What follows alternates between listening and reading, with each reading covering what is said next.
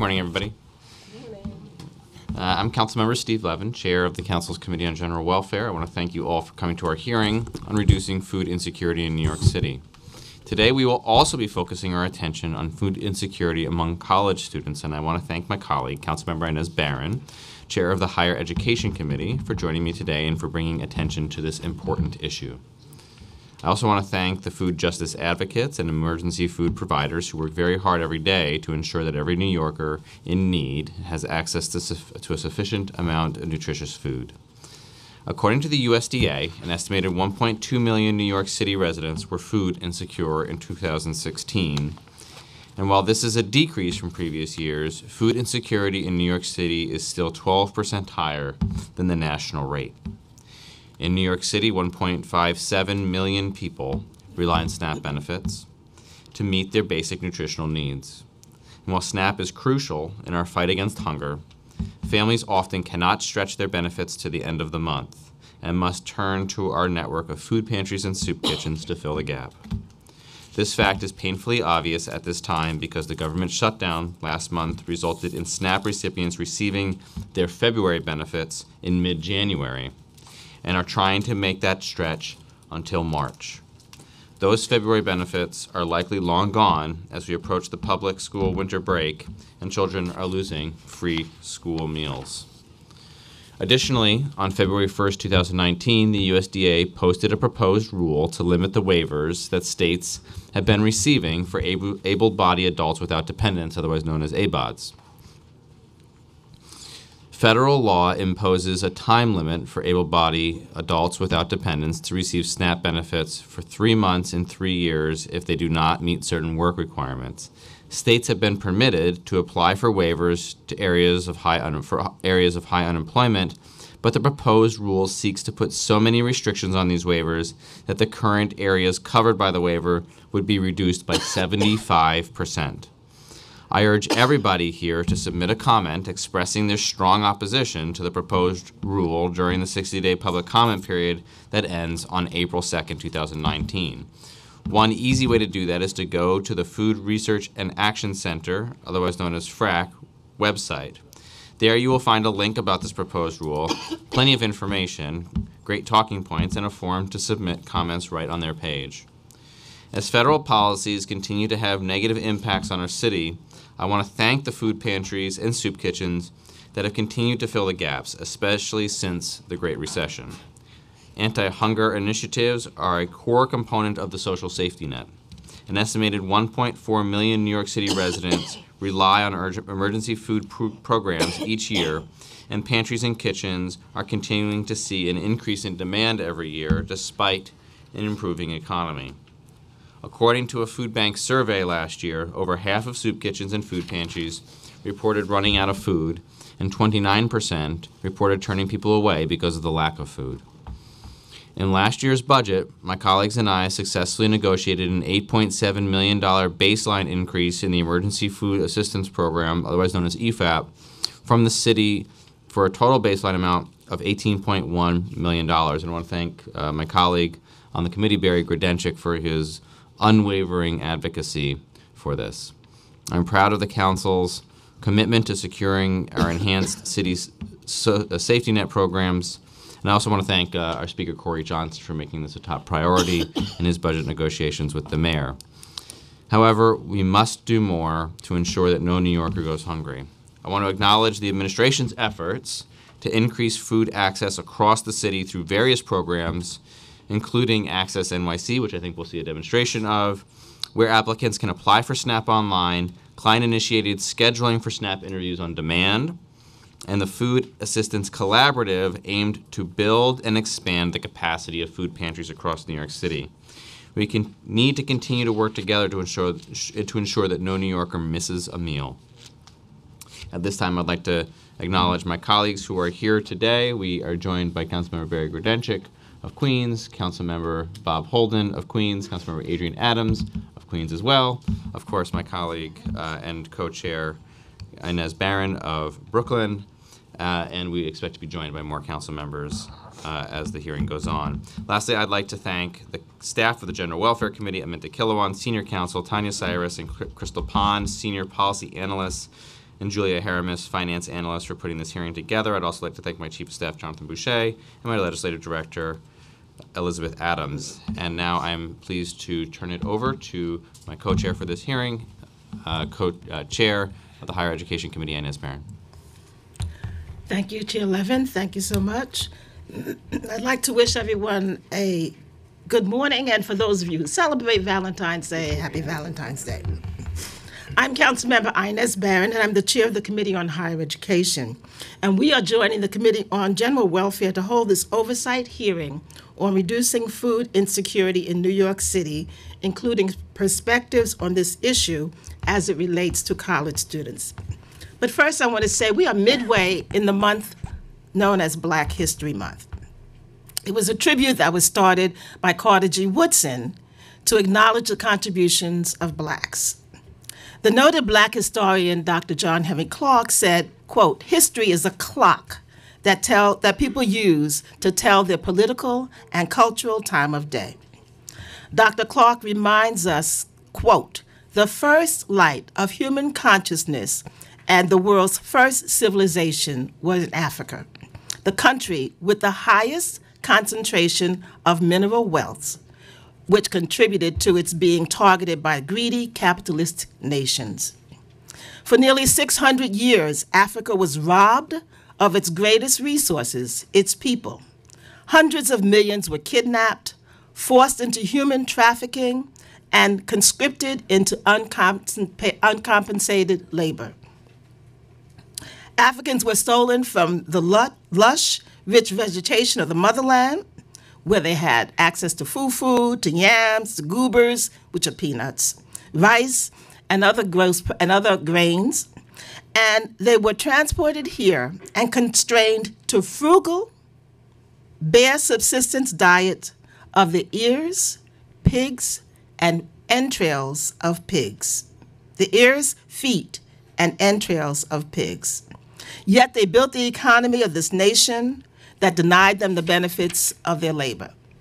So today, as we examine the situation of hunger, which now has a euphemistic title uh, that we're looking at, food insecurity, but hunger, particularly in New York City and at the CUNY, in the CUNY system, we will explore how New York City can adopt measures to ensure that as we claim our title of progressiveness and humanitarianism and concern for all people, that we can point to particular specific programs that are address that address the issue.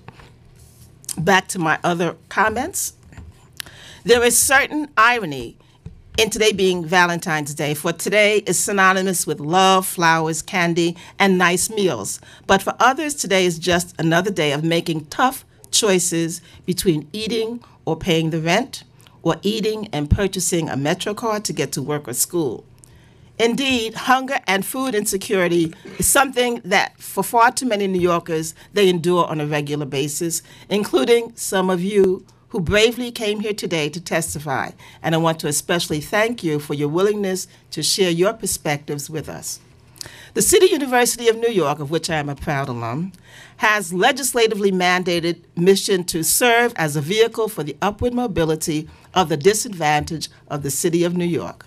CUNY's student bond very much reflects this mission. 42% of CUNY students come from families with incomes lower than 20% annually. 45% are first generation college students. 12% are supporting students, of, and of these, many are single parents. A quarter of the student body is black, and a third is Latino.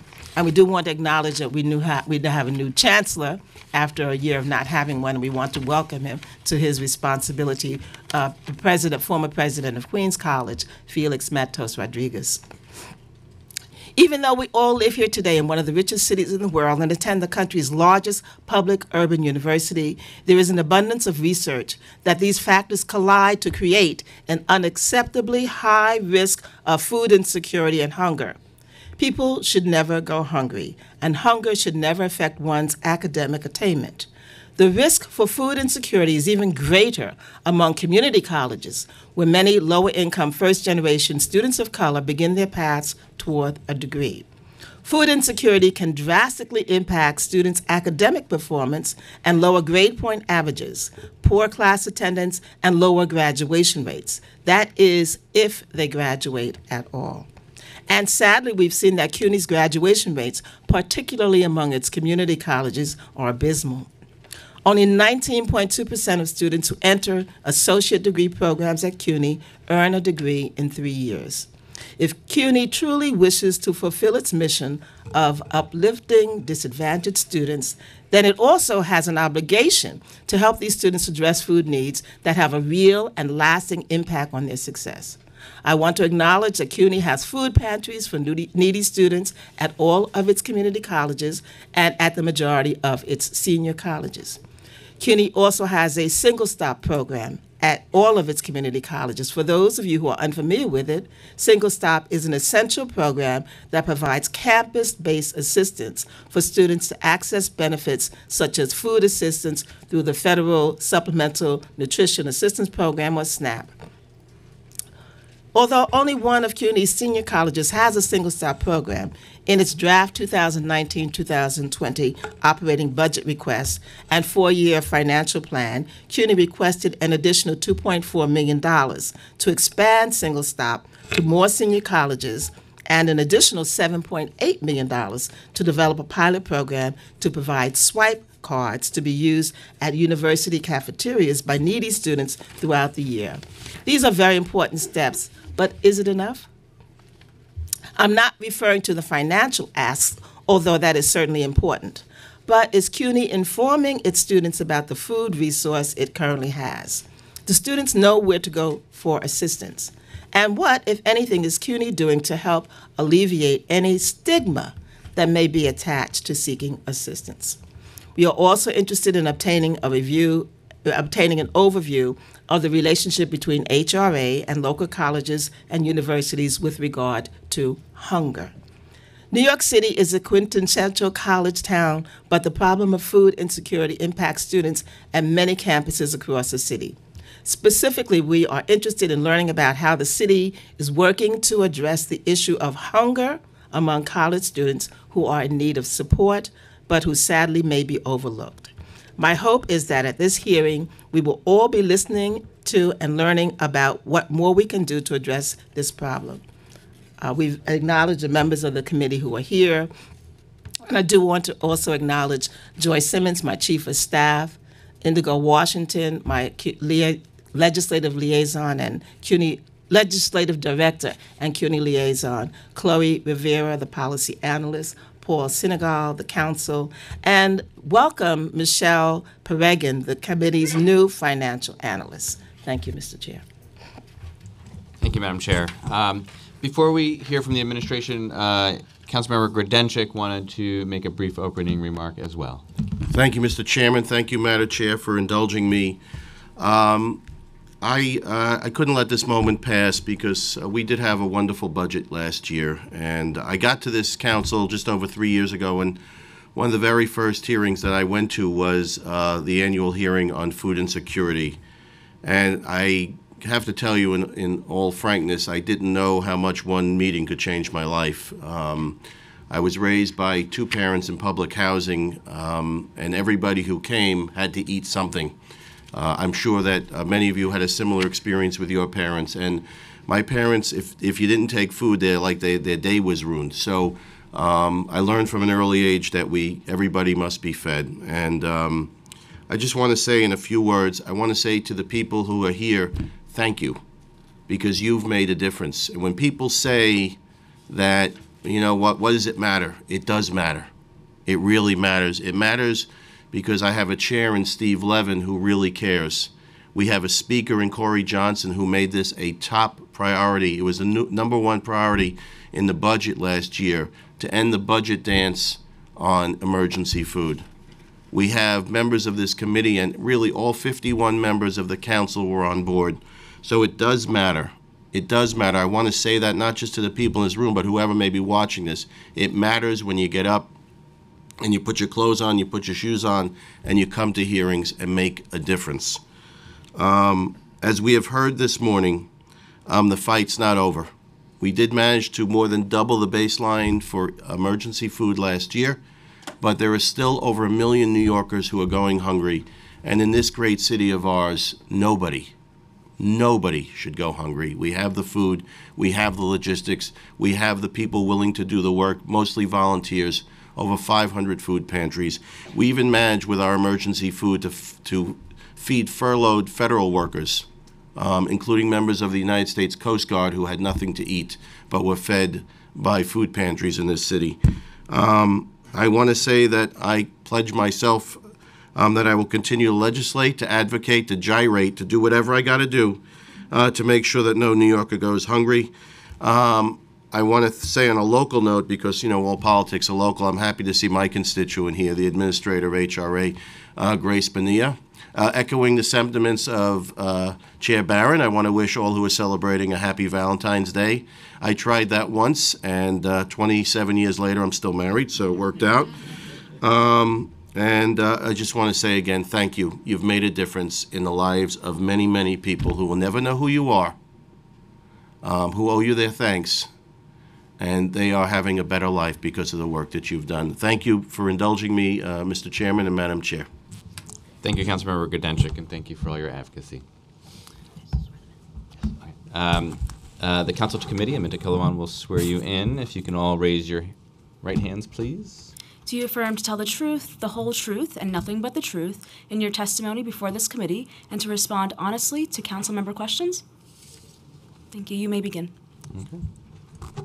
Uh, Good morning, uh, Chairman, uh, Madam Chair. We would like to start first with um, a video that really illustrates uh, the many steps that we are taking to make sure that we're making the message of using SNAP when needed accessible. Uh, So I, we will start with that before uh, we go into our testimony. Life can get busy. There's always somewhere you have to be or something you need to do. Whether it's an unexpected storm or a bus that pulls away as you get to the stop, one thing you can always count on is life is unpredictable. Which means when you're in a jam, you need some help to make your life simpler, not more complicated. Introducing the Access HRA website and mobile app. With these tools, applying for and keeping track of your benefits, like SNAP, are, well, a snap. Using the Access HRA app, you can view the status of your SNAP case, get important notices about your case, and even view your SNAP EBT card balance, making planning your family's next meal a SNAP. Need to submit documents but don't have time to visit an HRA office?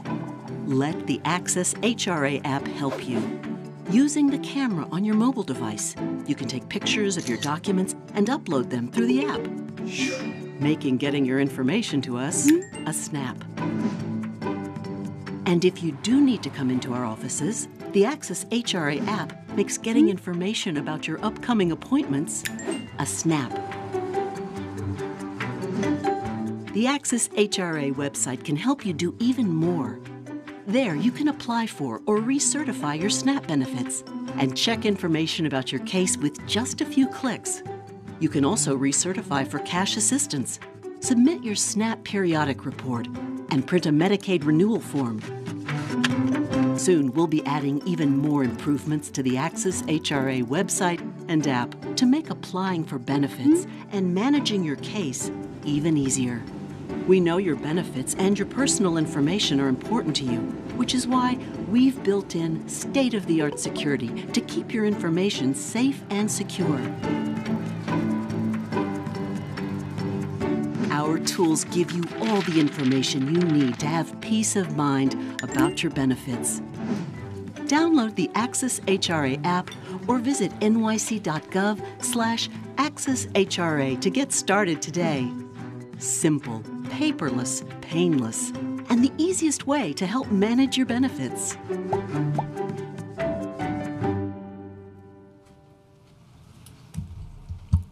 Well, thank you for indulging us. Uh, that video is uh, going far and wide in social media as well as being played in our centers uh, so that we can send the word out uh, that people don't necessarily have to come in to do business with HRA. Uh, and now I will turn to my testimony. Uh, Good morning, Chairperson Levin, Chairperson Barron, and members of the General Welfare and Higher Education Committees. Thank you for the opportunity to testify and offer updates on our efforts to address food insecurity among New Yorkers and respond to questions you may have today. My name is Grace Bonilla. I am the administrator of the New York City Human Resources Administration. I am joined today by Executive Deputy Commissioner Jill Berry and Chief Special Services Officer Annette Holm. HRA provides a variety of essential programs and supports to low income New Yorkers, including various initiatives focused on reducing hunger and tackling underlying socioeconomic factors that lead to food insecurity. We work closely with agencies such as the Department of Aging, the Department of Health and Mental Hygiene, the New York City Housing Authority, and the Mayor's Office of Food Policy to work towards a future where all New Yorkers have access to nutritious food. The ever increasing cost of living is a major contributor to food insecurity. As housing, food, and transportation costs rise, it is increasingly more difficult for low income New Yorkers to feed themselves and their families. Moreover, nutritious food is often more expensive and disproportionately concentrated in higher income neighborhoods, creating even more obstacles for vulnerable New Yorkers to access quality food. Not only do these circumstances often result in hunger, but they can also have drastic effects on health and productivity. In children, food insecurity is linked to poor academic performance, low school attendance, and behavioral and physical health challenges. For adults, it is associated with poor health outcomes, particularly for the elderly, including premature mortality, depression, diabetes, heart disease, and other chronic diseases. Too many New Yorkers are regularly forced to choose between paying rent or paying for groceries. At HRA, we work every day to disrupt the structural obstacles low income New Yorkers face to live healthy lives. HRA's anti poverty programs and initiatives include rental assistance, universal access to counsel, employment services, and more recently, fair fares, are meant to lessen the financial burden that low income households face and alleviate the food insecurity they may be experiencing coupled with other initiatives, including the increase in the minimum wage recently reaching $15 for employers with more than 10 employees, and the recent enhancement to paid sick leave by allowing employees to use their paid leave if they're victims of sexual assault, domestic violence, or human trafficking. The goal is to continue lifting New Yorkers out of poverty and minimize hunger, poor health, and homelessness. Food insecurity results from insufficient funds to maintain a regular, healthy diet.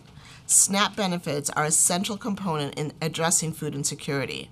Currently, 1.57 million New Yorkers receive SNAP, including 532 children and 300 and 532,000 children and 338,000 seniors aged 65 and over.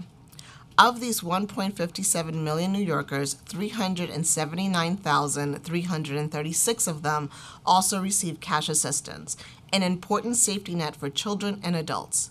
Many SNAP recipients work, but their wages are insufficient to handle modern day living expenses and quality and, and qualify them for benefits. And in addition to providing important dietary support, SNAP also generates business for local bodegas, farmers markets, and retailers, and can put individuals and families in a position where they can also purchase other essential items like baby products or medication.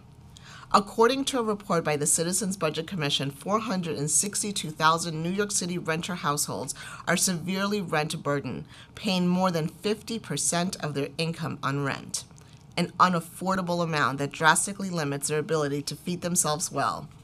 To address this major driver of poverty and hunger, HRA offers rental assistance and emergency grants to keep families and individuals housed. We have successfully helped more than 104,000 New Yorkers move out of shelter into permanent housing or avert entry into shelter altogether.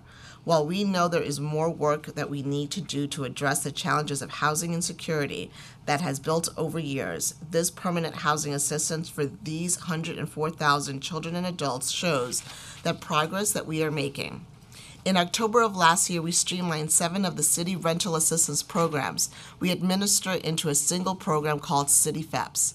This challenge will reduce this change will reduce the need to check a client's eligibility for multiple programs, making it easier to see if clients qualify for assistance and ultimately make it much easier for clients, providers, and staff to navigate our rental assistance program. It also makes it easier for landlords to participate in the program and better align our programs with state and federal rental assistance programs. Eviction can drive people into poverty where they are more susceptible to struggle with hunger and poor health. New York City is committed to making legal services available to all tenants facing eviction in housing court and public housing authority termination of tenancy proceedings. The Universal Access to Counsel program has been extraordinary success, uh, an extraordinary success. Residential evictions by marshals declined by 37% since 2013 with approximately 18,000 evictions in 2018 compared nearly to 29,000 evictions in 2013. In 2018 alone, evictions decreased 14%, with 3,000 households more than more than 8,000 New Yorkers across the five boroughs able to remain in their homes as a result. Since 2013, more than 100,000 New Yorkers who might have otherwise faced eviction have been able to stay in their homes. This decline in evictions follows a milestone in the administration's effort to combat homelessness and protect housing stability through its commitment to providing legal services for tenants facing, facing evictions and displacement. As of June 2018, the city has provided nearly a quarter million New Yorkers with legal representation, advice, or assistance in eviction and other housing related matters through a tenant legal services program administered by HRA. The the positive impact SNAP has for our city makes recent federal action that challenges our work in providing SNAP benefits to those in need all the more chilling in their, in their effect. Last year, the U.S. Office of Citizenship and Immigration Services, USCIS, issued a proposed rule change rule change to the definition of public charge by including more non-cash benefits such as SNAP in the proposal. As Commissioner Banks previously testified before the Immigration Committee, we're working with the Mayor's Office of Immigrant Affairs to inform New Yorkers that this rule has not gone into effect and that our office is open for business and there have been no changes to eligibility. Comments in opposition to the drastic proposed changes were submitted by the de Blasio administration, other elected officials, advocacy groups, and individuals highlighting the adverse impact on poverty levels and health in communities across the city. Most recently, we endured a 35 day federal shutdown, the longest federal government shutdown in history. Under the direction of the U.S. Department of Agriculture and working in concert with the New York State's Office of Temporary and Disability Assistance, we processed pending applications and recertifications early and issued February benefits for most clients in January to ensure the issuance of benefits before the USDA determined that there were no longer they were no longer funds available to pay February benefits. We conducted a communications campaign to inform SNAP recipients of the unusual early issuance of February benefits so they could budget their food expenses appropriately and reassure them that nothing else about SNAP had changed due to the shutdown. We expanded our reach of this important news by notifying elected officials, community boards, CBOs, service delivery organizations, and city agencies to share or post this critical information. I want to take this opportunity to thank the HRA employees who successfully handled the coordination and distribution of the SNAP benefits in this unconventional circumstance so, so, to so many New Yorkers that are entitled to this assistance to feed their families. For March, OTDA has approved the distribution of SNAP benefits on a compressed schedule from March 1st to March 7th to limit the gap between the early February benefits and the March benefits. As of yesterday, we have initiated a communications campaign to inform New York City SNAP recipients and service providers of this important change. The shutdown also directed, impact, directly impacted 18,000 federal employees in New York City who were furloughed and did not receive a paycheck during the shutdown. These were New Yorkers who did not have who do not did not have anticipated income to pay for housing costs as well as food and other commodities. Understanding the gravity of the emergency they were facing, New York City set up a website so these employees knew what resources they could access. Additionally, many New York business ch- churches, nonprofits stepped up and offered meals to federal employees impacted by the shutdown. Notwithstanding these challenges, HRA proceeds in its mandate to address food insecurity by increasing access to SNAP and helping these New Yorkers return those benefit, retain those benefits. As studies regularly conclude, im- improvements in the economy generally correlate to a reduction in the participation in, SNAP, in the SNAP program.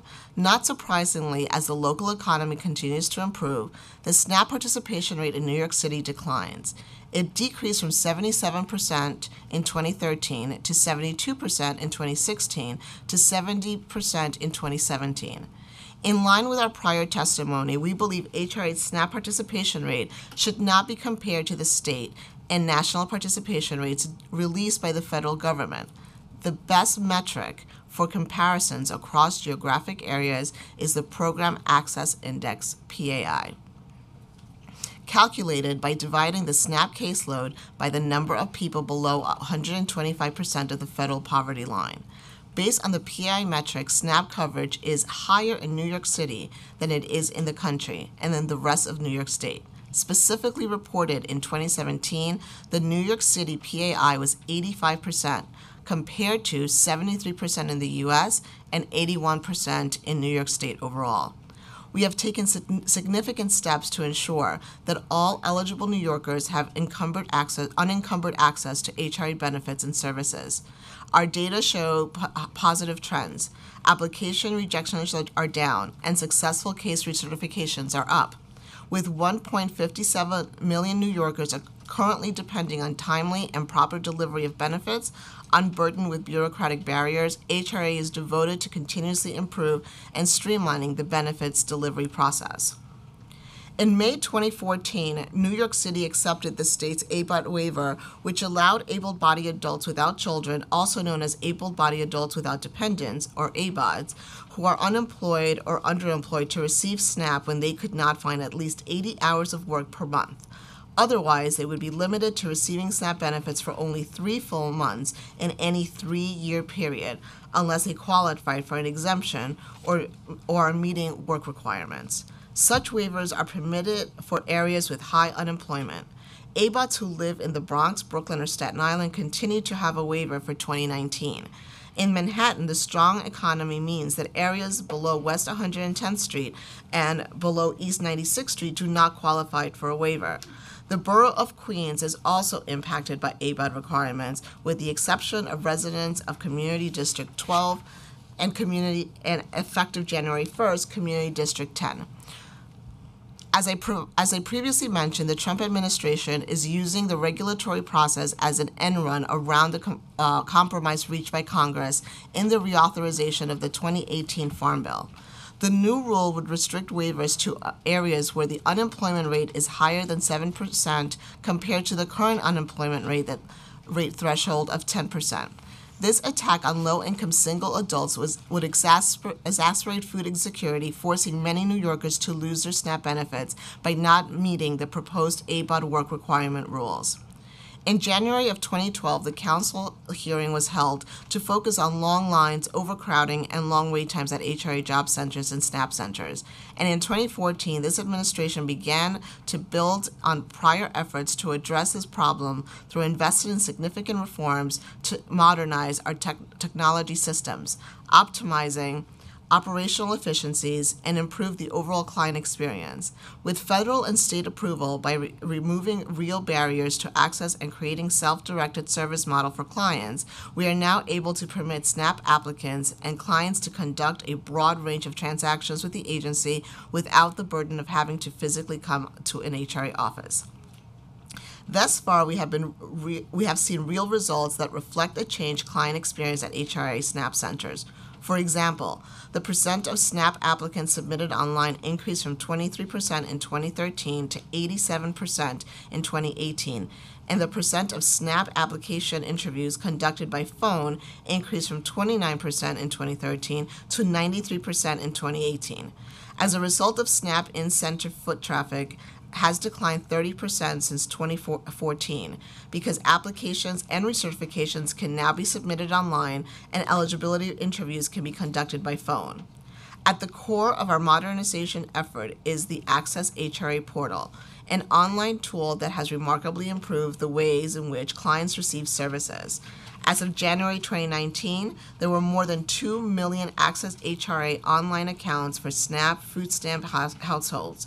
We now receive over 20,000 online applications each month. Today, all SNAP eligibility interviews can be conducted at a client's convenience by phone, rather than the rigid four hour window under the old system, or clients can choose to come into a center for an in person interview. On demand interviews for SNAP recertifications have been full, fully in place for more than two years, and as of September 2018, on demand interviews for new SNAP applicants are available citywide. The portal allows clients to create an Access HRA account to gain access to over 100 case specific points of information in real time, including application and case statuses, upcoming appointments, account balance, and documents requested for eligibility determination. Additionally, clients can make changes to contract in- contact information, view eligibility notice electronically, request a budget letter, and opt into text messages and email alerts. We continue to improve this tool to add new functionality, and now clients can submit their SNAP periodic report online using Access HRA. This new feature allows clients to report changes in household composition, income, and other circumstances.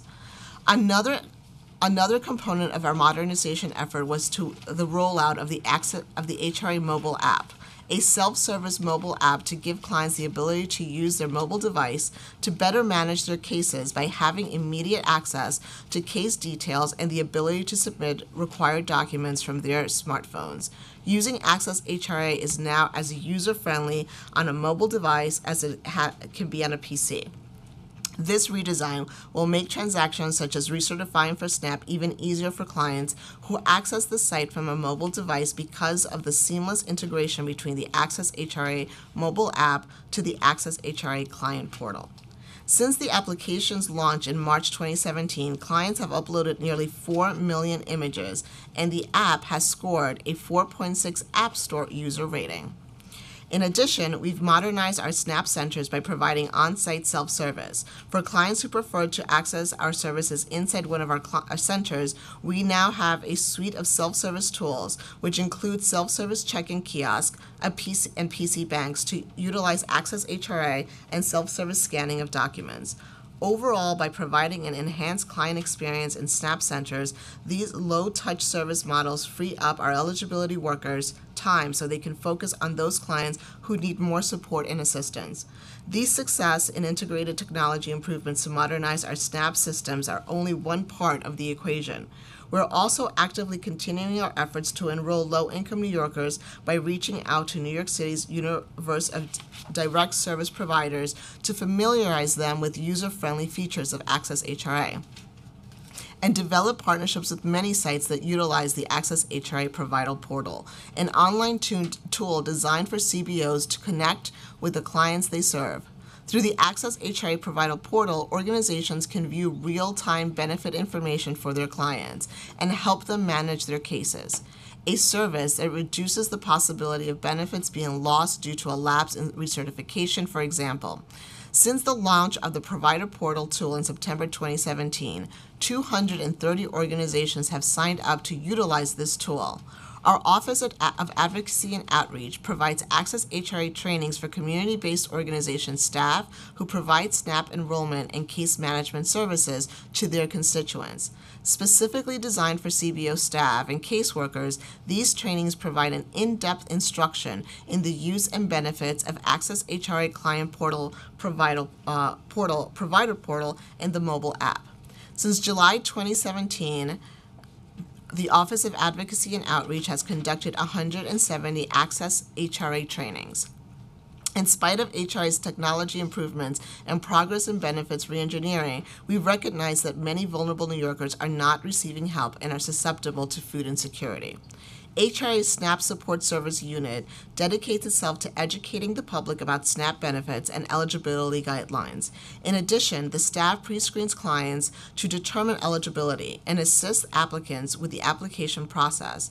And fiscal year 18 SNAP support services provided services at 1,758 individual events at 380 individual community site locations and provided services at 132 sites on a recurrent basis. HRA also partnered with 117 community based organizations to provide SNAP outreach throughout New York City. Among its many responsibilities, this group charged with ensuring that eligible, eligible immigrants and and or qualified family members are enrolled in the SNAP program and receive SNAP benefits. This administration significantly expanded our outreach service to immigrants, as well as New Yorkers with low literacy and limited English proficiency, by partnering with over 100 community-based human services and government agency organizations with proven track records of providing services to these groups. HRA has also outreach staff on site and readily available in housing developments and community sites, which include nine DFTA senior centers that assist low re- local residents with SNAP uh, pre screening and application help. The HRA outreach staff regularly attend resource fairs, farmers markets, and other community events, as well as speaking to inmates at Rikers and state and federal correctional facilities uh, about how to apply for SNAP one of our most significant outreach efforts in the SNAP Help campaign that utilized a special website called foodhelp.nyc with mirroring sites in local law local law languages Spanish, Chinese, Russian, Korean, Haitian Creole, and Arabic. The SNAP Help campaign encourages New Yorkers struggling to afford food, particularly low income seniors and immigrants, to seek help. In fiscal year 19, the HRA Emergency Food Assistance Program total funding for food and administrative expenses is uh, 20.2 million and includes 8.7 million in additional funding baseline by the administration at the time of adoption for fiscal year 19. This funding is being used to provide additional non-perishable and frozen food, provide additional administrative grants for non food related expenses, and cover increased costs for warehousing and transportation. Food distribution to those in need remain our most important objective. In fiscal year 18, EFAP distributed more than 17.5 million pounds of food, including over 1.3 million pounds of frozen food. In the same period, EFAP program reported serving more than 13.6 million people. EFAP provides over 40 food items and, and, purchases the most nutritious food items that also meet the dietary and cooking needs of special populations such as homeless New Yorkers, those with HIV/AIDS, and those who need kosher or halal diet. In addition, many of these foods food items are packaged differently. The actual purchase of these items is based on an anal- analysis of the needs and trends of the emergency food network. We welcome the discussion on the preve- uh, prevalence of food insecurity among college students, vulnerable populations normally overlooked.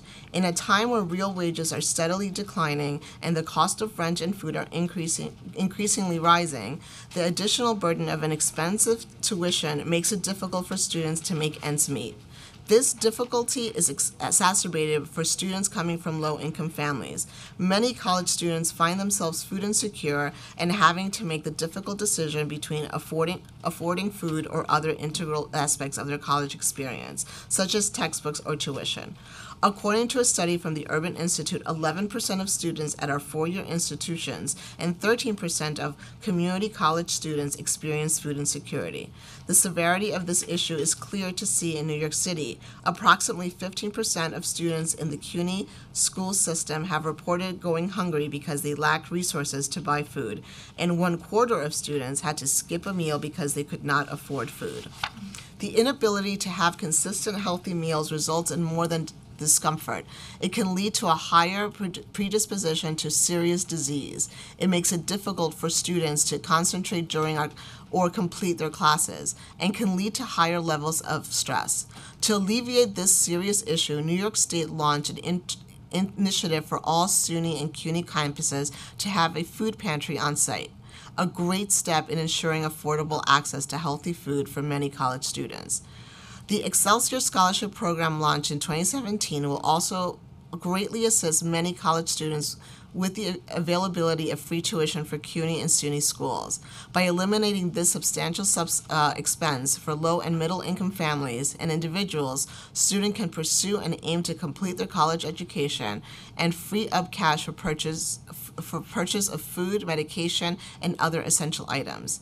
The city has also introduced several initiatives that make a variety of nutritious food widely available to everyone in the city and assist HRA in making SNAP a more effective and widely used program. One of these initiatives is New York City Green Cart, which is a mobile food card program that offers fresh fruits and vegetables in neighborhoods with limited access to healthy food. While much has been done to make food more accessible and affordable to New Yorkers, including college students, there is much more that can, needs to be done. Much of the inability to utilize SNAP as a tool to end food insecurity for college students in New York City is due to SNAP being federally regulated. According to the federal rules dictated SNAP, dictating SNAP eligibility, most college students are not eligible for SNAP unless they work 20 hours per week or receive a federal work study grant. They may also be eligible if they take care of young children or they are in college as part of a workforce training program. HRA will continue to advocate for change to federal policies covering the eligibility rules by employment status that limit our ability to provide SNAP to vulnerable groups in need, such as college students. SNAP and the Emergency Food Assistance Program, as well as other initiatives detailed in this testimony, will continue to provide necessary nutrition assistance to New Yorkers in need. But more remains to be done to ensure that New Yorkers New Yorker go, New, no New Yorker goes hungry as a result of an inability to afford and purchase food. We are proud of our work to expand access and remove barriers to these essential benefits and services. For clients, it has resulted in a shorter wait time and a better client experience. We're also working to protect, protect against any proposed federal cut that threatens the SNAP program or the nation's other safety net programs, as well as policies that may harm our immigrant communities. Not only would cuts to SNAP be devastating to those New Yorkers who rely on this crucial benefit, they would also harm the local economy. We look forward to continuing co- continued collaboration as we work with this council and advocates to protect the enormous gains we have made in recent years under the de Blasio administration and to fight back against any proposed budget cuts or policies and regulations that harm low income New Yorkers. Uh, we welcome your questions. Thank you.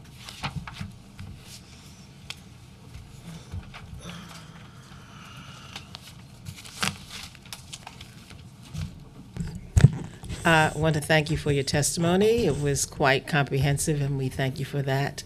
Do want to acknowledge that we've been joined by Council Members Ayala, Councilmember Reynoso, and Council Councilmember Brad Lander. Thank you for your testimony. Um, now, in the portion of your testimony where you talk about the impact or the requirements that uh, students work at least 20 hours in order to, or receive a federal work study grant in order to be eligible, do we have an idea of how many students are actually receiving uh, SNAP? Do we have that number? Can we get the number? Do we know that?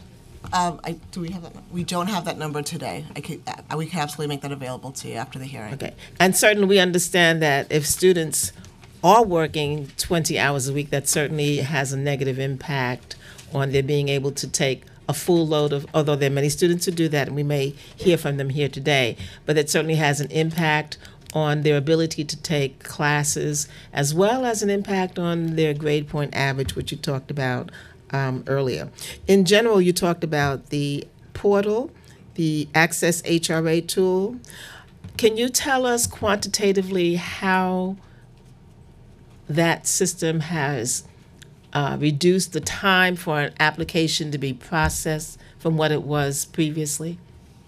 So the, uh, we, we have seen a reduction in the time that it takes to process applications, mainly because uh, we are able to get documents much faster from clients who before would go back and forth with us on whether they handed documents or not. Uh, but do we have a, a number on that? How long did it take previously as compared to the average length of time that it takes now that you have this tool? We're required to process all applications within 30 days, and, and we are meeting the 30-day timeframe. But you don't have a definitive number as to how how much? No, part of that is to allow the client sufficient time to return documents to us and for us to ensure that they have to communicate back to clients when they haven't submitted sufficient documents. So that 30-day period gives them the full time. So it's still 30 days. And my question is, I'm trying to figure, I'm trying to get an idea of how much less time it is that now, now that you have the online tool. Is it now 28 days rather than the full 30? Or do you just wait the 30 days regardless to close the case out? I'm trying to get a quantitative, definitive. So, uh, council member, one of the things that uh, has been great about Access HRA is that we really have worked to uh, streamline the front end of the app. Uh, we are still, as part of the modernization, working on uh, modernizing the back end of how we process cases. Uh, so that is still a work in progress. And once we are able to fully modernize the front end and back end, we, that's when we will start seeing the results of uh, those days going down. Okay, and I had a question which uh, you perhaps gave some information on. I had previously asked about the uh, able-bodied uh, adults without dependents. And my question was, and I think it's part of your testimony, that it does apply to those who live in Brooklyn, because at some point I had seen that it didn't, didn't say Right, so Brooklyn. Brooklyn is part of, currently, uh, part of the city that is able to take advantage of this waiver. Um, there are other parts, like I said in my testimony, in, in Queens and Manhattan where we don't have that luxury.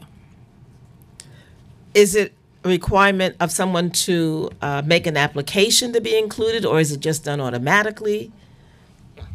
It, it's automatic depe- dependent on where you live. As long as you live in, in Brooklyn, you are not subject to ABAWD requirements. You are waived. So it doesn't d- require community or zip code or anything, just as long as you live in Brooklyn? Correct. Anyone in Brooklyn? Okay, okay, good. Thank you. Uh, Thank you, Mr. Chair. Um, thank you, Chair Barron. Um, so, uh, is anyone from CUNY wishing to, to testify, or is I believe that's the next panel. oh the next? Okay, in a separate panel. Okay. Um, so, uh, I wanted to just uh, maybe follow up a little bit on Councilor Barron's questions around um, around uh, uh, Access HRA. Um, so the number of the the, the um, the percentage, the one one metric that struck me in your testimony was the, the number or percentage of um, cases that were have been submitted online, going up from 23 percent to 87 percent in five years, uh, which is remarkable. Was there was there now the ones that were done before? How were they done? Was was it prior to because Access HRA was did you know you guys created it right? Right, we did create it. Uh, so this process has been really a five-year process. It's not a flipping of the switch, right? So I believe that when we were before you last year, we were still uh, finalizing moving all of the city into app being able to apply on demand. If- If that, if I have the timing correct, right? So as we have phased in uh, this uh, approach of being able to do things on demand, we have seen an increase of folks really taking advantage of it. So that's what really led to the spike. 2018 was really when we focused in ensuring that the rest of the city, borough by borough, was able to not just recertify uh, through the uh, through the app, but also apply. Um, has there been a um, correlating increase in our PAI, uh, the the Program Access Index? That's a Um, great question. Uh, we know that we are definitely hitting more neighborhoods uh, than we did before. I don't know if today we can make the correlation between the number of people using the app and the, the very good number. yeah PAI number that we do have. Excuse me. Are there any other just you know? I mean, you you mentioned um, New York State as a whole and the United States as a whole. Are there any other uh, jurisdictions that? I mean, are we the highest at eighty-five percent, or are there other jurisdictions that, that achieve higher numbers? On that Uh, I don't have that number currently, but I know that uh, we are a leader nationally uh, in the way that we accept SNAP applications. Uh, I believe about a year or so ago, we were also asked to uh, testify in Congress about our efforts. So I know that nationally we're a leader in the space. Did you need special approvals from OTDA or uh, USDA to to configure Access HRA that the way you wished, and Ab- so how what were those ways? you know? Absolutely. Uh, we, as as you all know, SNAP is a benefit that is administered by the federal government um, through OTDA. So the partnership with OTDA and the federal government at the time that we applied for the waivers was critical to move us in this direction. Okay. Um, and uh, so specifically, what kind of waivers did you did you request? So for uh, for example, uh, one of the things that was uh, a requirement of applying for SNAP is that you also had to do a face-to-face in SNAP, right? Uh, if, if you go back uh, five years ago, one of the waivers we received was the ability to have uh, that appointment uh, over the phone which uh, opened up the possibility of creating what we have, what we call now tip centers. So now people can call at their convenience to verify the information they've handed in. So, if somebody is able to use the app and is proficient to use the app, um, and uh, that it works out properly to have an on-demand interview on the phone, does does every is there an instance where someone does not have to come in at all uh, that for a face? person should not have to come in at all, Not once. not once. Um, uh, and yet there are still people that come in. So wh- why do we, why are people still deciding to come in? Sure. So uh, for What the, drives that decision? Yeah, for the most part, um, it's it's multi pronged. One of the reasons that people come in is because they still want to see someone face to face and have the conversation, right? That's and and we see that, uh, and sometimes the folks who are uh, English limited or are older adults who just don't trust these devices, right? And and that's why we're still there. Um, the other piece of it is that we really have to make sure that everyone knows about the app. We've had instances where our um, staff will go out into the waiting room to just uh, survey the, the waiting room to see why people are there. And sometimes someone will say, Oh, I just want to hand in this document. And they're like, Well, did you know? And, and they're there really to help them download the app. It's like, Did you know that you could do this? And then people are like, I had no idea. And they'll leave or hand, hand it in, and, but not come back the next time. So the reasons vary. It's one of the, uh, but that particular reason, not knowing, uh, has come up over and over and over again, which is why we're launching a campaign in March to really just drive the point home that not just SNAP recipients, but also someone who's already on cash assistance can open up an Access HRA account, upload documents, and reduce the number of visits they have to make to an HRA location. Right, because the because the, the you said the, the number of visits has gone down thirty percent, but the increase in the number of people using uh, using the app using Access HRA has no, sorry using Access HRA has gone up so significantly. So so Yeah. the, the, the- from twenty seven to eighty some odd percent. So That's correct. um, that's so so we're seeing this huge increase, but but uh, you know a, slightly you know or a smaller decrease in the number of, of in the amount of foot traffic, and so I'm wondering kind of um, uh, how many how many downloads of the app are there? That's a great question. I don't know if that, we, we don't have that readily available. Okay, we should we should find out. Absolutely. Um, I mean, and how long? It's only been up for less than a year, right? The app. No, the app has been around for an- a couple of years. Okay. Uh, we've made improvements to the mobile upload that have has made it more attractive. Um, so that we've seen an increase in uh, utilization on, on that side. Um, but there are two million Access HRA online accounts. Mm-hmm. So that exceeds the number of, of that exceeds the number of SNAP recipients and PA recipients combined. So correct. What drives that is that, as you can imagine, for all of us who have online accounts everywhere, you forget your password. Uh, you there are a number of reasons why you would have uh, someone have more than one account. Does that create any you know logistical backlogs for HRA? Not really. Uh, on the back end, we have access to their uh, to their information, regardless of what the front end looks like. So we don't have that problem, thank goodness. Uh, but it's really making sure that people have access uh, to their documents. Uh, so that's another conversation that we constantly have to make sure that they're um, they, they're leaving their password in a place that's accessible. Um, what's what right now does does the team that built that? And I just want to give uh, you know kudos to the team that that built this out because I know that they worked very hard on that. Um, by the way, I encourage that you do the demonstration for Access HRA. So I encourage everybody that works at a not-for-profit or an elected official's office uh, to go and do the demonstration on Fridays in Brooklyn. Is that That's right? right. We'll do it? That's right. We have a specific date. Uh, please contact us. We are eagerly wanting to make sure that people are not just using Access HRA, but for CBOs, the provider portal is also uh, a huge asset to your case management um, methodology. Um, what are the kind of challenges right now that you're looking at with Access HRA in terms of how to make it better, more effective, uh, reach more people, or iron out any kinks that are there right now? Well, so more recently, I, I can give you one from the past that we've been able to fix. More recently, one of the uh, criticisms was the clarity of documents when people were uploading them. We were able to make sure that we fixed that really very quickly in, in the, one of the latest releases that we had. Jill, do you have anything that we've been working on that you want to point to? Sure. Some of the, the things we did very recently was to make it um, more mobile friendly so that it is easier to use the app on a mobile device. Um, we also re- released the um, the application and it made it easier to specifically in our centers toggle back and forth um, between English and other languages.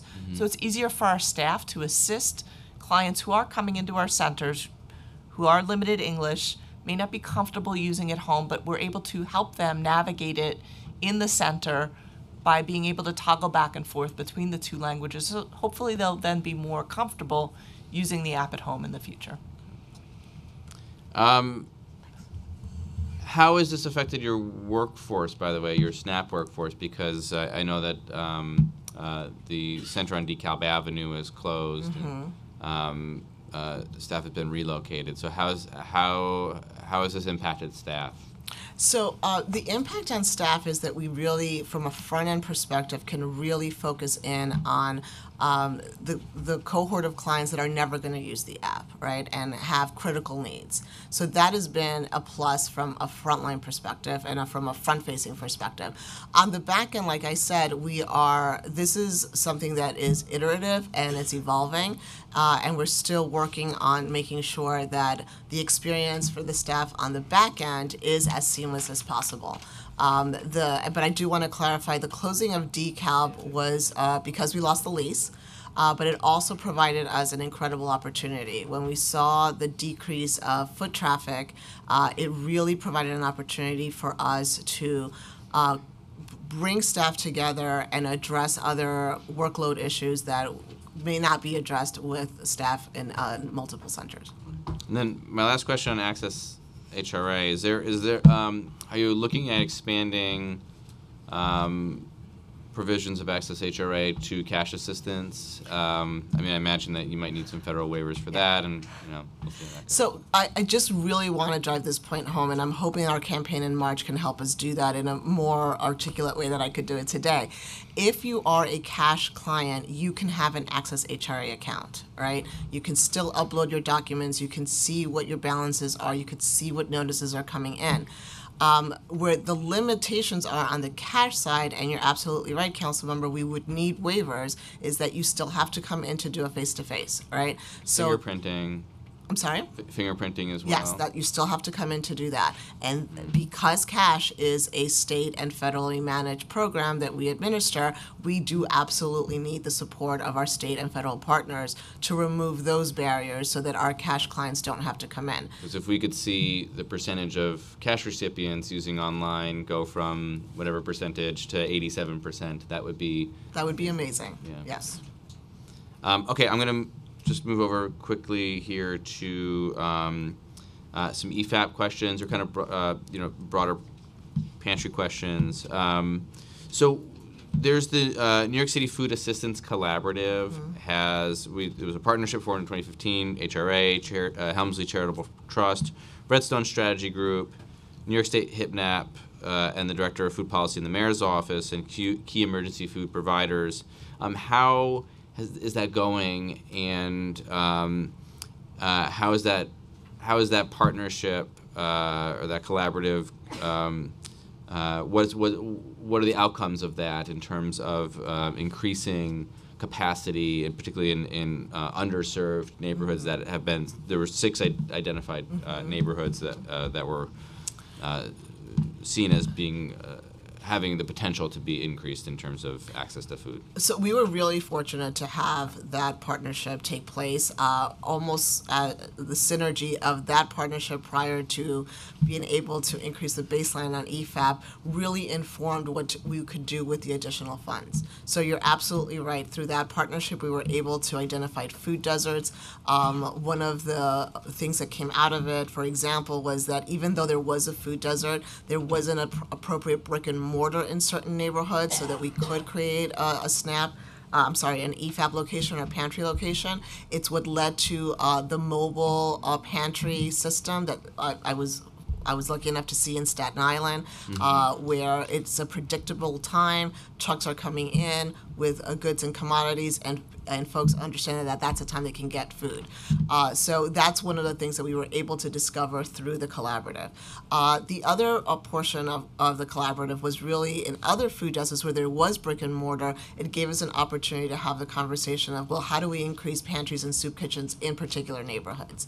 Um, the um, another thing that I don't want to fail to mention is the Plentiful app, right? The Plentiful app that came out of that partnership has made has made it possible uh, for folks that do utilize pantries to do it in a dignified way. They can like very much like Access at HRA, they can have an account. Uh, they can put in their order before going into a pantry uh, for the for the pantries that you do use the uh, Plentiful app, and they can come and pick up their food. Uh, so it's been a, co- a collaboration that's really elucidated for us all the uh, the different ways that we can get creative with the funds that we have and neighborhoods that we really need to focus And on. that could be for HIPNAP and EFAP and kind of it, it, in terms of what's on, on the Plentiful app. It's- selecting your food is, is, is a it could be the, the range of sources. I believe that's right. Yeah, I believe that we can we can uh, confirm. And our, how many, uh, what, what percentage of our pantry network is, is using, or EFAP network, pantries that participate in EFAP are using the Plentiful app? That's a great question. I would have to get back to you on that, but I do want to point out that uh, since that collaboration and the additional investment, we were able to increase by 43 new pantries uh, and 51 um, in increase access. and uh, 51 in, uh, 51 uh, have increased their allocation because of the investment made by the city with this with support of the, of the council. Is the collaborative still still going? Um, it's uh, their work will come to a close at I believe at, at the uh, beginning of June, and I do have a number. 232 pantries are now using Plentiful. Okay. And of how many in the network? Do you know? So in the EFAP network, we have 558 Okay. pantries. Uh, that doesn't account for pantries that receive funding on their own. So Right. I, I could tell you what we have in the EFAP network. Right, right. So Yeah. about half of the is that is that right? So half of the are all of the 200 or so that are using it EFAP providers? Not necessarily. Not necessarily. Not Necessarily, yeah. Um, okay, but if it's any if it's around half, that's a decent start. And obviously, I mean, it would be interesting to know from them those that don't aren't using it why they're not using it. If it's a if it's a if it's a good resource for a pantry, you know, everyone should probably. That is something we can absolutely look into. I think the general response is that when a pantry is managed mainly by volunteers, Mm-hmm. uh, it's it's more challenging to maintain that type of system. Um, and then I'll turn it over to my colleagues. Uh, uh, but I have one more question about um, uh, EFAP. Is there how how is the uh, increase in allocation working, or the you know the increase in funds baselined working at EFAP? Because I, I did hear from one provider, and I'm paraphrasing this person, who said that um, it's great because we're seeing uh, this this increase, but as a result, now we're relying even more on EFAP Right. um, this is uh, you know pantries are because it, it now makes up a greater percentage of their overall food. Um, and there's i think some concerns about kind of the timeliness of the food getting there. And so how are we measuring that and, and ensuring that pantries are getting the efap provisions in a timely way That's a great question. Uh, I, I want to preface my response by saying that every single pantry has a contact at within our EFAP program uh, where they can get in touch with us if they have any challenges with food supply, anything. Um, and in anticipation of this question, I asked the team if we have received any complaints on timeliness, and we haven't.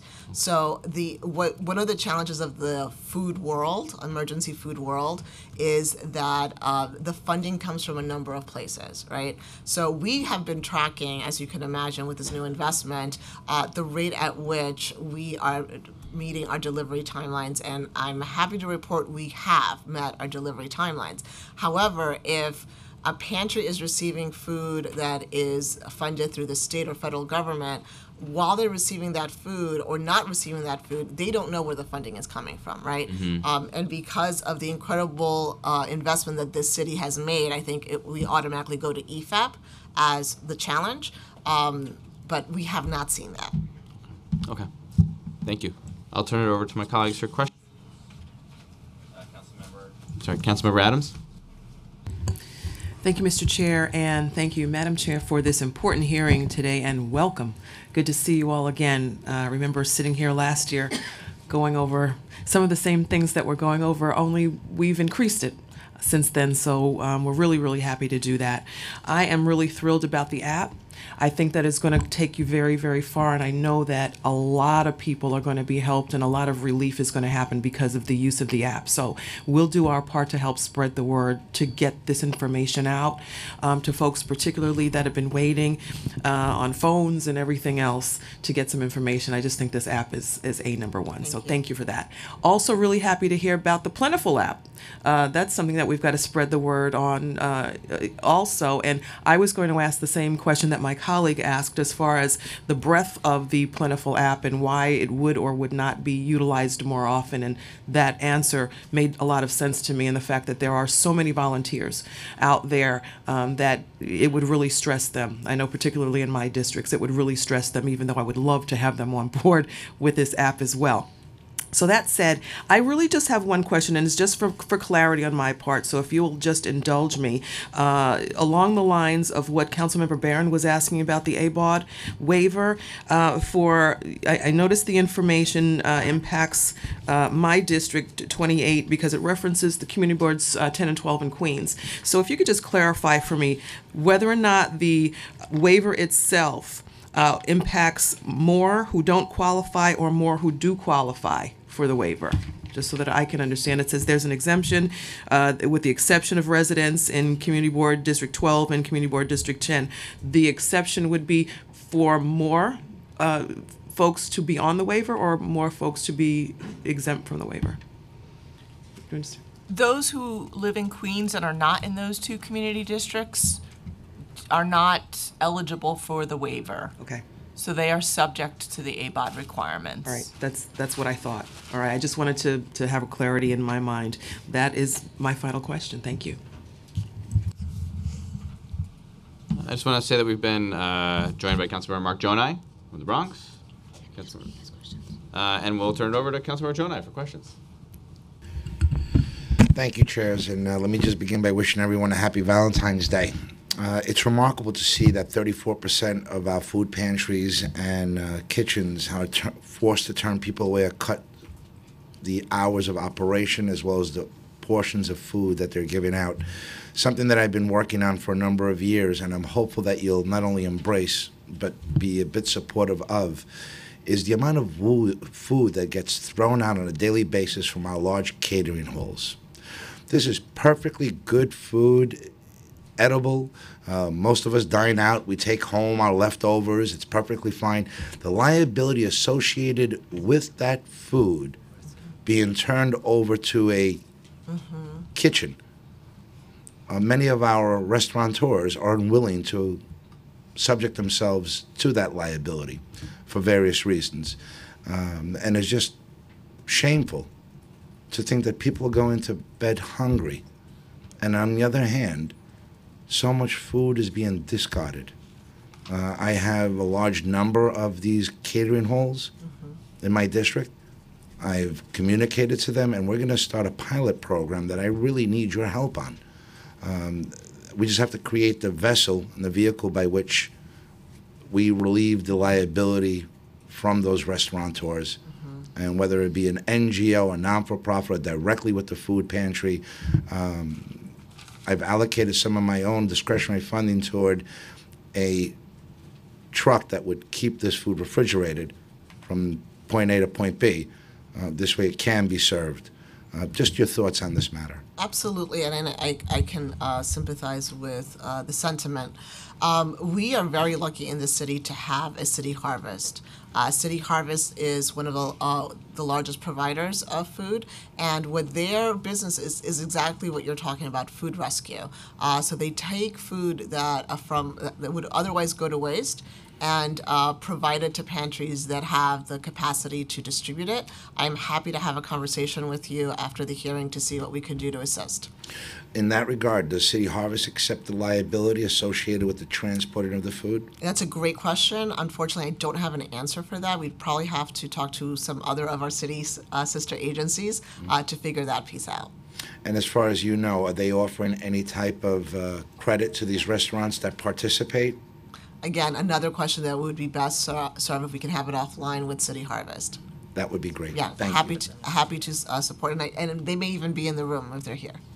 City Harvest here? Yes. Okay. Great. So, I think we have. Sorry, we'll, we'll, we'll, yeah, so. You can talk offline and, or when you testify. Um, uh, okay, do, do any other council members have questions? Bob, do you have questions? Councilmember Robert Holden. Yes, uh, thank you, and thank you for your great testimony. It's very encouraging to, uh, to hear this. On the, uh, you said that, I just have one question. You, you said that you're launching the campaign Access HRA for the app in March? That's correct. That's correct. Um, How do you plan to reach your target audience? Uh, Uh, so what- it's a s uh, it's uh, basically a PSA, right? We are going to be involved in social media. Uh, we are using, um, and if, correct me if I'm wrong, anyone in the room, subways uh, ads. Um, we're uh, print, social media, and transportation hubs is how we're hoping to do this. Yeah, bus Um, shelters in, in, in target neighborhoods? Absolutely. That's absolutely. great, yeah. Uh, it's very much what we did when uh, the shutdown was, was happening. We depend very much on our CBOs. We're going to get the word out.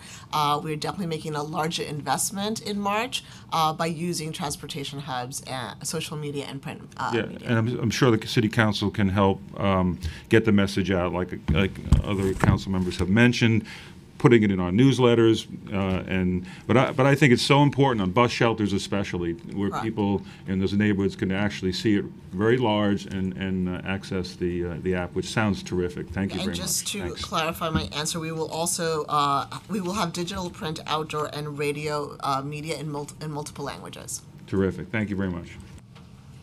Councilmember Ayala. Sorry, Councilmember Ayala, it's thawing out. It's freezing in here. So sorry, guys. I swear, you can't make it up.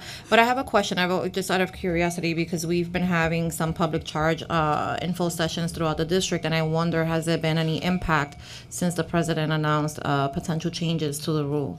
So we have not seen, um, and just to go back, we saw the public charge proposed rule come out in October. Uh, there was a, a period for um, comments. Uh, the De Blasio administration, HRA, DOH, I mean, all of us, I think, were involved in having info sessions in a number of communities. Uh, since the deadline of the uh, comments were put in, and I believe there were like thousands and thousands of comments, so there's an obligation on the federal side to review those comments. We have not heard anything from the federal government, so it's critically important that I, I just uh, underscore nothing has changed. Uh, eligibility requirements haven't changed. We have not seen any updates on this, so people should feel free to come and use. We haven't seen a decrease either in, in We have enrollment or people that have disenrolled because they're afraid. We have not seen a dec- decrease for that particular reason. Uh, like I said in my testimony, the uh, th- we can we can very clearly attribute de- uh, decrease to the uh, improvement of the economy, but not for this reason. Understood. And then the able-bodied, my final question is about the able-bodied requirement. So I'm always afraid that certain individuals kind of get left behind, right? I think my district, uh, zip code 10035, actually has the exception, but um, I'm always concerned about individuals with uh, severe mental illness, right? That wouldn't necessarily are not connected. So, for instance, I'll give you a case. My I have I have a, an individual in my family who suffers from mental illness and doesn't he hasn't been able to access services because he's an adult so thereby he's responsible for accessing these services on his own but he wouldn't necessarily know how to navigate them because he's mentally ill if he applied because he does however get hungry and i'm sure will apply for food stamps because that's something that's kind of instinct- instinctive um, he will probably be considered uh, ineligible because he's an able-bodied young adult. Is there like a way to kind of capture when a person when an individual is suffering from you know uh, some sort of mental uh, disability Yeah, anybody who suffers from any physical or mental disability is not actually considered an ABAWD. They are excluded from ABAWD requirements. And that doesn't even count against the limited exemptions that we get from the federal government. They're not considered able bodied for this purpose. but if he's not receiving social security or, or ssi or uh, disability benefits but has been institutionalized right i'm just saying in, in this case i'm using him as an example but an, an individual that has been in and out of the hospital um, how do you capture that right because you have to prove it Well, so thankfully, the federal government um, does not actually require there to be documentation of this. It's sufficient for an eligibility worker to observe that a person is physically or mentally disabled, or for a client to disclose that to us, and that is sufficient documentation. how do you do that when we're seeing more and more clients apply electronically Right. So, and that is absolutely a challenge. Um, we do send uh, an outreach letter to every single person who is coded as an ABAWD, so those we might not realize have a mental or physical disability. Um, every single month, we encourage them to come into our vendors' locations who they can either assist somebody with getting employment or they can take the documentation or make an observation of those who are not physically or mentally able to work and code that exclusion on that person. But I also want to just uh, uh, preface that we do have other services at HRA, right? Uh, if someone needs to apply and they cannot come in, uh, we will ha- send someone out to take that application. If someone is unable to take care of themselves, we have adult protective services. So uh, the the beauty of having all of these resources within one agency is that our executive deputy commissioners, our deputy commissioners, our staff work together to address those needs when they're brought to our attention. understood thank you. Thank you very much, uh, Councilor Ayala. Um, uh, I just want to ask a little bit about um, the uh, uh, the proposed rule on um, the, uh, on uh, the proposed rule from this fall on um, uh, I'm blanking on the, the terminology. The um, on uh, public charge. Um, can you can you share with us what uh, what the status is? Um, have you heard anything from the federal government about um, whether they're going to move forward on implementation of this or how they're considering the public comments? We are tracking this incredibly closely. Um, as you know, council member, this was uh, an effort that in- included multiple cities across the country to make sure that we sent in as many comments as possible. Uh, since the submission of the comments, we have not heard anything from the federal government, one way or the others. But we are we are tracking this. No indication as to when they will be trying going towards making a decision, whether it will be a, reopening of the conversation or how they're looking to. Um, it, maybe you could speak a little bit to the process of of. Um, uh, what is do you know how the process would move forward kind of as of as of course from this point in terms of they've received comments then they then they might incorporate those comments into a new proposed rule does that open up for another set of comments or is or is the comment period uh, just at one time My understanding is that they have a, an obligation to review all the comments. Uh, the more nuanced the comments, the longer they, they're going to take to review them. Mhm. Uh, they may or may not incorporate those comments into uh, their final rule. Uh, they will publish the final rule when when they decide, and I believe it's 60 days after the publication, it will become final. Uh, and and does Congress have any um, say in, in, in a rule like this? This is ex- uh, exclusively uh, an executive um, uh, agency decision, or This is is there? exclusively an executive agency decision, very much like OTDA may put a regulation together, uh, and it wouldn't go to the Assembly or the State Senate. Um, It's a, it's an interpretation of an existing statute, so it's very much in the executive branch. Is New York City uh, examining whether to um, file for an injunction if the rule were to go forward? Uh, these are conversations that we are actively happening uh, to see what our um, our recourse would be.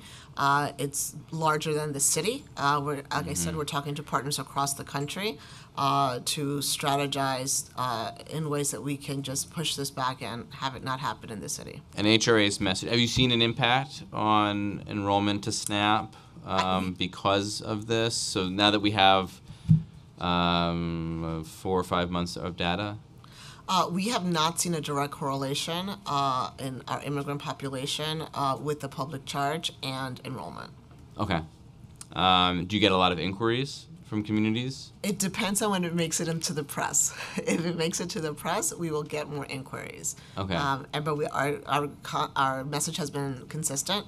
Uh, we are open for business. Mm-hmm. Okay, and so that message has gotten gotten out there.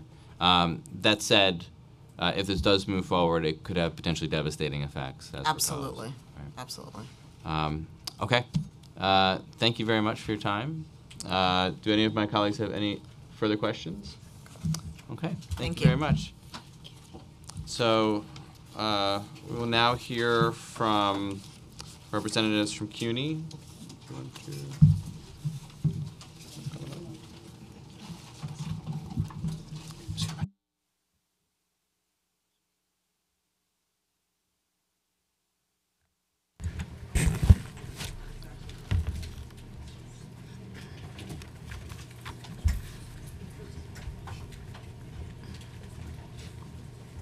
The next panel will be Vice Chancellor Chris Rosa from CUNY, Ms.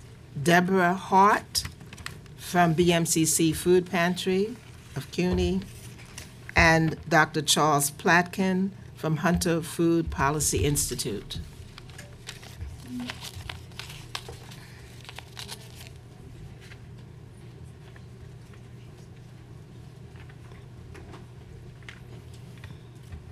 You want to give him some assistance making some space?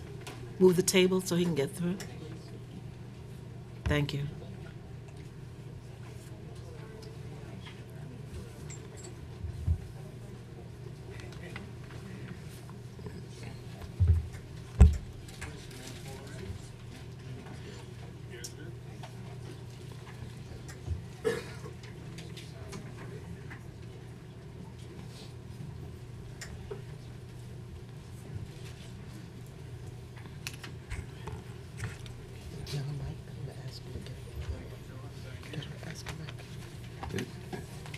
Here, very briefly, if I can be. Thank you. I'm going to ask the council to administer the uh, oath. Would you all Good please raise your right hand?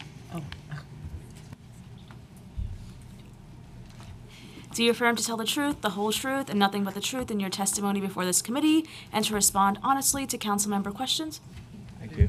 Thank you. You may begin. Thank you. Good morning, Chair Barron, Chair Levin, honorable members of the Higher Education and General Welfare Committees. I'd like to begin my testimony today by thanking you for your ongoing support of the City University of New York and for your enduring commitment to the health, wellness, safety, and academic success of CUNY students. My name is Chris Rosa, and I proudly serve as CUNY's Interim Vice Chancellor for Student Affairs. I'd like to introduce my colleagues. I'm joined today by Deborah Hart, the founding director of Single Stop at the Borough of Manhattan Community College, who will provide detailed information about Single Stop's contribution to eliminating food insecurity at CUNY. Sitting next to Deborah is Dr. Charles Platkin, executive director of the Hunter College uh, New York City Food Policy Center, who will speak about the impact of food insecurity on hunger and academic performance and success. He will also identify strategies to address this issue.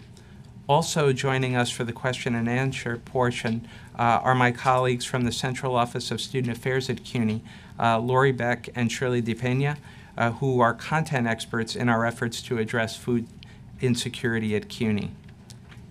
As you all know, all students attending a New York City Department of Education school are eligible to receive breakfast and lunch at no cost. Then, upon entering CUNY, students must pay in full for their meals. Almost 80% of CUNY's first-time freshmen come from the New York City Department of Education, and 42% of all first-time freshmen come from households with annual incomes of $20,000 or less. Purchasing meals can be a hardship for many students. And may I add that presently these students lose uh, free transportation when they move from New York City Public Schools uh, to CUNY and bear the additional cost of Metro cards. And we are very hopeful that the Fair Fares program will lessen the burden for many CUNY students. Research conducted by Healthy CUNY and the CUNY Urban Food Policy Institute found that 15% of CUNY undergraduates under the age of 30, or approximately 36,000 CUNY students, reported that they had gone hungry often or sometimes in the past 12 months. Researchers also found that food insecure students had, on average, lower GPAs than food secure students and were 16% more likely than their food secure peers to take a leave of absence. In 2018, Governor Cuomo's State of the State address included the No Student Goes Hungry proposal that contained five elements, including a requirement that all CUNY and SUNY schools have food pantries and or a food voucher program. Furthermore, in late August 2018, Governor Cuomo announced 100% of New York State public colleges at SUNY and CUNY will have a food pantry or stigma fee, a free food access for students in need by the end of the fall semester. Consistent with the intent of the governor's proposals, CUNY has implemented programs and services in the effort to make sure that no CUNY student goes hungry. We know that it is in the best interest of all our food insecure students to have access to nutritious, healthy food. All 18 undergraduate institutions have at least a food pantry or on-campus food voucher program, and many have both. Additionally, several colleges have adopted grab-and-go takeaway bags containing non-perishable nutritious food items that can be consumed at school or at home. A few community colleges provide students access to enough food to feed themselves and their families. For example, LaGuardia Community College serves students Monday through Friday on a walk-in basis. Food items are student selected and dispersed in quantities that accommodate an individual or family for seven days uh, at three meals per day. Lehman College features the Dining Dollars initiative. Students who are identified through an application process are provided with a financial allocation that is added to their student ID account. Each student awarded is provided dining dollars that can be utilized at on-campus facilities. John Jay College for Criminal Justice implemented the Comfort Station, which provides nutritious breakfast, lunch, and snack items, including sandwiches, bagels, cream cheese, eggs, oatmeal, mac and cheese, and soups to accommodate students' busy schedules. At CUNY's smaller schools, its graduate and professional schools, as well as the School of Professional Studies, at which most students are online students, where a pantry is not feasible, there must be at least one staff member who is responsible for assisting students who are food insecure. The colleges are obligated to make sure students know who these staff members are. A few colleges are facing serious space constraints, which have made establishing pantries very difficult.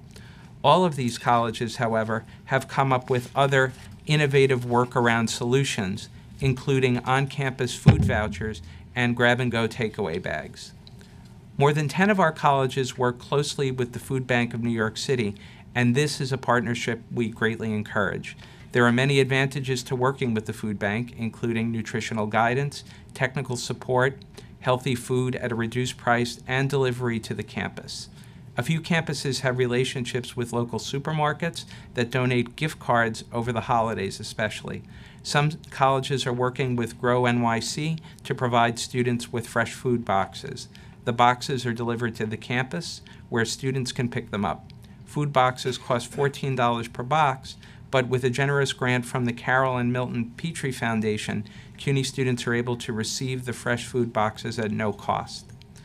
In regard to outreach, while some colleges are doing a better job than others, all take outreach very seriously and understand that this is critical, uh, a critical component to addressing food insecurity in a meaningful way.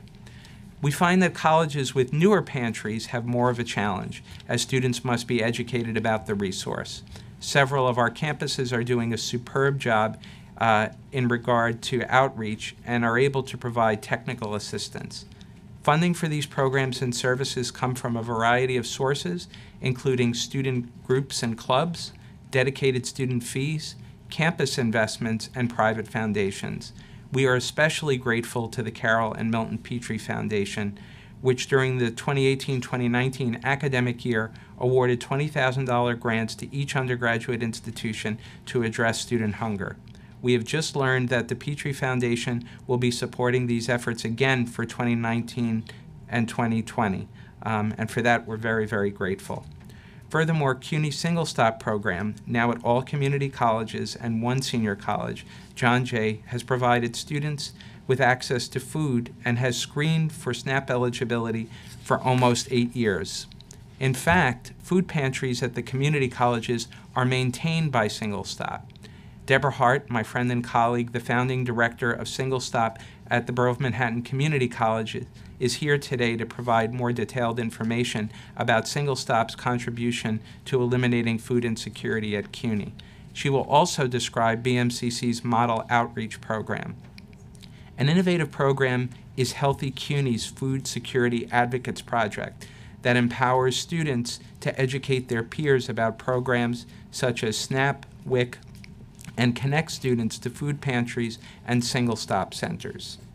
According to the New York State Office of Temporary and Disability Assistance, the general rule for most college students' eligibility for SNAP is most able bodied students ages 18 through 49 who are enrolled at least half time in college or other institution of higher education are not eligible for SNAP. However, there are several exceptions to this rule. That said, we know that there are still students who satisfy one or more of these exemptions, and SNAP outreach and screening remain an important strategy for combating food insecurity.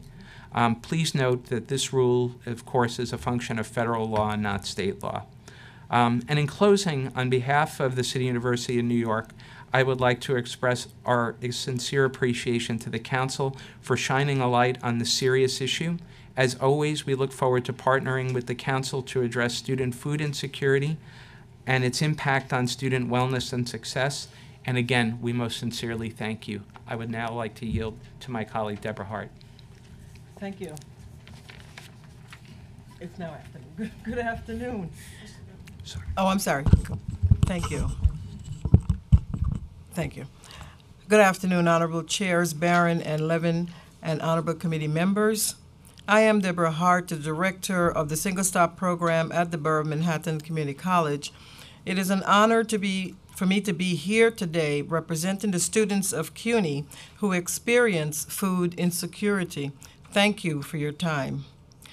As a child growing up in Guyana, South America, I hated weekends for a good portion of my young life. The reason that I was not a fan of weekends is because I knew that there would either be no food or very little food in my home. My parents did their best to provide their 16 children, but it was not always easy. I recall days of having to drink sugar water, literally water mixed with sugar. Or other times that my aunt, who worked at a hospital, bring the leftover food so that we can have some solid food. My favorite part of the week were weekdays. I not only loved school, but I loved learning. And I loved that there would be, at the very least, two meals that I would be able to eat. I enjoyed the milk and cheese biscuit sandwiches, but most importantly, I was happy that I would be able to focus and not experience the headaches associated with hunger.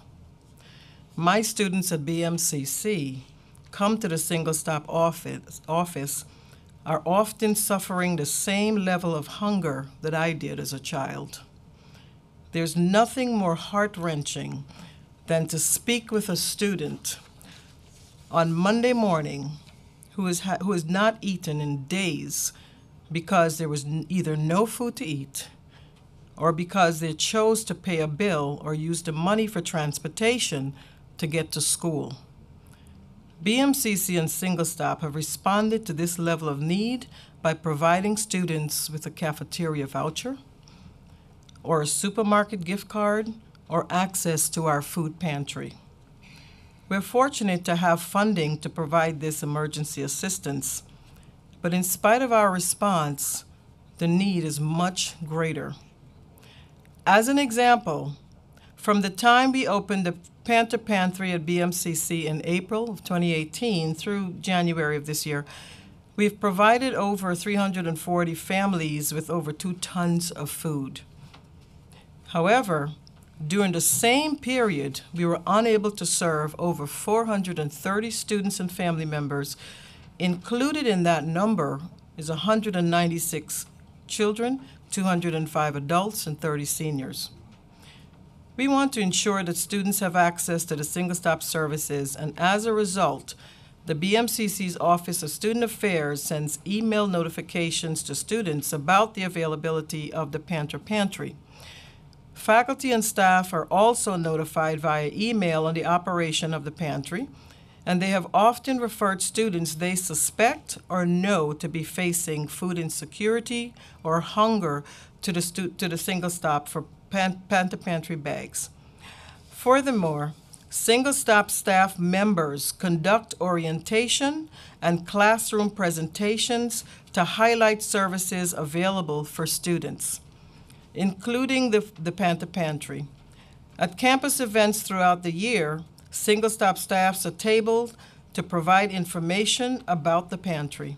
Advertising for the pantry is also in rotation on intercampus television screens. Many of our students are being referred via word of mouth from students who have previously utilized the pantry. Additionally, Students coming to the single stop office for other services are screened for food pantry need and eligibility. Our intake process allows us to identify students who are facing emergencies that qualify for food assistance. The Single Stop office also continues to promote the, the Panther Pantry website to further pub- publicize the availability of the pantry to the student body. These outreach strategies, outreach strategies are working.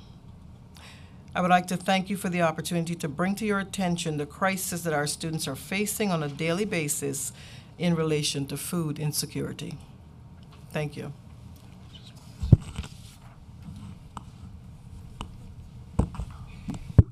Thank you.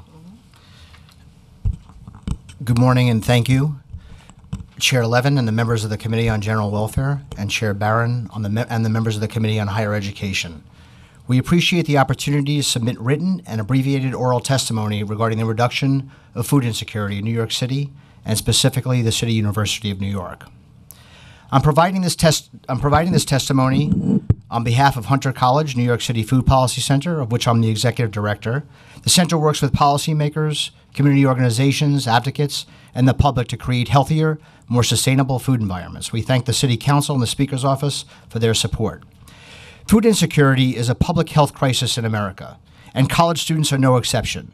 And while the GAO review of food insecurity studies amongst college students was not revealing, an educated estimate shows that 35 to 48 percent of college students in the U.S. experience food insecurity, a higher percentage than that of the general population.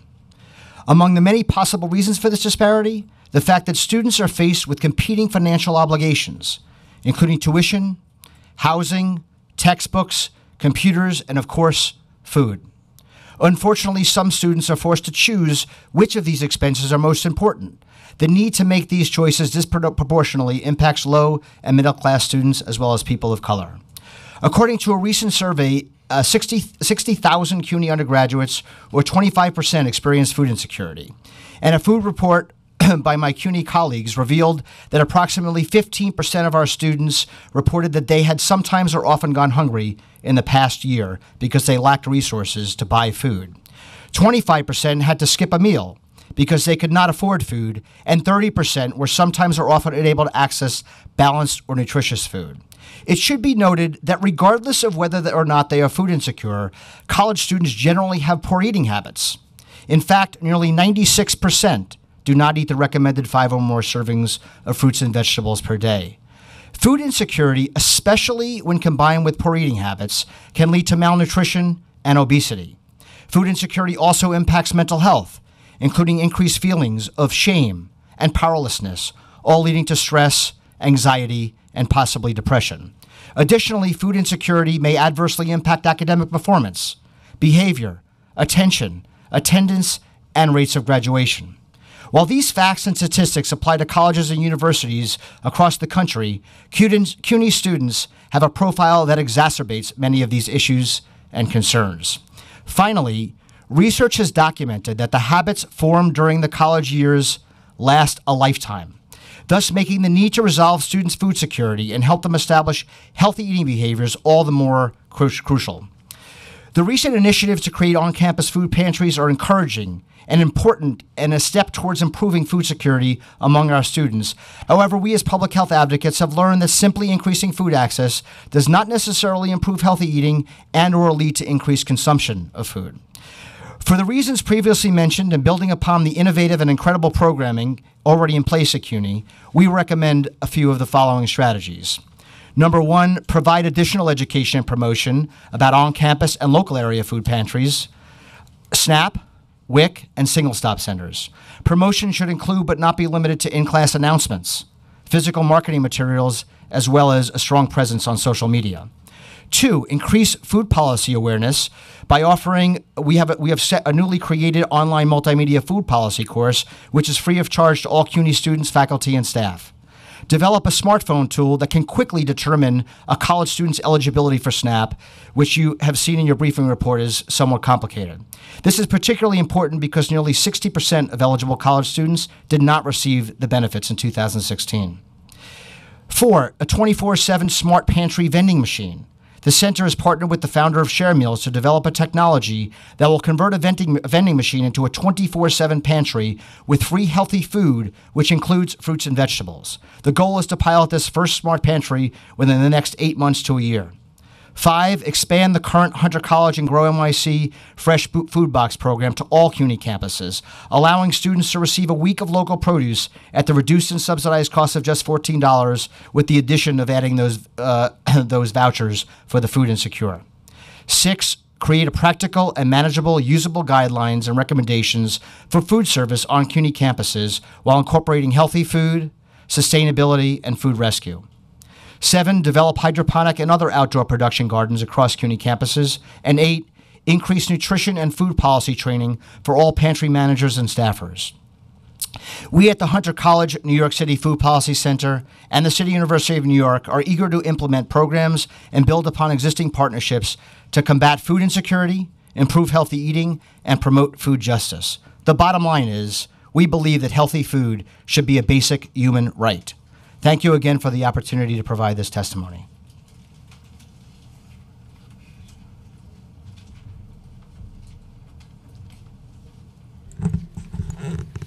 Thank you to the panel for coming, and uh, I do have a few questions, and my colleague will also offer questions to you. You talk about uh, the Panther Pa- Pantry. How did you get the name? Um, the pan- Take the mic. Oh. I keep forgetting that I speak very loudly with my students.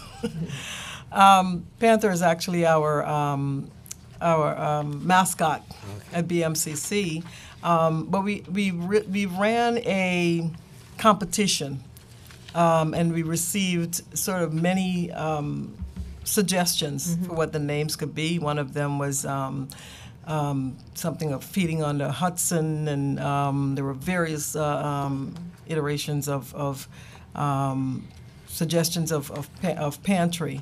Um, but the one that won out was Panther Pantry by vote from the community at BMCC. And how does it operate? What when a student comes to the Panther Pantry? A little bit of a tongue twister. yeah. What do they what, what do they get? For us too. Um, so one of the things that we work very, very um, hard to do is to ensure that our, when our students come to single stop period, they're comfortable. They are they, they feel um, safe and they, they know that they um, they will be treated with the, the utmost level of respect and, and confidentiality. Um, at the reception area, students are greeted with really one basic question Have you ever visited our office before? And the reason for that is just so that they can complete one one page intake form, and then a staff in the back of our office would be called forward for the student to then go back and speak with the student. Um, the staff does a, a, a comprehensive assessment of whatever the student says to us that their needs are. Um, uh, for example, they may come in for a MetroCard, and we may discover that food insecurity is, is occurring in the home. We may discover unemployment is occurring in the home. Um, so once we discover whatever the issues are with the student and we if they're come for the, for the pantry we offer them the opportunity of either coming uh, to the pantry with, with us um, and choosing the food, or we have a list of all the food items that are in the pantry in our offices, and they have an opportunity to kind of check off according to the balance bag, uh, pantry bag, um, to check off the items that they would like to have. So we go and pack the bags and would bring them to the student. Okay, and in your testimony, it says that the Office of Student Affairs sends email notifications to students about the availability of the pan, the pantry. Yes. Do all students get that email notification? Yes, yes. It, at the at the um, start of the semester, um, each student received the email blast indicating that the pantry is available, the hours it's available. We happen to be um, available. Um, almost all week in the sense that we have to shut down a few hours to either receive food as we did um, yesterday um, or a few hours to do inventory because as um, IVC Rosa indicated, we do get funding, so we have to keep very careful track of how the, the funds are being spent. So how many students or how many uh, offerings of food do you give? I know you said it's just starting, but what's what's been the number? So, because of the funding, because we have to ensure that um, you know we're we're we're reaching as many students as possible. Oftentimes, we can only limit the, the food to one person in the home. Um, generally, around the holidays, we try to increase that to three family members, which of course increases the number of um, items and food that the student can take. Um, for example, in all of the five food groups, if we increase the the the the, um, the amount to three family members, they're taking upward of about 20 food items, you know, whether it's cans or boxes or, or pans uh, or, um, or um, bags of food with them. Um, so, you know, th- there's a consideration too for the students transporting the food. So we talk with our students and encourage them to come at the end of their, their class sessions so that they're kind of um, leaving the campus when they have the food. Um, but, you know, to the degree that we can provide a greater number in the family members with the food, we do that.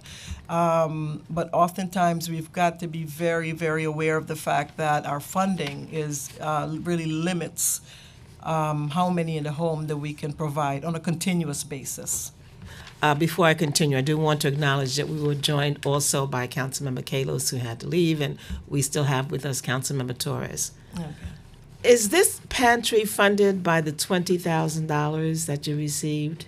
Is this Yeah. how you're using your twenty thousand dollars? Yes, yes, that's one of the funding streams that, um, that we have. Okay. Um, it is the, it is the Petrie funding. BMCC Association has also provided some funding. Um, and, um, I wrote a, a small proposal and, and was fortunate to get some funding from United Healthcare, who's been one of our tremendous partners on the campus, providing um, enrollment for healthcare services. Um, and there are a few faculty that's actually um, donated some decent funds to the pantry. So we're a little fortunate at this point. But even with that, the need is really so great that, um, you know, we- and, and, and particularly as we move forward and the pantry becomes even more, uh, or, or the students become even more aware of the pantry, um, the increase, uh, the, the numbers of students are increasing. This semester alone, uh, the numbers have increased tremendously uh, for those who are using the pantry. Okay, thank you. Um, Dr. Rosa, in your testimony, you talk about um, Governor Cuomo's uh, "No Student Goes Hungry." Is there funding from the governor for funding this "No Student Go Hungry"? Uh, To date, we have not received funding for. So it's a mandate with no funding attached as of now. Yeah, we've been able to, fortunately, through the, uh, through the support of, of generous foundations like the Petrie Foundation, Right. to meet that standard. But, but we've, we've been able to, to self-fund that. Right. Well, I think that uh, we all need to send the governor a message. If he thinks this is such a great need, and indeed it is, he needs to make sure that the money is in the budget so to ensure that no student goes hungry. Uh, it's easy to say, but let's back up what we say with some money to make it happen. Um, also, in your testimony, you said that LaGuardia College serves students Monday through Friday on a walk-in basis. Uh, and food items are selected by the student and dispersed. And at Lehman, there's a Dining Dollars program. Could you talk a little bit more about each of those programs? Sure. Um, I will, uh, I will defer to my colleague Lori Beck, who is an expert on our food pantries. Okay. But there are two paradigms that we thought are excellent best practices in our campus's response to student insecurity. Um, LaGuardia's commitment is, is similar uh, to BMCC's commitment uh, to having a very robust food pantry to meet the immediate needs uh, of students on campus, while Lehman, because of, of space con- uh, restrictions, Mhm. has had difficulty dedicating uh, the pantry space, but their, their voucher program allows students to, uh, to leverage uh, existing food service resources on campus. Lori, could I ask you? Sure. But could you step here to the mic? Sorry, we need to also swear you in. Sorry, thank Yes, you can have a seat. Welcome. Okay. Okay, would you raise your right hand, please?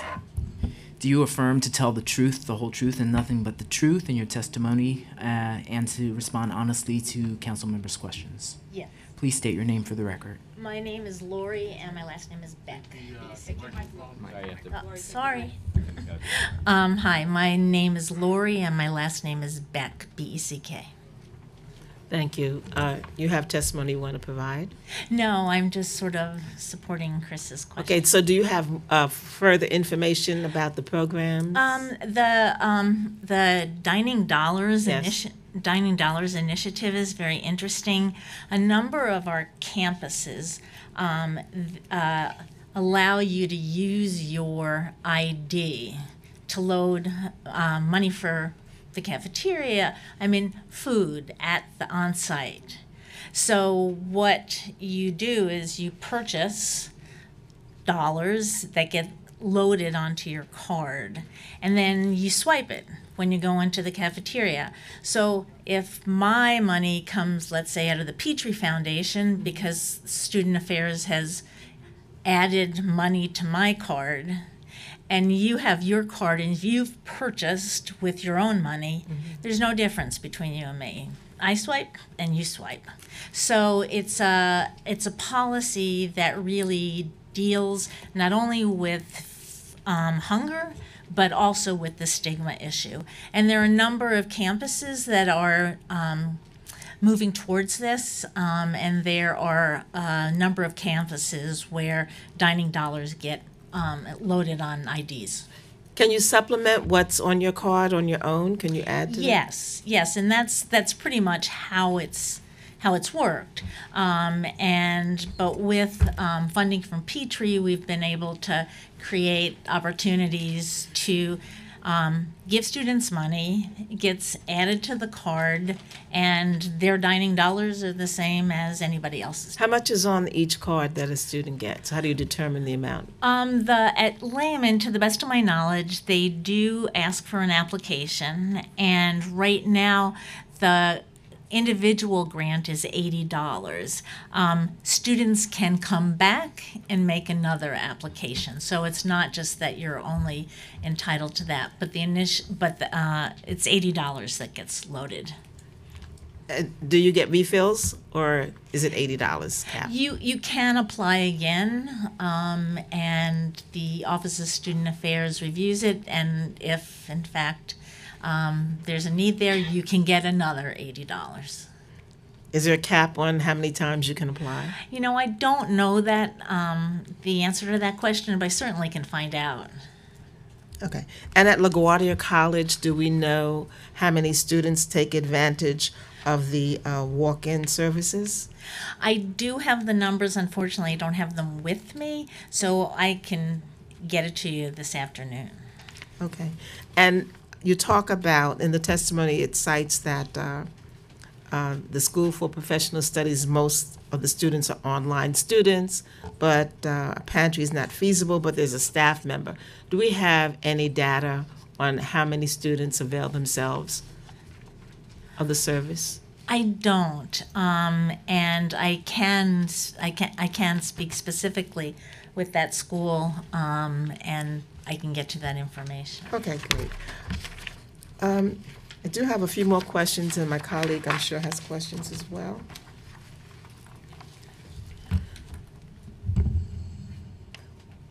We know that it costs approximately $220,000 to operate the single stop. How are those costs uh, used in the, in the program's operation? How do those dollars work? May I, I'll begin in broad strokes, but I'll let a real expert tell you in, its granularity.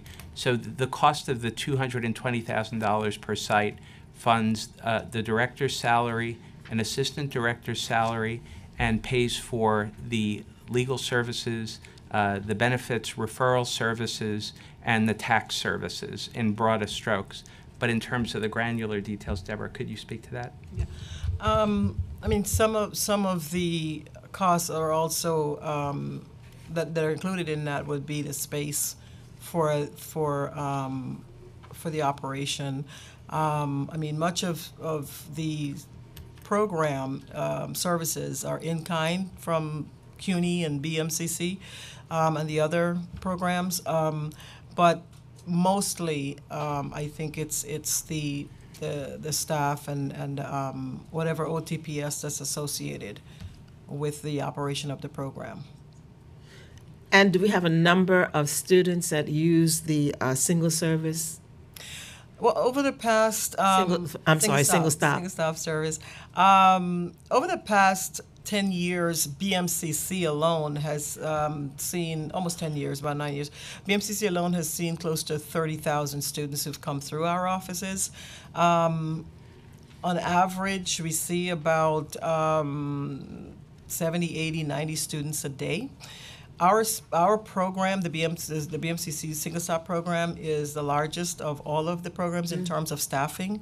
Um, there are five of us, um, and well, no, I take it back. There are seven of us. We just got a few additions um, that our our um, our administrator was really able to kind of, you know, figure out some creative ways to get us some additional support because of all of the services that come out of Single Stop at BMCC. We just don't only uh, provide the four core services that Single Stop started providing, food, uh, um, taxes and, and healthcare, um, financial counseling, legal counseling, um, SNAP. Um, we now provide the, um, the, the, the emergency funds. We are the, the repository for the emergency funds that students apply for to assist with rent, for example. Um, and um, we have some additional other programs that, um, that we, or, or populations that we focus on. We focus on the foster care population um, to assist them in any which way that, you know, they may need some additional supports. Um, so with that, we were able to get some additional uh, um, college assistants, for example, um, to assist with the, with the operation.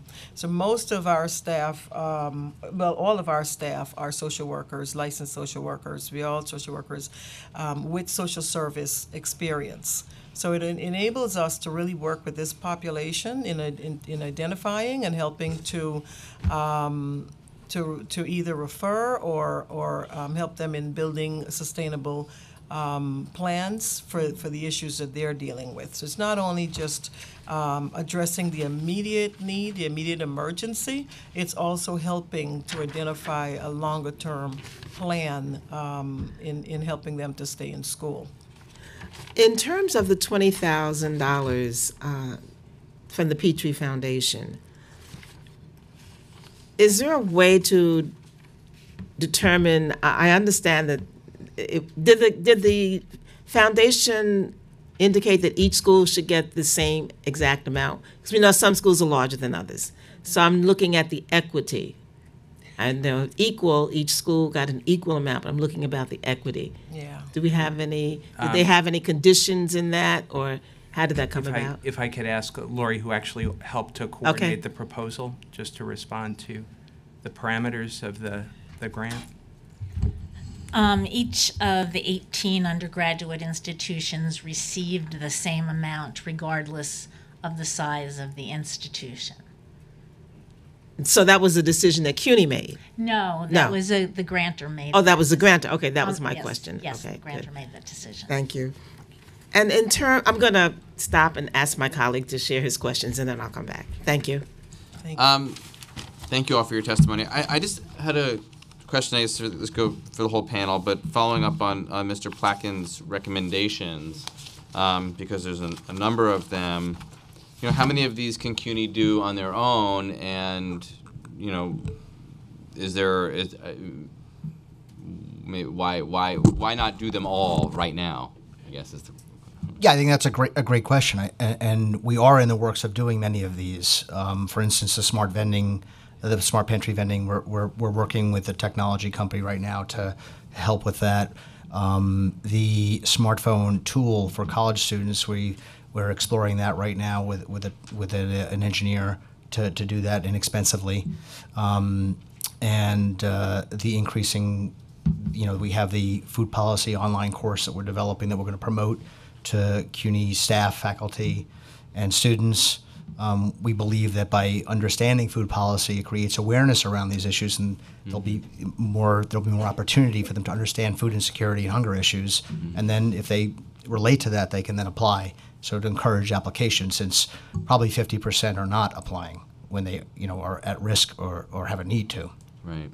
And, and just to add, um, in, in terms of the healthy food options uh, Yeah. campus dining, that's actually a feature of the RFP that is that's been issued by CUNY. Vendors are responding to that RFP, and that's a dimension that will be part of the evaluation criteria in the selection of a of a, a food vendor.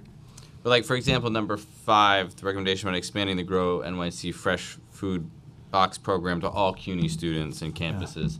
That's something that could that CUNY as a can make that policy decision. It might cost money, but is that something that CUNY would look at doing? Well, I think we were, and, and Chris can answer that, uh, but but I think that what we were, we, we're test piloting at Hunter right now, um, the logistics, and it's also the capacity, uh, you know, where the to Grow allow NYC has the Hunter capacity. to do it for every for every student to be available to every student. We're, we're, it's available right now for every student. Not every student has vouchers, but it's available for every student. So, you know, the idea is to reduce stigma. So any student can sign up and pay the fourteen dollars, which is an already subsidized amount, and get a week's worth of fruits and vegetables, which I think is in, is incredible. Right. Um, and the and you know, testing the logistics of it on campus, um, delivering the boxes and, and and bagging everything and so forth. So those things are all being worked out now. And then as we report back to the to the you know the chancellor's office, I think that the idea would be to eventually and hopefully roll something like that out.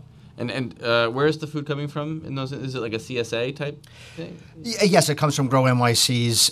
They're um, they're from their from their vendors, from local from local vendors. Yeah.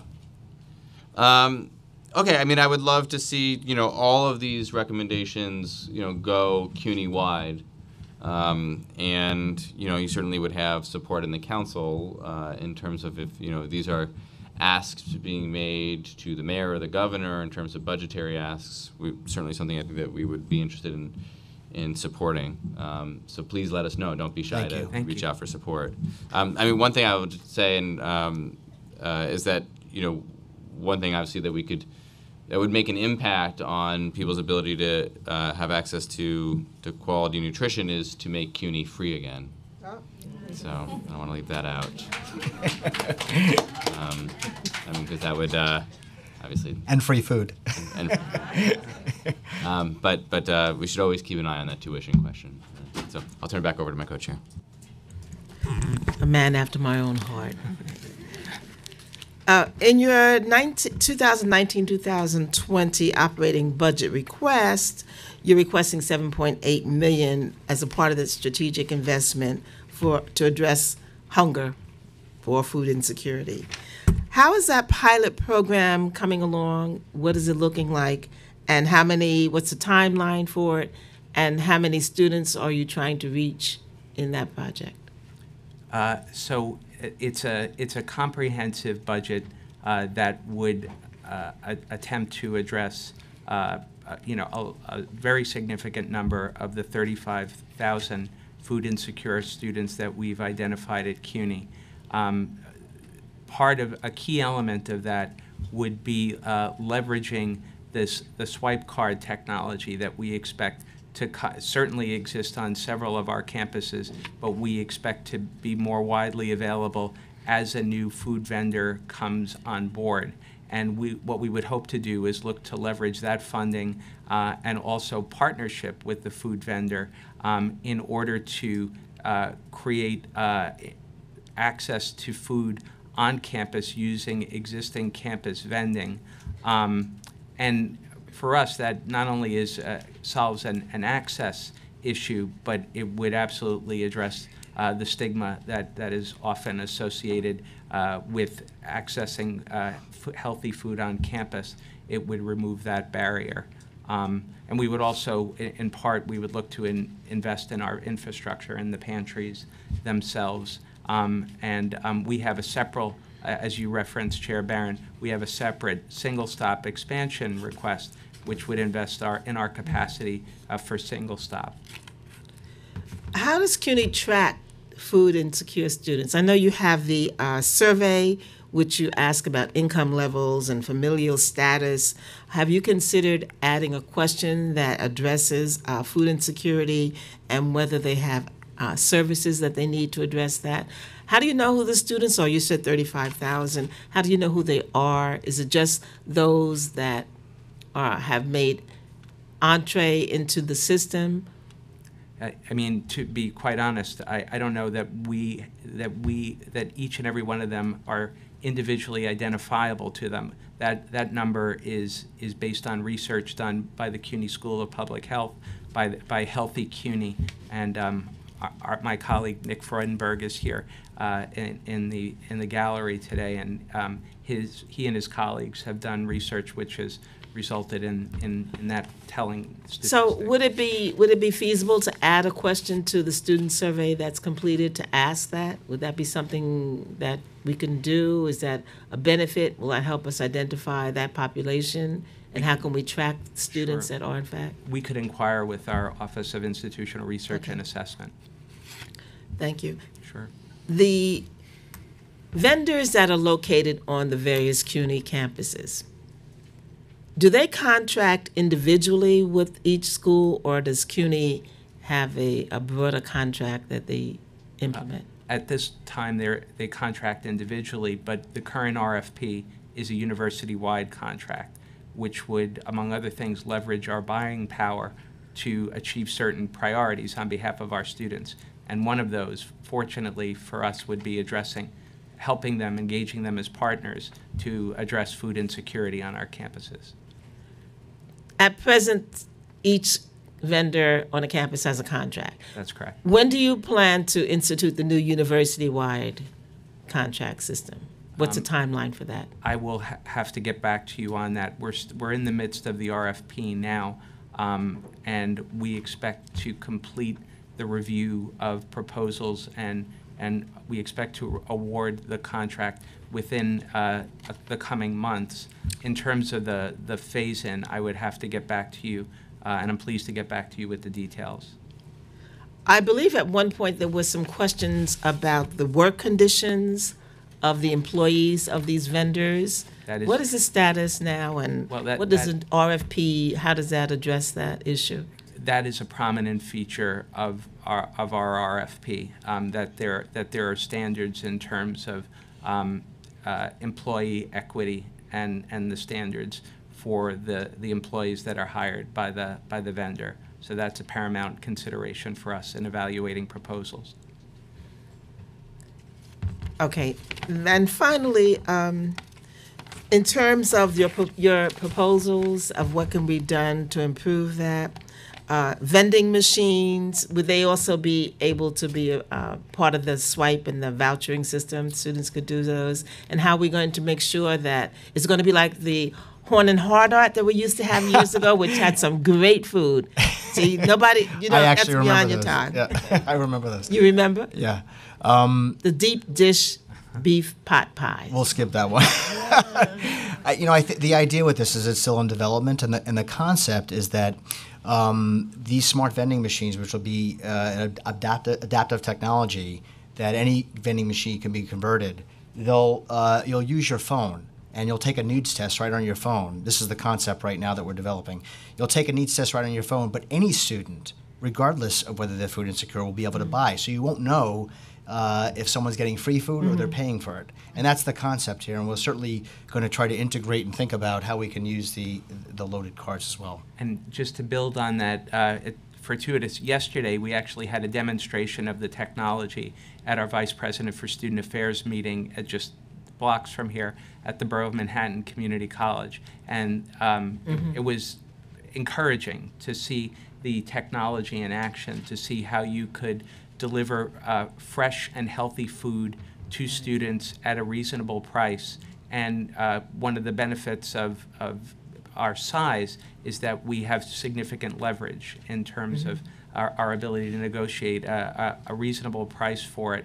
And to your point, Charles, um, because it uses an app um, for payment, um, it, it removes any stigma associated with acquiring it.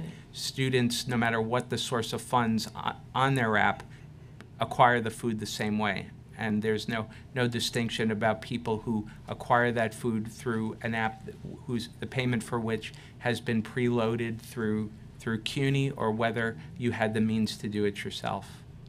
Okay. Um, Thank you for your testimony. I'm going to turn it back to, finish? Okay. All right, thank you so much for your testimony, and I look forward to getting the answers to the questions that I would like to have. Thanks, Chair Barron. Thank you. Thank you, Chair Levin. Thank you, Chair.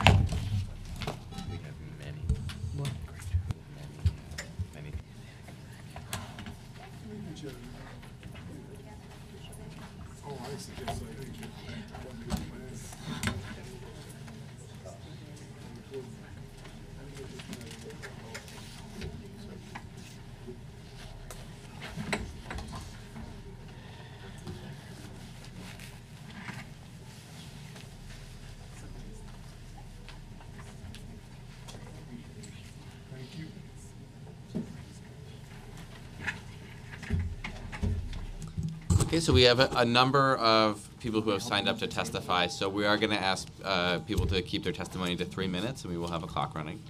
Uh, First, to testify, Bill Busk, Urban Justice Center Safety Net activist.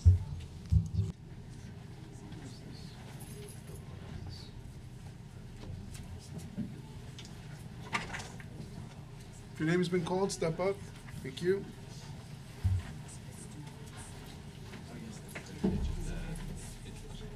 Okay, thank you. Aisha George, CUNY students. The CUNY University Student Senate. Anel Morales Rojas, Urban Justice Center.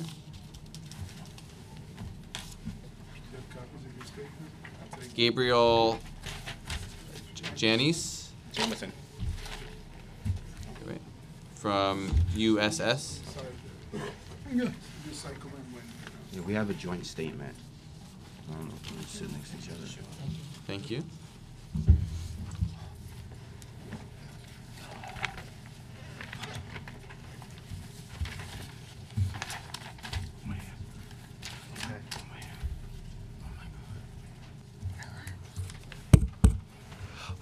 My name is Bill Busk, and I live in supportive housing in the Tremont section of the Bronx. I've been receiving SNAP benefits since 2009 after becoming homeless and later being disabled due to neurological damage.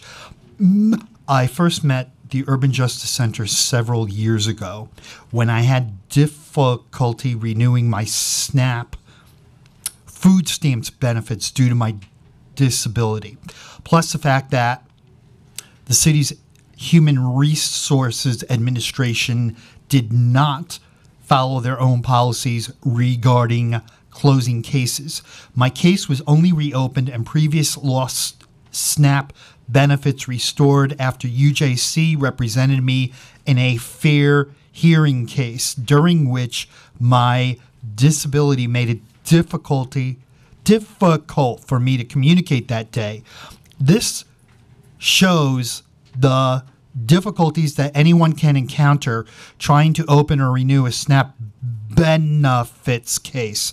Besides people with l- language differences, those who are unfamiliar with the HRA system, or have other barriers or limitations.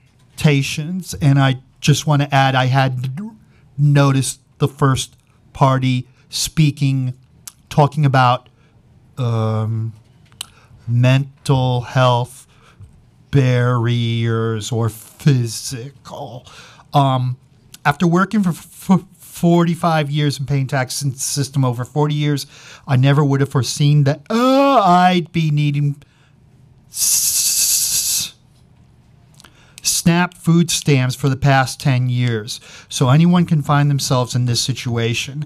As a so called supplemental benefit, SNAP has never fully covered monthly food or nutritional expenses, and most people on SNAP, including myself, find themselves using using cash income to cover a quarter to half of their grocery costs.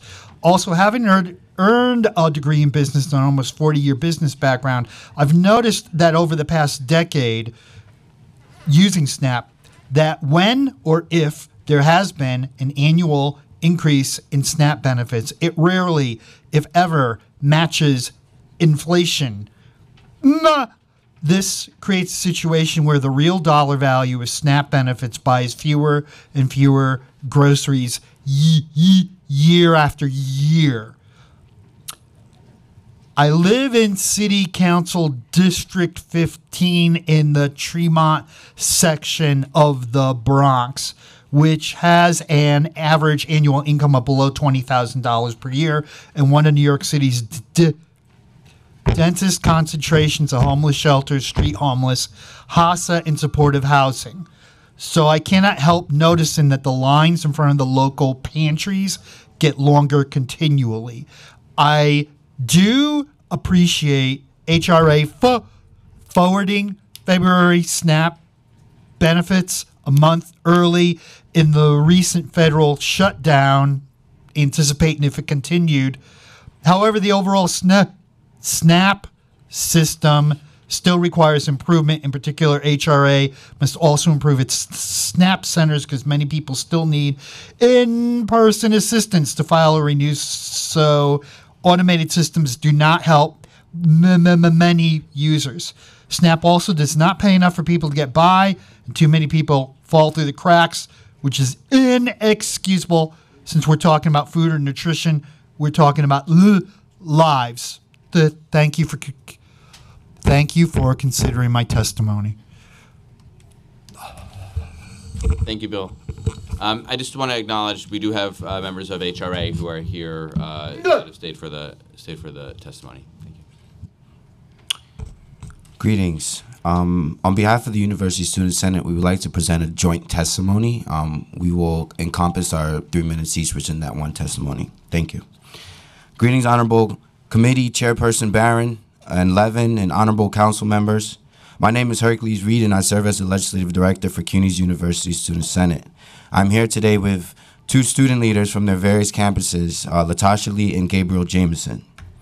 As you may have heard and know, USS is a governance organization responsible for representing the interests of nearly 500,000 students that attend CUNY each academic year. One of the saddest moments that I have experienced when some presidents indicated to me that more and more students appear on their campus are hungry. They have not had breakfast or may have missed a meal that night before. In light of the difficult economic times facing very low income students, I've asked the Office of Student Affairs to develop programs to focus on issues of hunger, nutrition, and homelessness. This was a quote from Chancellor Matthew Goldenstein back in April 27th of 2009. I would like to highlight that you have heard that single stop food pantries and Petrie funds exist on CUNY campuses.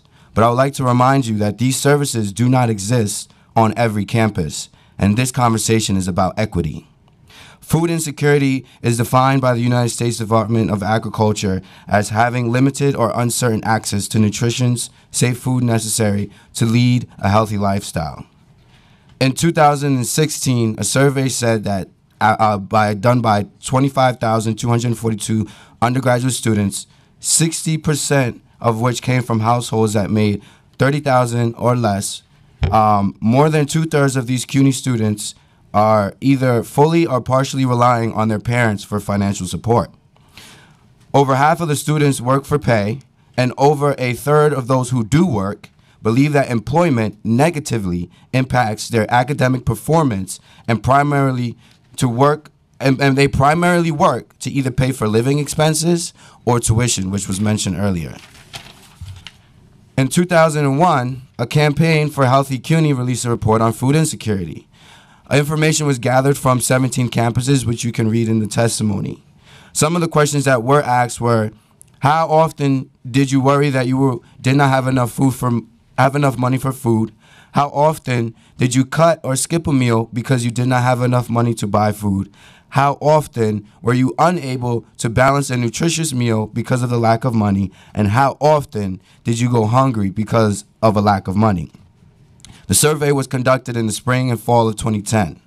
Two of every five CUNY students in this sample reported that they experienced food insecurity in the past 12 months. This would translate that almost 100,000 of the 25,000 experienced some form of food insecurity. Black and Latino CUNY students ha- are known to have higher rates of food insecurity than others. For example, in the survey, that population was 1.5 times more likely to report food insecurity than white and Asian students. Students who support themselves financially were 1.6 times more likely to report food insecurity. Students working more than 20 hours per week had a higher rate of food insecurity than those who did not work. Students who said common symptoms of depression, who had common symptoms of depression, were two times as likely to report food insecurity as those without symptoms. My name is Latasha Lee. I'm a psychology major at Bronx Community College. I'm amongst the students in CUNY who's a parent and student. I'm a mom of two beautiful little, I became a mom of two beautiful little boys before making the decision to pursue higher education. It's for that reason that I decided to come here and speak to you guys today. As a student leader and mother, I've been able to experience how lack of food affects an individual firsthand, and I've also experienced the outcome of what happens to my own children when they eat late. As a student leader, I've worked directly with students who suffer from food insecurity. Although my children are very young and have yet to experience college, they've been through there have been times when we're running extremely behind schedule and simply don't have time for breakfast. And almost every single time that this happens, I'm told by one of their teachers one of their teachers that they've had a difficult morning. It didn't take me long to see the correlation. I understood that missing a meal, even one, is enough to make them misbehave. I took this issue so ser- I take this issue so seriously because their education is essential to me. Now I don't let them leave the house without breakfast regardless of how late we're leaving. Unfortunately, I'm less dedicated to my own well being. There are times when I don't eat breakfast or lunch simply because I don't have times, and I'm sure you guys can understand that. As a full time student and an active leader on my campus for the university, eating can sometimes be an additional task. Oftentimes, I miss a meal and I don't operate to the best of my ability. It becomes difficult for me to focus in class and on exams. Not only that, my mental health becomes easily impacted. The truth is that I'm less pleasant when I haven't eaten, and to be completely honest, there have been instances where I truly believe that pursuing higher education was a mistake. And then I eat and I'm completely and I'm in a completely different mindset. And this is not unique to me. Imagine having to constant, constantly worry about where your next meal is coming from. When I'm advertising events on my campus, I'm consistently being asked whether or not there'll be food. You have no idea how many times I've had students tell me that they weren't interested in a workshop and then change their mind at the mention of free refreshments. It has been it has become so apparent that now when I'm creating flyers, I put free refreshments or food and I've seen a significant increase in attendance. One time one of my friends was laying on the lounge laying down in the lounge area at a time when he had class and I asked why he didn't go. And he told me that he was too hungry to be thinking and that it would be easier just to sleep. When our students are forced to sleep so that they don't have to deal with intense hunger pains, then we have to ask ourselves whether or not we're doing all we can to combat food insecurity. At BCC, we're fortunate enough to have the Single Stop program. This is extremely beneficial to our students who are food insecure. However, without adequate funding, this program can't function to the best of its ability. To many of our students, single stop is their only food option. The problem with that is that single stop literally only allows a single stop per individual a month. This means that students who rely on solely on this program must seek other options the other 29 to 30 days. Could you, without guilt, ask anyone to sustain by eating once a month? Another issue is that we provide uncooked food, and a lot of our students are homeless. What good is a frozen chicken to someone without a stove? The worst part is that BCC is actually a lot better off than some schools regarding food insecurity. Some student, some schools don't have single stop. We advocate on these students' behalf and believe that the city can do more to provide support to these students in need. In regards to food insecurity, we ask that you provide adequate funding for pantry supplies. Hi everyone, my name is Gabriel James. I'm a Medgar College student. I'm here to talk about community, I'm here to talk about uh, in food and food security, insecurity. Uh, from, coming from a community like Brownsville, East New York, where 27% of the population live below poverty, the reason why is that because Brownsville, East New York has no love. Love stands for today is Valentine's Day, so I'm going to teach y'all what love means. So love means legacy, ownership, vocation, and education. So while we talking on the topic of education, edu- population the population from my community only 10% of them go to college and that's really sad. That's a that's a low turnout. All our students should be going to college but they're not going to college. And then when they transition into college the another uh, uh, problem that we face when we transition they think it's going to be better but it has to get worse. It has to get worse. Going to a school like CUNY CUNY is an affordable school that is good. Uh, but now we're asked, we're forcing our students to make a decision between a textbook and a hot meal. That's outrageous to me. The good news behind this, CUNY did a recent study. CUNY, we found out in CUNY that food insecurity students are 39% higher than adult and households among U.S. and New York City. That's one. That's one data behind it. Other thing I'd like to address today is the good news that CUNY has a lot of food pantries, and that's good. But the problem that we face in the food pantry, our students' activity fees are actually paying for the food pantry. To me, that's outrageous, and we should be ashamed of ourselves. That's like asking a homeless host or a homeless person to pay for a shelter. That's sad. We shouldn't be having students paying for the tools that they need to be hungry. We should be solving these problems. I would like to thank the the I would like to thank the committee and I would like to say, take the concept of what I just told you about love and love yourself, love your community, and love your constituents, and do the right thing by taking that same concept of love and allocating the funds into higher education, pantry funded. Thank you, everyone. With the remainder. Sorry, with the remainder of his time, I just wanted to actually read a, another student's um, briefly testimony. Uh, they couldn't make it. I just want to highlight some things. Um, the student name was is Sadat Rahman, and he's from York College. One of the many problems uh, we are facing on our, we faced on our campus that I really focused on was making sure um, we are mindful of healthy food options, but are also paying attention to people's dietary restrictions, like many Muslims and Jewish students who are who are only allowed to eat halal or kosher food as a part of their religion if many of our CUNY and students, SUNY schools are all for having diverse background diverse background populations in their schools, then why should they be able to limit restrictions in the type of foods everyone should or should not eat? He also goes on to say, I would like to say that it is essential that we play that we pay attention to this critical matter to make sure everyone gets a choice despite religious dietary restrictions in what food they can or cannot eat. He is requesting that an increased connection between city, New York City's many food assistance programs on CUNY campuses expand, and there is an assisting in creating more on-site food pantries and food assistance programs. Thank you again for listening to us. Hello, everyone. Thank you all for everything that you do. It's greatly appreciated. Hello, my name is Aisha George. Um, I recently graduated from Bronx Community College with an associate's degree in nutrition and dietetics, and currently attend Lehman College majoring in community health education and nutrition. Three years ago, I found myself working long and stressful hours as a restaurant office manager. Believing I was at a dead end job, I decided to go back to school to grow beyond my then academic and occupational endeavors. I quickly discovered, however, that I was unable to meet my basic expenses. With resources such as Single Stop, Bronx Community Colleges, uh, Food and Garden Club, and knowledge obtained from my curriculum courses, I am able to use these tools to satisfy my essential needs. Attending classes at Bronx Community College, but behind in bills, I became aware of the financial counseling services at Single Stop. After my first counseling session, I realized that I was at a deficit and got advised to apply for SNAP. I surprisingly qualified and began receiving benefits, which equates to under $48 per week. I started, I started to search for ways to stretch this amount. One major way was one major way being the food the school's food pantry, which distributes once or twice per month. In my curriculum courses, I studied exactly what food groups I needed to stay healthy, full, and focused throughout the day. I learned, I learned by choosing I learned by choosing foods lower in the food chain that it could reduce costs drastically. I then applied this knowledge to the Food and Garden Club where I was introduced to methods of preparation, planning, and even growing plant-based items in cost-effective and time-saving ways. Eventually becoming the club's president, I earned I heard from my fellow cl- club mates on how much they learned and how they implemented these practices with their families. Here I gained the confidence I needed to prepare to not only prepare my own food at home, but to grow them as well.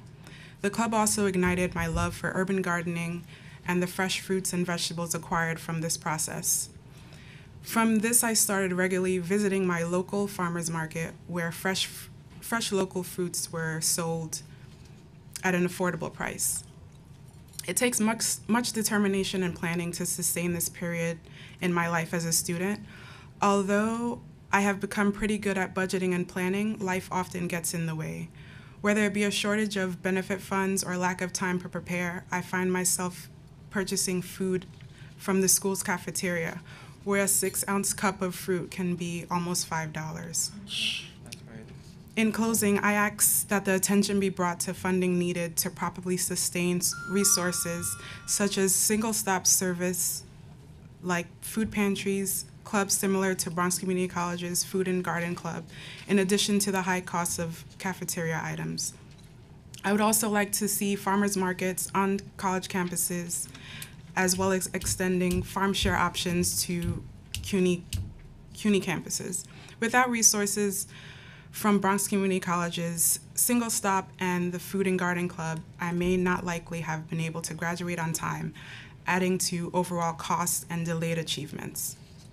While these circumstances are not ideal, I do remain hopeful in the near future where I am self reliant. After obtaining my degree in health, in community health education and nutrition, I will use these tools to I will use these tools and lived experience to guide members of my community to food security. Thank you. I Want to thank the panel for coming. We always benefit from hearing firsthand uh, from the experiences of those who've been impacted by the situations that they face. We do thank you, and congratulations for graduating on time. Thank you. All the best. Thank you. Thank you so much to this panel, and thank you for your, your, uh, your recommendations. We look forward to working with you to see them implemented. Thank you. Oh, I just wanted to double check, uh, Anel Morales Rojas? Hi. We'll have you join the next panel.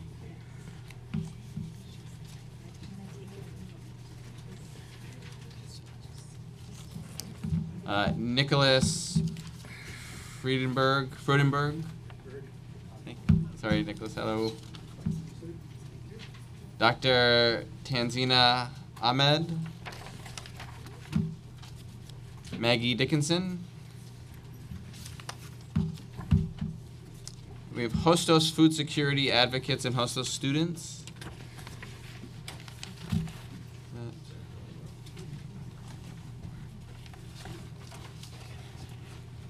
And then John Krinsky.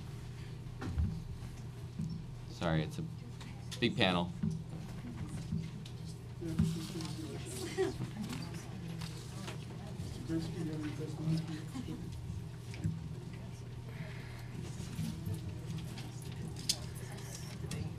Sorry, we might have to do some musical chairs, but.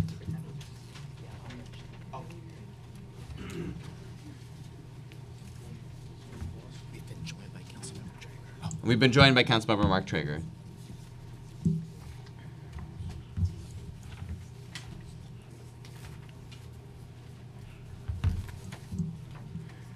Okay, whoever wants to go next.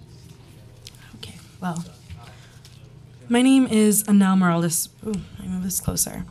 Um, so my name is Anel Morales Rojas, and I am a tenant and benefits advocate for the Safety Net Project at the Urban Justice Center. In discussing food insecurity, I would like to touch on the institutional factors that prevent full access to food assistance, such as significant delays, documentation errors, barriers to SNAP worker efficacy, public charge, the closing of major Brooklyn centers, and the errors that arise from ABAWD. HRA provides a wide variety of supported services, and it strives to fight income inequality and poverty. Nonetheless, the deterrent nature of social services compromises the livelihoods of New Yorkers, as benefits regularly discontinue or delay due to a variety of avoidable errors. With ongoing pressure from the current presidential administration and a racialized bootstrap mentality, more than ever have recipients of these benefits been unjustifiably stripped of their benefits. Significant factors contributing to inordinate food insecurity in New York City are delays and errors in SNAP processing. With outdated systems and the closing of major Brooklyn centers, many cases are left in application pending status for much longer than the mandated 30 day period. Hmm. Here, we want to draw the committee's attention to the detrimental impacts these processing delays have on applications. For privacy reasons, they'll be referred to as Miss C. So, Miss C, a resident of Bedford Stuyvesant, Brooklyn, applied for new ongoing SNAP benefits on June 4th, 2018, for themselves and their child. Three months later, they still had not heard from the agency regarding their case. Without financial support from food stamps, she was unable to pay her rent, falling more and more behind on rent as the months went on.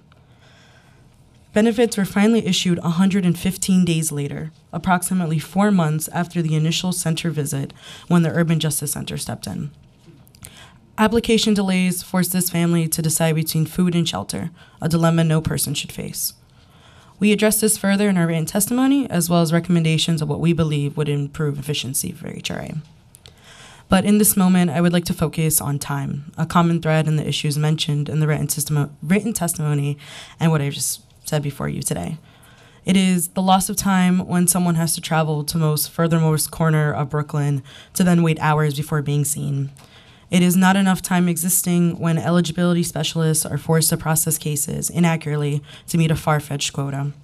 It is the abuse of time when SNAP workers are not properly trained, rather, thrown into a sea of clients and emotionally traumatic situations. And finally, the essence of time. As mentioned earlier, the receipt of food stamps could save a family from ever having to choose between going hungry and having a place to sleep. In summary, households should not be forced to go without food because of HRA's insufficient funding, technological problems, or callousness towards its clients. Yet, in the violation of the city's legal obligations, household reg- households regularly suffer due to the aforementioned issues. Thank you. Thank you. Good afternoon. I'm Nick Freudenberg, Distinguished Professor of Public Health at the City University of New York Graduate School of Public Health and Director of the CUNY Urban Food Policy Institute. I also direct Healthy CUNY, a university wide initiative that helps CUNY students to overcome health problems that interfere with academic success. Since 2010, I've conducted three surveys, the surveys that my colleagues were talking about before. Uh, this was in 2010, 2015, and 2018 of representative samples of CUNY students at our community college and four year schools to demonstrate the prevalence of food insecurity and assess the efficacy of campus food security services.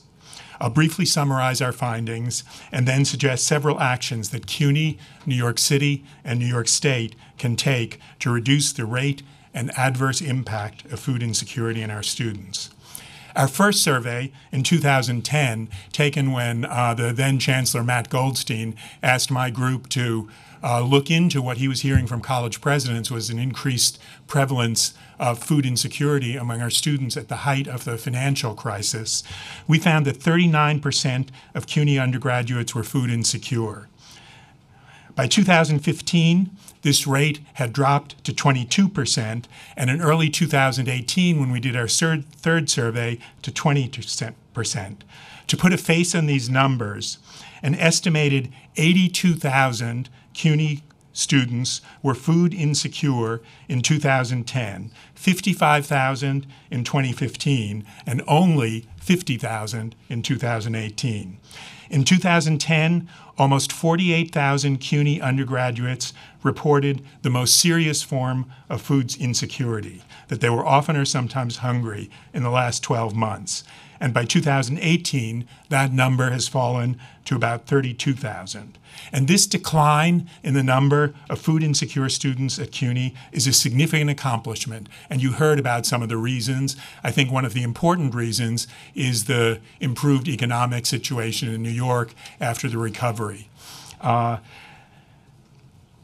as well as the changes in SNAP programs that we heard from the HRA administrator early on, and the CUNY programs, the 13 food pantries, and the single stop enrollment programs. In addition, CUNY has extended food security outreach and education. But despite this progress, more work to be, needs to be done. According to our surveys, in 2018, almost about 8% of CUNY undergraduates reported using any food assistance programs, and this was only an increase from 7%. So we need to do much more. Most of our food insecure students are not getting help on our campuses, according to our surveys.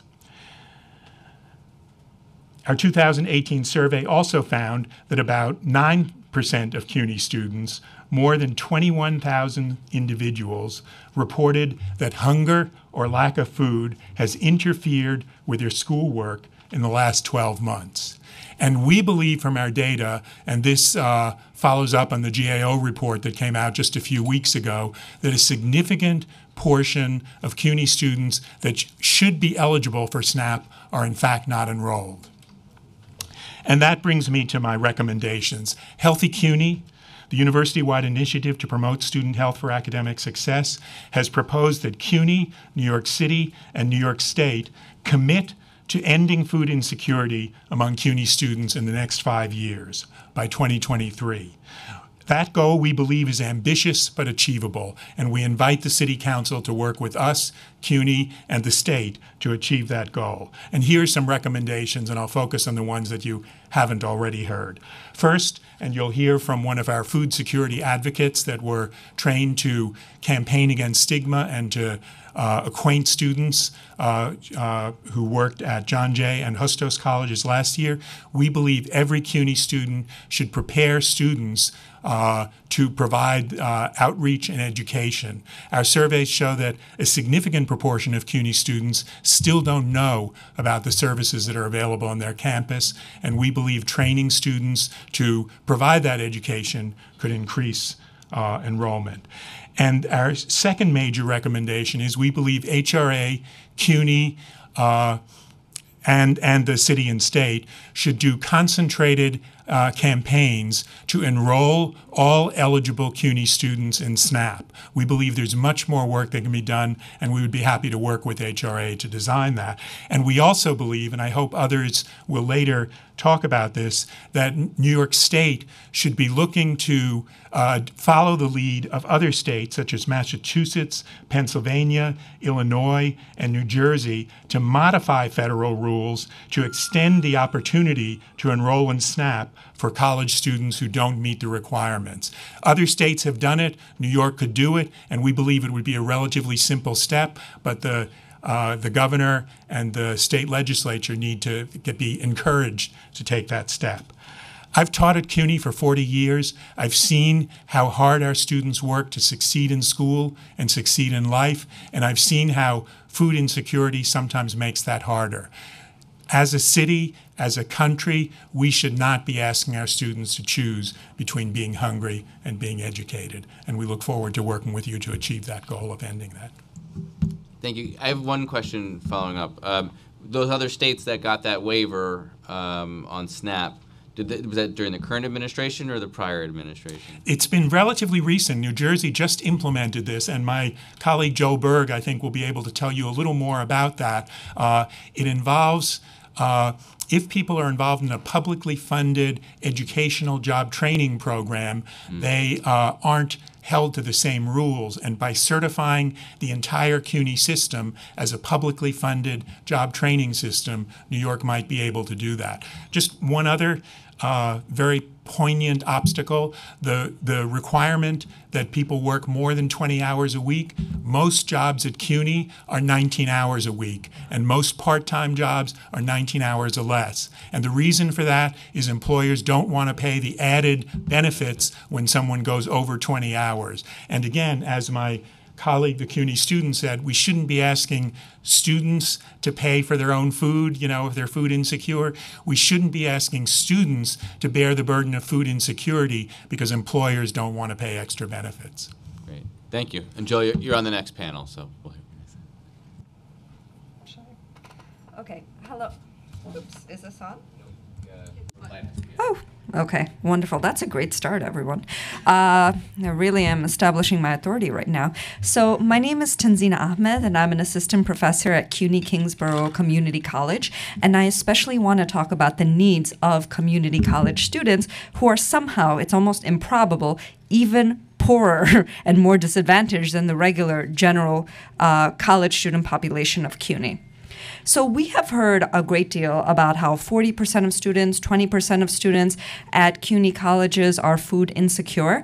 But when you narrow your focus down to especially looking at community colleges where the predominant uh, majority of students come from low income minority populations, the numbers of food insecure students are almost unbelievable.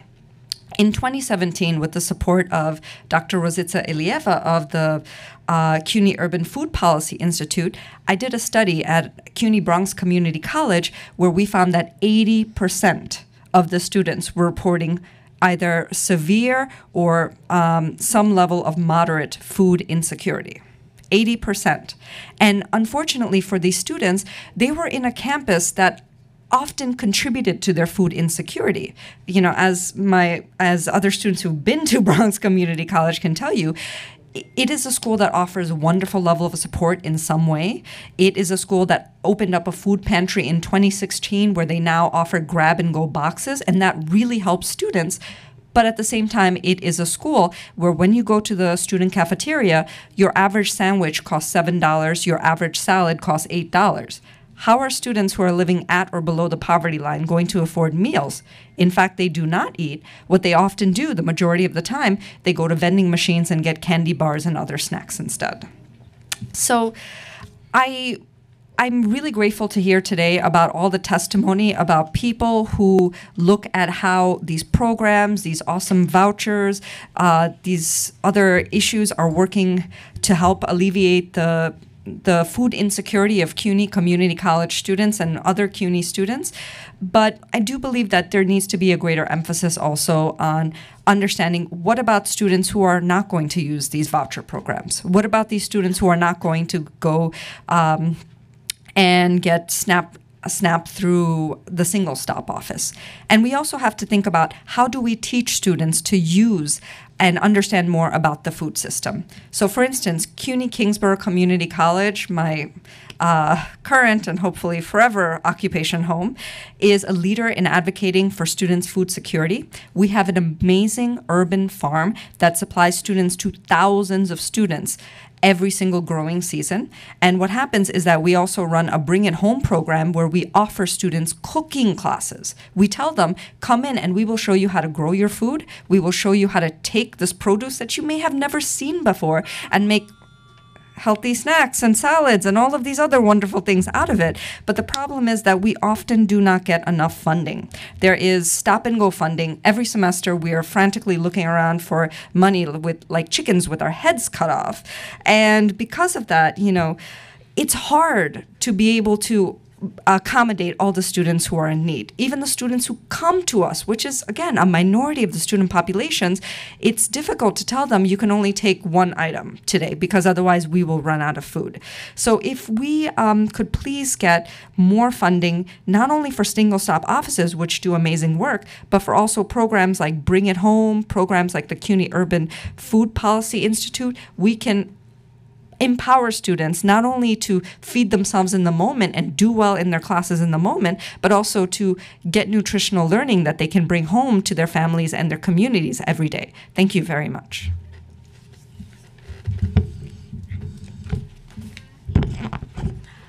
Okay. So, good afternoon, council members of the Committee of Higher Education and the Committee of General Welfare.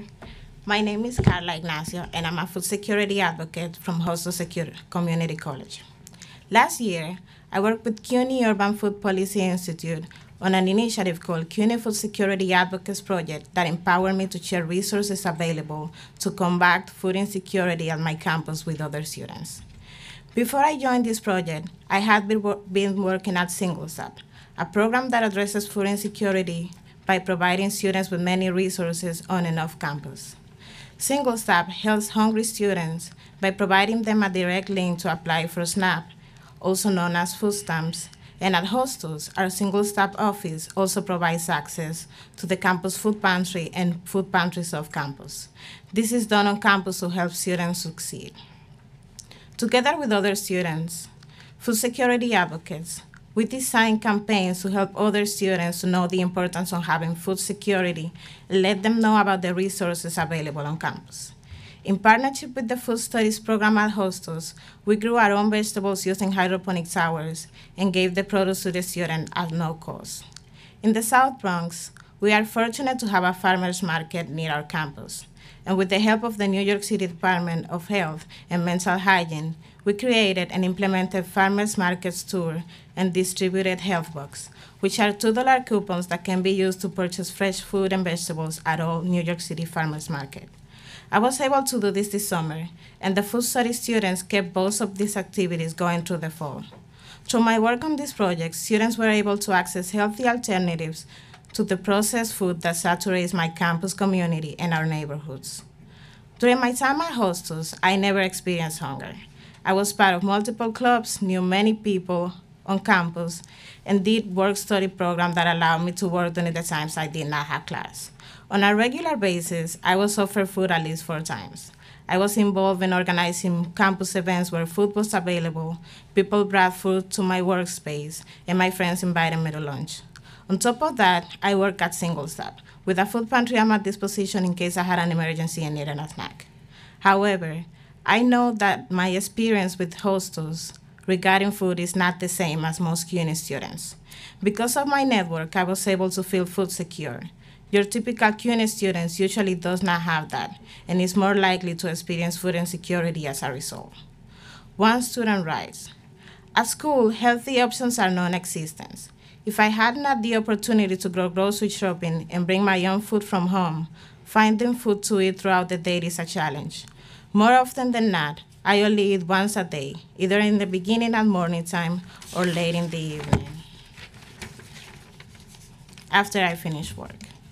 Even though I'm able to carry on throughout the day and, and accomplish what needs to be done, I can often get irritated and cranky because I'm running on an empty stomach. There is a lack of food access in our neighborhood, Mott Haven, where Hostos is located. Fast food outlets around us, where the cheap options are often unhealthy food. Our school has over 7,000 students on campus each semester, and many do not have the financial resources needed to purchase healthy food, have the time to prepare it, or the luxury of a break to run out and get food between classes.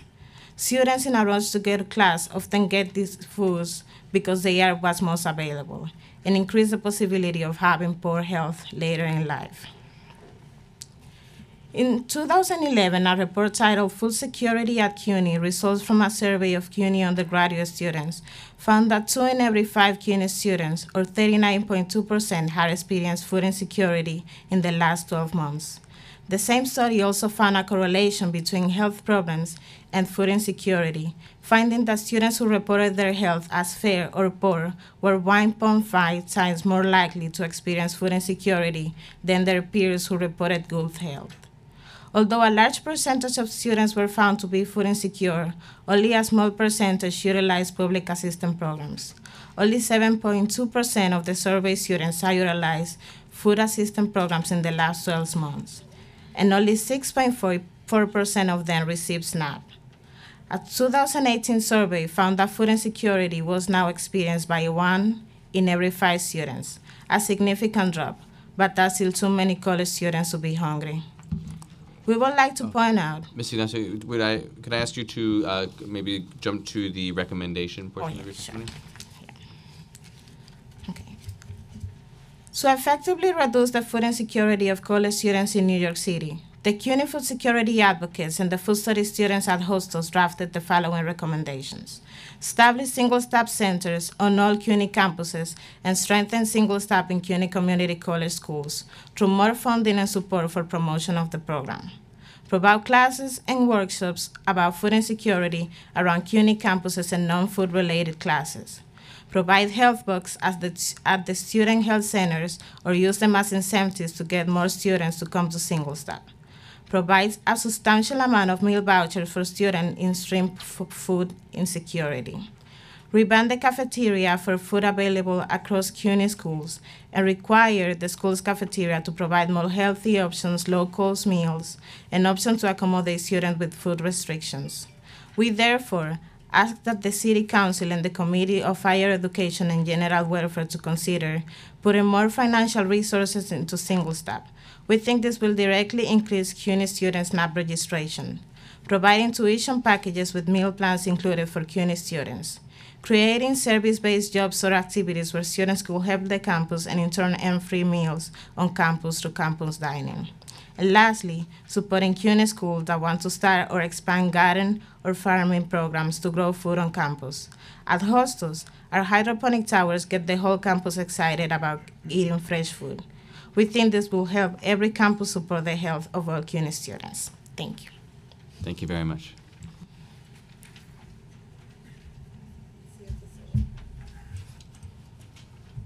Um, thanks so much to the council for having this hearing today. Um, I am not going to reiterate a lot of the data that you've heard that has been put together by uh, colleagues at Healthy CUNY. Um, but uh, and I also want to thank our students who testified earlier to really lay out the scope of the problem on campus. Um, I'm Maggie Dickinson. I'm an assistant professor at Guttman Community College. Um, so what I want to do today is to talk a little bit about a report that um, I worked on with my colleague Nick Freudenberg um, that proposes ways of thinking about ending food insecurity at CUNY in the next five years. Um, and I just want to highlight some proposals that maybe have uh, got, not gotten as much attention today. Um, so one of the things I want us to think about is that CUNY students are New Yorkers. The issues that New Yorkers face in accessing food are the same issues that CUNY students face in accessing food. Um, we also know that among college students, um, they enroll in SNAP at lower rates than the general population, and it's unclear why. So one of the things I'd like to propose is working with CUNY, with Single Stop, with faculty, students, and staff, and also with the city to get a better understanding of building a close relationship between HRA and Single Stop to understand why our college students aren't enrolling in, in SNAP at the same levels. Um, these are questions that would be helpful to have answers to, to do a lot of the work that people have talked about, enrolling more of our students in SNAP. Um, I also understand, you know, the issues with barriers to enrollment at the HRA offices. That I know that's a cultural shift, and the city's been doing a lot of work on that, and I think that's terrific.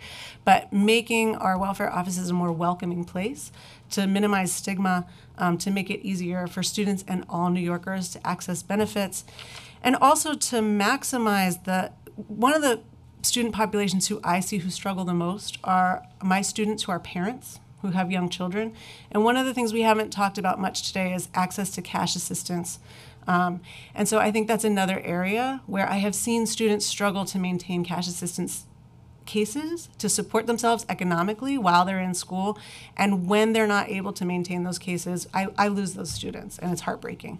Um, so I think these are all areas where we could do better, and your oversight is really important. The other thing I want to emphasize is this idea of, you know, pantries are important and Single Stop does an amazing job. But the other thing that we need to do at CUNY is to really think about how we're using our food service. Um, one of the things that we imagine in the report that we wrote are food service providers on our campuses who are providing low cost, healthy meals to all of our students at a nominal cost.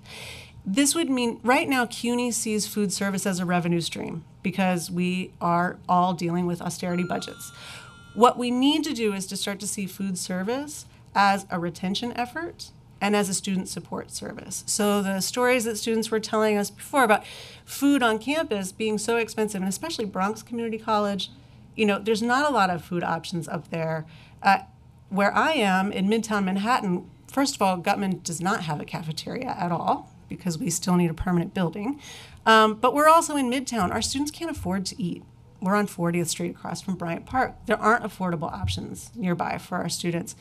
So I think making a commitment to affordable, low cost meals for all of our students is an institutional commitment that CUNY could make that would go a long way. We do this in elementary school and high schools.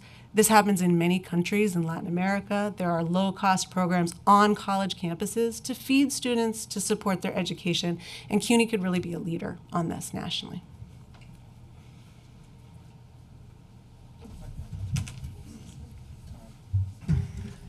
Uh, good morning, uh, members of the General Welfare and Higher Education Committees, and um, uh, thank you very much for having this uh, uh, hearing. My name is John Krinsky. I'm a professor of political science at City College, uh, New York, and the CUNY Graduate Center. Um, my testimony this morning is a brief summary of research that I did with students in an introductory methods class last semester. We did a statistically robust survey of City College students that found that focused on housing and food insecurity.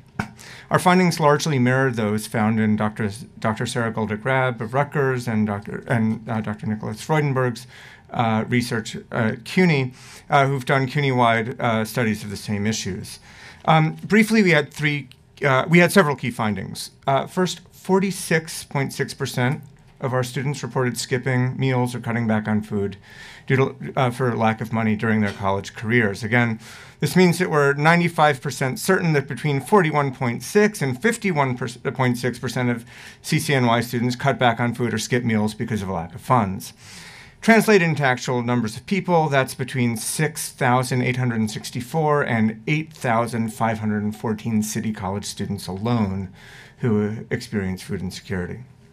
As a professor, it's sobering to know that up to half of any class may be coming to class hungry or making the choice between keeping the lights on and eating. Certainly, students often feel as if these issues and the housing issues I'll describe in a moment affect their grades and ability to be good students. If we are interested in making CUNY the world class institution it can and should be, we can't ignore this, and no, you aren't clearly. This, of course, is also a message that needs to be heard in Albany. On housing, uh, and on housing, I think housing is important because of how much people spend on housing. We found that 28.4% of our total number of respondents reported having had one of the following four conditions during college Have you moved more than twice in a month during your academic career? Have you crashed with a friend or family member for lack of a place to go? Have you stayed overnight in college, not in a dorm, for lack of a place to go? And have you stayed in a homeless shelter while you were in college? That's 28.4% of our respondents. These are important markers of being homeless, with only the most obvious, staying in shelter, registering with official statistics as homeless. It gives a measure of the depth of the problem we face, even net of the current population of our shelters. If we add to these numbers students who report either having had trouble paying rent or having been forced out of their housing due to personal conflicts, domestic violence, or other causes, we arrive at a figure of over 42.7%, or 221 of 516 students who report significant housing insecurity. And this is nearly the same figure uh, overall as Professor Freudenberg found CUNY wide. Um, it's um, the, the majority of our students, nearly two thirds, work, mostly part time, and another 20% are unemployed or looking for work. 78% of our respondents lived with their parents. It's clear that neither work nor living with parents had a significant protective effect against food and housing insecurity. 113 or 76% of the students experiencing homelessness episodes lived with their parents. So this is this what, what this points to again is this idea that actually CUNY students are just like other New Yorkers, just like their parents. Um, they come from all over the city, and um, and it's important then, therefore, that the eviction prevention funds and the food pantries, uh, they they as important band aids as they are, are definitely band-aids on a much much larger uh, wound. And just finally and i'm trying to be mindful of the time um, one of the things that i want to emphasize two, two quick things i want to emphasize is we didn't survey faculty at cuny but the adjunct faculty at cuny lives in on sub-poverty wages. They get paid uh, roughly $3500 a course um, usually that works out to no more than about $28,000 a year. Um, so they're living in poverty, and we didn't actually survey adjuncts, and, and I know my union probably should, and we probably have figures on it, I just don't know. The other thing is that I would urge the council to really think holistically about this. So when you do rezonings, and when you do other land use, dis, you know, land use dispositions where that that threaten low and moderate income people in neighborhoods all around New York with displacement, when people are displaced, they tend to end up paying more money for their next lease. And this affects people all over the city, and it affects, I know firsthand from stories from my students, it affects CUNY students as well, and spills right over into the food security issues that are, that are central to the hearing today. Thank you. Uh, well, thank you very much to this panel. We greatly appreciate your testimony, um, and we look forward to working with all of you. And these are really important points that you've all raised. Thank you. Um, next panel, Ariel Savransky, UJA Federation, Joel Berg, Hunger Free America, Nicole DeRue, Food Bank of New York, Rebecca Glass, City Harvest, and Rachel Sabella from No Kid Hungry.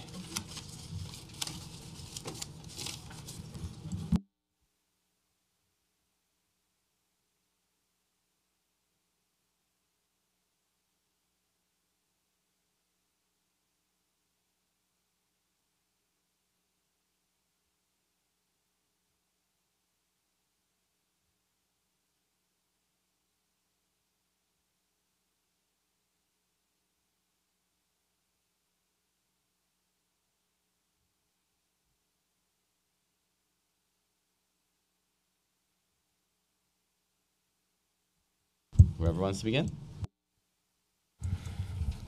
Can you hear me? Great. Uh, good afternoon, Chairperson Levin, Chairperson Barron, and members of the General Welfare and Higher Education Committees. My name is Mikola DeRue, and I'm the Vice President of Public Affairs at Food Bank for New York City. And I'm also joined here today by Nick Buse, who I think is in the back there, our Community Mobilization Manager. Uh, I also know that the council has worked with my predecessors, Triada Stampas and Rachel Sabella, who's also here today, uh, for many years on reducing food insecurity across New York City, and I want to thank you for continuing to make anti hunger programs a priority. Our written testimony provides you with a comprehensive summary of our most current reflections on and strategies for reducing hunger for all New Yorkers, with a lot of supporting examples, details, statistics, and recommendations. So I won't read all that today, here and now, but I do want to spend these few minutes to highlight the essential investment New York City has made to the Emergency Food Network as well as the emerging threats to low income New Yorkers, which put in stark relief the need to continue to fortify the network of food pantries and soup kitchens that serve as our city's backstop against hunger. First, a huge thank you to, uh, to Speaker Johnson, Chairperson Levin, Council Member Grodenchik, and the entire New York City Council, who collectively fought for years to increase baseline food funding for New York City's Emergency Food Assistance Program, or EFAP. As a major important source of food for our city's emergency food network, EFAP plays a crucial role in reducing hunger because it provides a steady year round supply of nutritious food for the approximately 500 New York City food pantries and soup kitchens that participate. We applaud the City Council for its leadership in fighting to do the most good for our neighbors in greatest need with the fewest resources. Supporting the network of emergency food pri- providers would not be possible without our partnership with the Human Resources Administration. We look forward to continued collaboration with HRA, not just on emergency food distribution, but on connecting New Yorkers to the Supplemental Nutrition Assistance Program, better known as SNAP, which is the first line of defense against hunger. As we mark our progress and some of these victories and look ahead to the future, I want to underscore that we are in an exceptional moment in the fight against hunger. Uh, within the past year, there have been repeated explicit attacks on the food security of many of our most vulnerable neighbors. Two recent actions by the Trump administration, both of which were mentioned earlier by others here today, threaten to push many of those New Yorkers deeper into food insecurity. Uh, as noted earlier, proposed changes to the public charge test would force immigrants to choose between getting food they need and seeking legal permanent residence. The administration is also attempting to subvert Congress by punishing and stripping benefits access from unemployed and underemployed adults without dependents who aren't able to document a disability. Congress already voted to reject this harmful ABAWD plan by removing it from the recently negotiated Farm Bill. As advocates have pushed against these actions, service providers have needed to step up and do more in the wake of the recent government shutdown. During the past few months, 18,000 federal workers and additional contractors impacted in the city found themselves exposed to new vulnerabilities. By necessity to put, put food on the table, many furloughed workers who went without a paycheck for more than a month suddenly needed to do what was previously unthinkable seek food assistance from community organizations and or learn how to access emergency SNAP benefits. Federal workers who were required to continue working without pay through the shutdown were limited to seeking help from charities that could accommodate their work schedules, with some resorting to rationing food for themselves and their children and tapping into limited savings to cover un- other non negotiables like housing and transportation. The reopening of the government has not ended food insecurity or the strains on the charitable network and the many who rely on it. The Emergency Food Network has continued to serve those impacted by the shutdown, in addition to the millions of New Yorkers who already struggle every day to afford food, even when the federal government is opening, open and functioning properly. During the shutdown, 1.6 million low income New Yorkers who rely on SNAP received their be- February benefits early in mid January. Um, I think the intention there was a good one, as noted earlier, but an unintended effect is that because current SNAP benefits cover about two weeks' worth of food for most households, it's created a SNAP gap for recipients who are having to stretch that early disper- disbursement over a much longer four to six week time period. Uh, that gap is going to be most evident and intense during the imminent public school min- midwinter break that starts next week, uh, when children will lose access to up to two free meals per day in school. When cash, benefits, and the generosity of family and friends have been exhausted, the Emergency Food Network is the resource of last resort for those struggling to keep food on the table. Especially in the face of the unprecedented serious threats from the federal government, we urge the city to advance the budgetary and legislative supports needed to ensure that the city's crucial and already strained anti hunger safety net remains intact for another fiscal year. The bottom line is that these federal attacks are hitting the New Yorkers who are already our most vulnerable the hardest by a bad federal policy coming at us from multiple fronts. Threats to safety and residence status, sufficient consistent individual income, benefits eligibility and access, affordable health care, and by extension to non-negotiables like living uh, uh, for living like food and housing. For the purposes of this hearing, this means that more than ever, we as New Yorkers must use the collective local power we have to do what we have always done historically to work together in solidarity, using our leadership and wisdom in government and in the charitable emergency food network to collaborate and strengthen the effective systems and initiatives that protect our neediest. So that for our tired, our poor, our tempest tossed, and our hungriest, who are also, like all of us, New Yorkers, our city remains the reliable sanctuary it has always been. Thank you very much.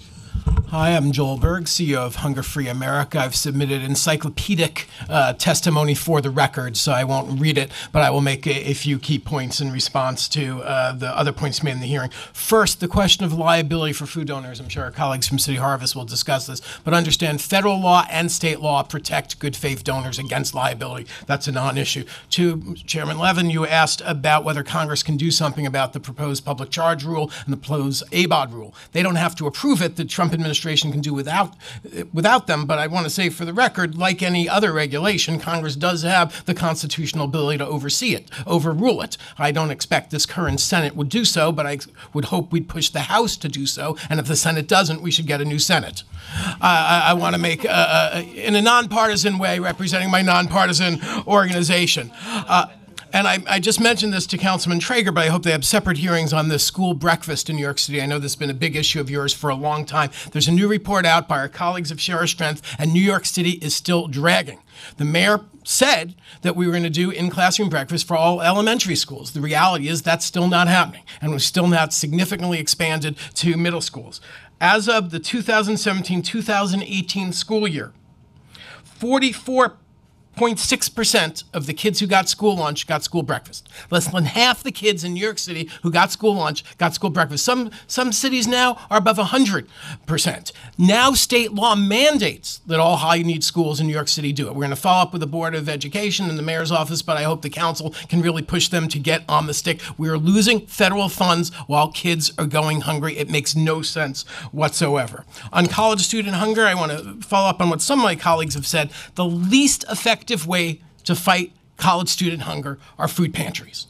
It sort of grills me that, uh, I don't know if that's a word in this context, but that we're using the worst response first. The top response should be using federally funded nutrition assistance benefits. Just to clarify, for the governor to say that every community college in the state qualifies for the work requirement for SNAP does not require USDA to approve it or even review it. The governor can just do it by administrative fiat through OTDA tomorrow. It would not cost the state a penny. Other states have done, including states run by Republican governors. And particularly with the current House of Representatives, it's not like they're going to overrule this. And I can go into details with staff later about how this needs to happen, but they can do it overnight just by clarifying this. Secondly, uh, we also need to better use work study requirements. If we know that one hour of work study allows people to qualify for these programs for SNAP, then if we have 100 hours of work study, instead of giving one student 100 hours, we should give 10 students 10 hours and make sure they all get SNAP. And then we should fund feeding programs on campus through the feeding halls and pantries where kids have to, or students have to take food back, uh, you know, dozens of miles on public transportation back home, taking food that someone else picked for them. And lastly, I'll see some colleagues from Columbia here, my alma mater. Their endowment is $10 billion. Their president earns $4 million, four times the president of the United States. They can make sure their workers and their students don't go hungry. They should do it tomorrow without a penny of more government funds. They should just make sure every private institution in New York with zillions of dollars should make sure that their students and workers don't hungry by, by, by paying their workers enough and by making sure they have enough money and financial aid. Thank you. Thanks, Joel. Double microphones. Hi, good afternoon. My name is Rebecca Glass. I work for City Harvest. I'm uh, Agency Operations Manager, uh, and I would like to address the chairpersons, Barron Levin, and the committees on general welfare and higher education, and thank you for this opportunity. So you've heard a lot about hunger and food insecurity, specifically around the SNAP issue two things that I want to point out that have not been mentioned this afternoon is that our agency programs have been seeing upwards of 30% of increasing clients and serving clients who have never had to access emergency food uh, in the past, specifically due to the shutdown and the formerly furloughed workers. Um, specifically, programs in Staten Island have seen an intake of 100 plus clients in one day, given their proximity to the port and members of the Coast Guard. City Harvest has uh, response has been that the mobile markets um, that are in all five boroughs are open to the formerly furloughed and federal workers free of charge. They just need to show their IDs. We've packed um, numbers of bags of produce and non-perishable items distributed to TSA workers both in LaGuardia Airport and through a partner agency holding hands at the JFK Airport. We've provided additional produce to three of our agencies, two in Staten Island, one in Queens, and we've received a small modest grant to help agencies in high need, high SNAP recipient neighborhoods to purchase food from one of our vendors. Um, but this is not enough, as we've all heard this afternoon. So here's our call to action. Number one, open feeding centers such as those available during the summer months to provide breakfast and lunches for New York City public school children next week. If there are centers available, then that inf- information needs to be made public. Um, number two, to uh, advocate for enhanced SNAP benefits and the call on the council to com- uh, to comment on the ABAWD rulemaking process. As we've heard this afternoon, um, it's really untenable situation. Um, to provide $15 million for SNAP incentives, specifically to help New Yorkers afford fresh fruits and vegetables by expanding such programs as Health Bucks, and work together with our network and other food funders to provide capital grants and food assistance to the network of community programs who often operate on a shoestring budget with limited infrastructure. Thank you again for your time. Thank you. Good afternoon. My name is Ariel Savransky. I'm a policy and advocacy advisor at UJA Federation. Uh, thank you for the opportunity to testify, as well as for your tireless advocacy for uh, increased funding for food insecurity. Um, so I'm just going to summarize a few things from my testimony. Uh, first, we urge the city to continue to invest in expanding the anti-hunger safety net uh, by continuing to take steps to expand enrollment in programs such as SNAP. The governor included in his executive budget announcement this year uh, programs to make it easier for older adults to enroll in SNAP, as well as to um, improve screening tools, especially at physicians' offices, and also to enroll in an online pilot that would allow um, individuals to use their benefits, their SNAP benefits online. So once these are rolled out, if there is funding, we would urge the city to work with the state to make sure that these initiatives are publicized. Um, second, we'd like to thank you for your advocacy related to the Emergency Food Assistance Program, specifically um, securing the $8.7 million increase last year. Obviously, the need is still there, and so we hope you'll continue to advocate for increases to this funding. Um, also, along those lines, it is essential that the city invest in resources to ensure that food pantries are equipped with enough food to serve their clients, especially culturally competent food such as halal and kosher meals. Um, one thing I'll bring up that hasn't been discussed yet is that it is imperative that the city invest in agencies that run congregate or home delivered meal programs. Um, so, com- congregate and home delivered meals are funded by the city currently at a rate of 20% less per meal than the national average. Um, additional investment is needed to increase the rate to be adequately on par with the national average, which was, would allow agencies to provide culturally competent meals, adequately fund staffing, and address the unfunded costs of running senior center kitchens so that seniors can eat nutritious and culturally competent meals. Um, we would also urge the city to think about ways to support UJA Federation's digital pantry system and hubs. Um, these have been discussed in the past few years. Um, our system is now being piloted at three pantries with the goal of expanding it to an additional 14 in the coming years. Um, through this system, we have already begun to see the intended results. The number of people served has increased significantly, especially among families with young children. Uh, one of our digital pantries has seen usage triple. Wait times are down, and pantries are able to stay open for longer hours, making them more accessible.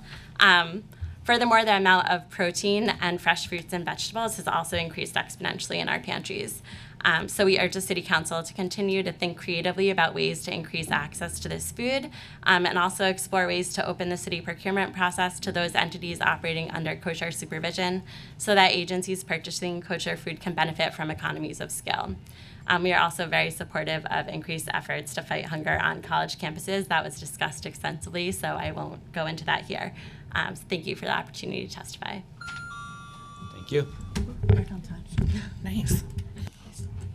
Hi, good afternoon. My name is Rachel Sabella. I'm the director of No Kid Hungry New York with Share Our Strength. I want to be very brief today. Um, I do have to say, though, when I walked into the lobby this morning and saw it completely full with people coming up here, listening to your remarks, Chair Levin, listening to Chair uh, to Councilman Grodenchik's remarks, we've come so far.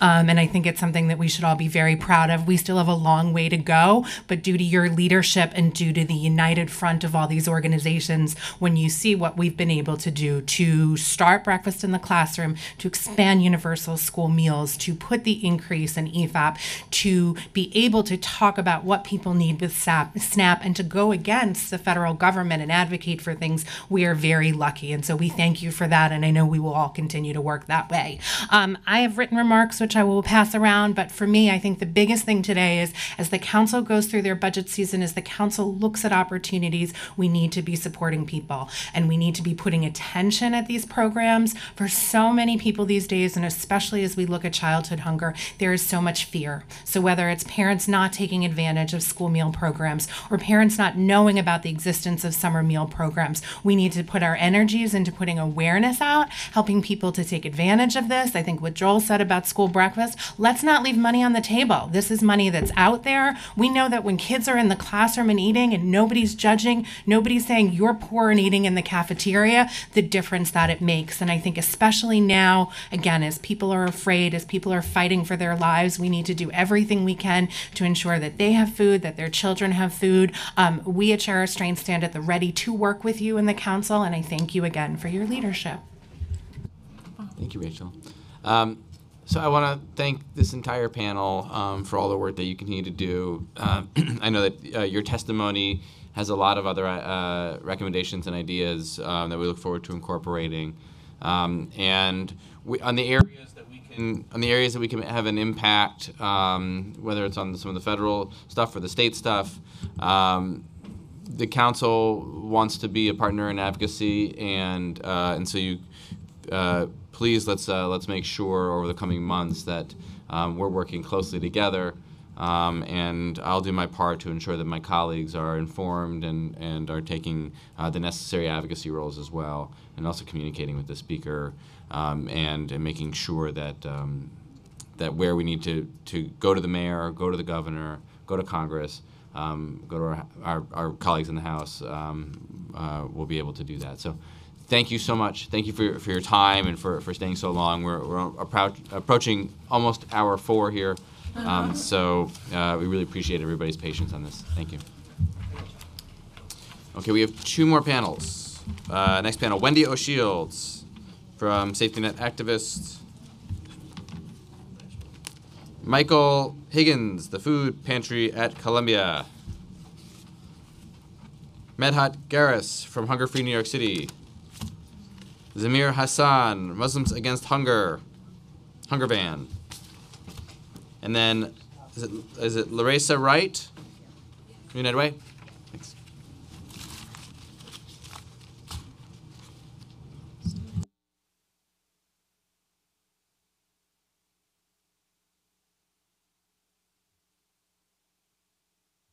Is Mr. Hassan, Zamir Hassan? Gonna have to leave? Maybe? Okay. Uh, Reverend Robert Ennis Jackson? Okay. And then if Mr. Hassan comes back, we'll make sure to have him on the next panel.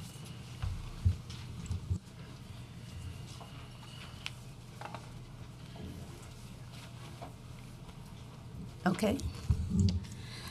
My name is Wendy O'Shields. I am a New York City welfare and homeless rights advocate working with the Urban Justice Safety Net Project and activists. I support Intro Bill T 2019 3640, oversight reducing uh, food insecurity in New York City. New York City homeless, no and low income individuals and families, disabled, unemployed, underemployed, emancipated youth, college students, elderly, rent or, bur- or debt burdened, and those with ca- catastrophic medical expenses are hungry. These populations choose between their most urgent bills or skipped or a skipped inadequate meal. Many New Yorkers suck, suffer quietly behind closed doors with gross malnutrition, vitamin deficiencies, and hunger because they're poor. Regular missed meals or meager meals lead to a multitude of long term, expensive health challenges. Additionally, um, Bill 3640 should consider setting aside funding for urban farming incentives with a focus on community and rooftop gardens.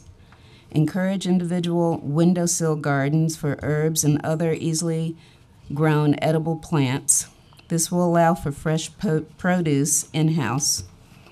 Consider allocating funding for more funding for Health Bucks, a fresh food and vegetable farmers market coupon program run by the New York City Department of Health and Mental Hygiene.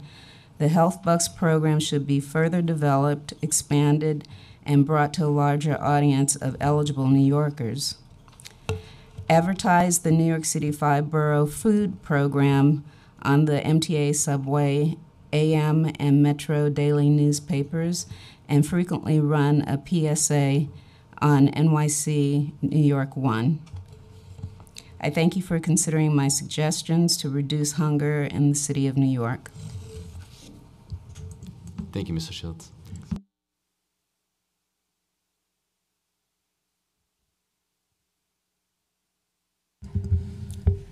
Good afternoon. My name is Michael Higgins. I am a third year GS student studying urban studies and specializing in geographic information systems. I am also the co founder and chair of the Food Pantry at Columbia. Um, Columbia University is one of the eight Ivy League institutions in the country, and we are the Food Pantry at Columbia is the only pantry that is run by students in the Ivy League um, Ivy League institution. I want to thank um, uh, Chair Levin, Chair Barron, and all the council members for the opportunity to testify here today. And I'm going to give a brief um, history of the food pantry and then talk very briefly about some of the things that I would like to see going forward in our in our um, next chapters. Uh, the Food Pantry at Columbia was formed in May 2016 in a collaborative effort between the General Studies Student Council and the First Generation Low Income Partnership. Our mission is very simple: relieve hunger in you know relieve hunger on our campus through the acquisition and distribution of both perishable and non-perishable food to those who need it. And this includes students and Columbia affiliates. So um, just to give everyone a, a heads up, this is something that we have found out that not only students are utilizing this um, this resource, but also Columbia affiliates as well, whether they are administrators or work study students or uh, of that nature. Um, during its development, GS, um, GSSC and FLIP uh, determined that there was a, um, an issue within the School of General Studies in relation to hunger. As a small test pilot, GSSC allocated $1,000 to purchase food, advertise on, small, on social media, and reserve space to distribute the food. Before the end of the first week of the test, we realized that hunger extends beyond the borders of the School of General Studies. And it, it was at that point that we decided to make this a larger, more, more formal um, uh, situation. And less than three years later, the Food Pantry at Columbia is a self-contained university rec- university recognized student group with an eight-person board, seven committees, and an average of 200, um, 200 committee members, uh, 200 volunteers per year. Our data shows that not only do we have a significant reach within within the School of General Studies, but we also have a significant reach across the entire university. Only one of the 21 schools within the university have um, has not utilized the pantry in some capacity, shape, or form, and this is more pronounced this particular semester, the start of this um, this calendar year, where it looks like the entire undergraduate school, uh, undergraduate schools, all four undergraduate schools, as well as the, as well as some of the um, graduate schools and professional schools, are now utilizing the pantry at a higher rate. And one of the things that we need going forward in our next chapter is an access to to SNAP um, SNAP options. We are partnered with, excuse me, we are a member of the Food Bank for New York City, and this allows us to purchase our food at a much lower cost than it would if we are doing um, purchasing through retail establishments or even the school's um, wholesale provider, Sysco. Um, that's one option that we have in relation to the, the Food Bank for New York City. The Food Bank for New York City also allows us to um, to provide students with the option to apply for SNAP. However, because vast majority of students who would apply for SNAP would be turned down because they don't necessarily qualify, this is something that we would like to um, have a larger discourse going forward as to what exactly what we can do to make this process better for all students. Um, I do have my um, my written testimony presented to the council, and I would appreciate any follow-up um, that you may have. Thank you very much. Good afternoon, everyone, and happy Valentine's Day. Thanks for all of you, and thanks for the uh, Hunger Free New York City organization for inviting me today to speak to the Hunger Welfare Committee today. My name is Medhat Gars, and I'm low income member of Hunger New York City Food Actions Board. For the past five years, as members, we advocate for SNAP benefits for low income individuals who depend on SNAP benefits, as well as, as the generosity of food pantries and soup kitchens in New York City. During these past five years, I have volunteered at my local community pantries and soup kitchen drives in Staten Island to help other families put food on their table.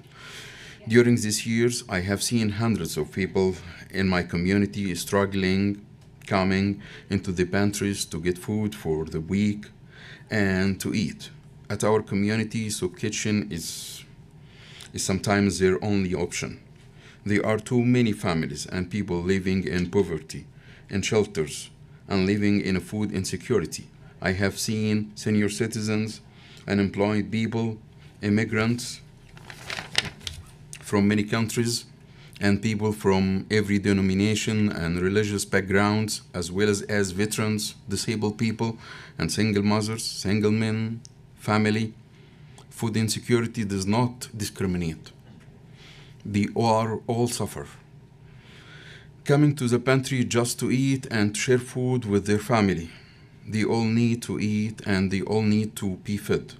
Food stamps as well as, as food kitchens and food pantries need to be well funded nationwide priority until we end hunger in this country. I want you all of you to just remember last month how many federal employees were not being paid and were forced to go to all pantries around just to eat because of the government shutdown. I'm here today to let the welfare committee and all of you and all of those who in attendance to know that our low income people and seniors as well as well our children and all of those who are vulnerable in our society need to eat. And that SNAP programs as well as community food pantries and soup kitchens need to be well funded and need to remain open all year all year around just to help families in need no woman, man, or child, citizen of the great state of New York, should go hungry. And Congress should both expand SNAP eligibility and increase benefit allotments for SNAP by adopting the uh, moderate cost food plan. Thank you.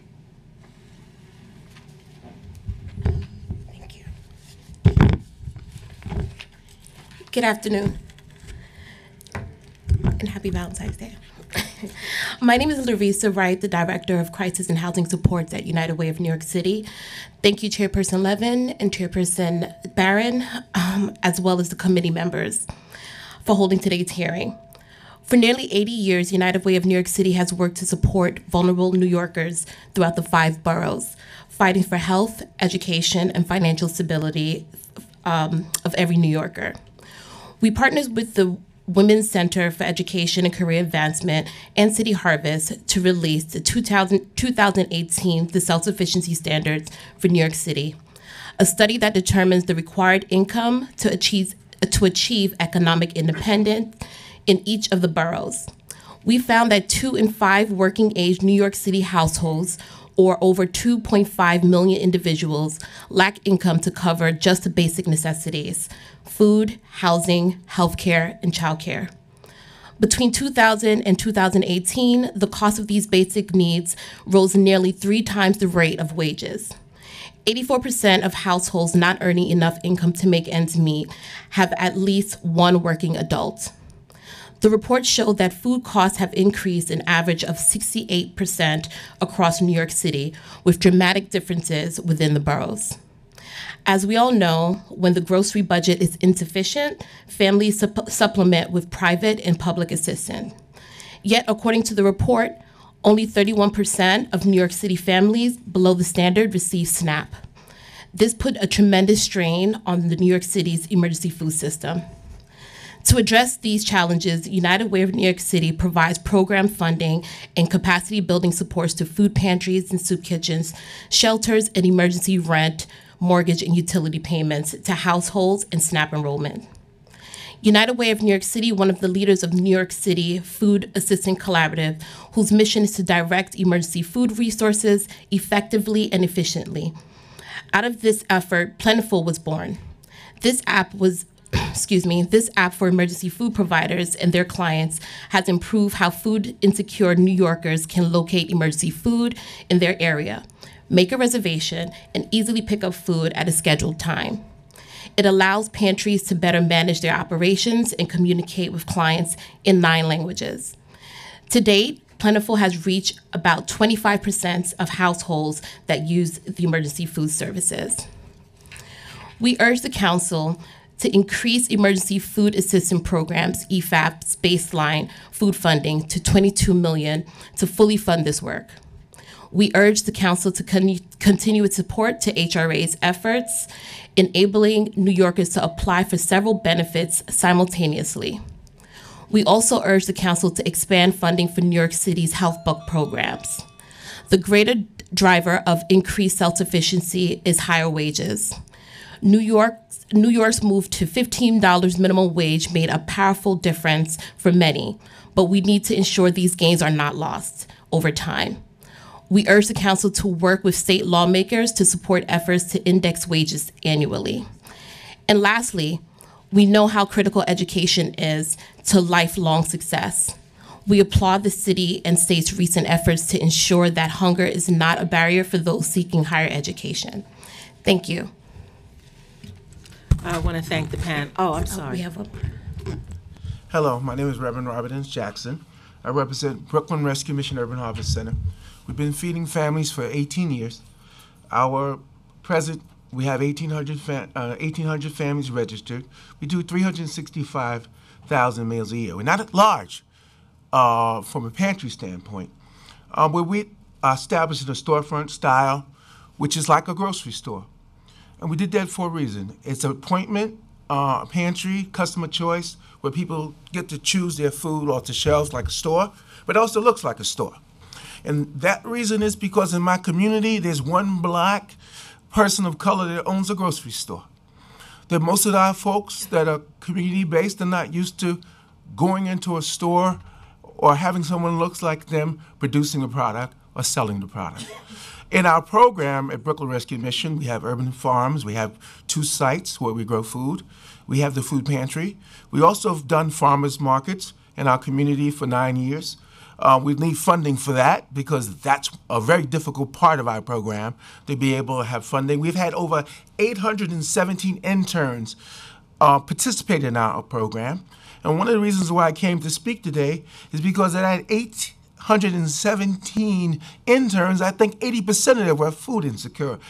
I like uh, uh, Ms. Barron's uh, statement, they're hungry.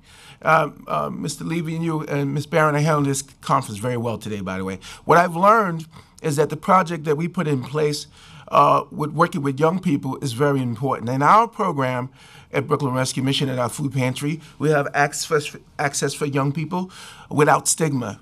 That uh, I heard Joel Joel Berg say that food pantries don't do it a certain way, but when you have a community-based pantry where you have young people in communities who are food in- insecure, when they go to a pantry, they don't have stigma. They're going to do less criminal activities to, to, to provide food for themselves. But you have a pantry where it's like a grocery store. That's what we do. The 817 interns have come from high schools, come from CUNY, where they were paid or volunteered, have come from master's programs, including Columbia, uh, where they did uh, dietitian work to help us in, uh, improve how we gave out foods to our clients. Uh, what I like to be able to see is an increased component of funding from the City Council that allows local pantries to be able to work with youth around food in communities. That's what we've been doing for 18 years. We've seen so many young people who are involved in the food pantry understand how to defeat, defeat the poverty that's in their households. Not only are they bringing the foods back, but they're getting a jump on, on understanding of why it's important for them to get that education. So they're able to complete the high school alternative program, are able to go back and work on studying harder at the college.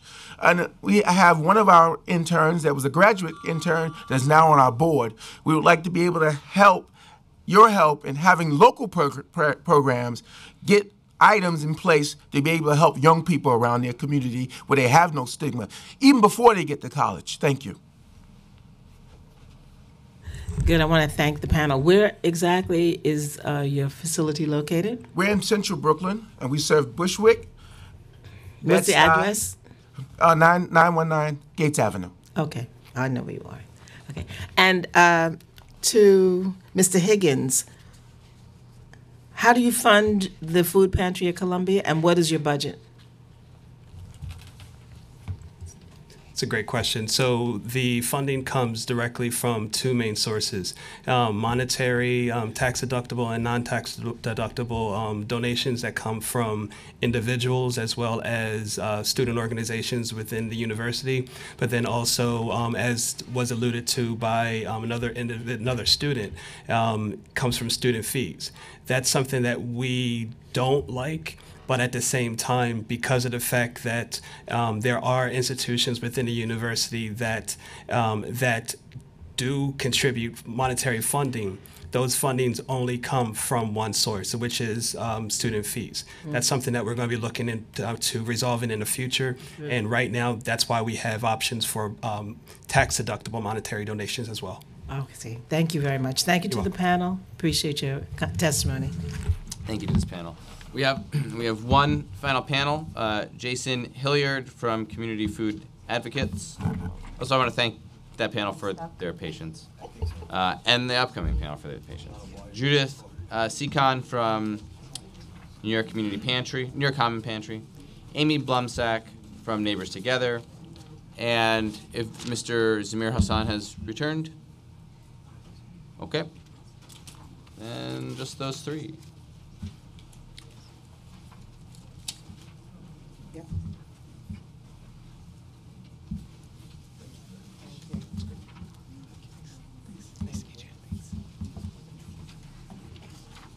Thanks.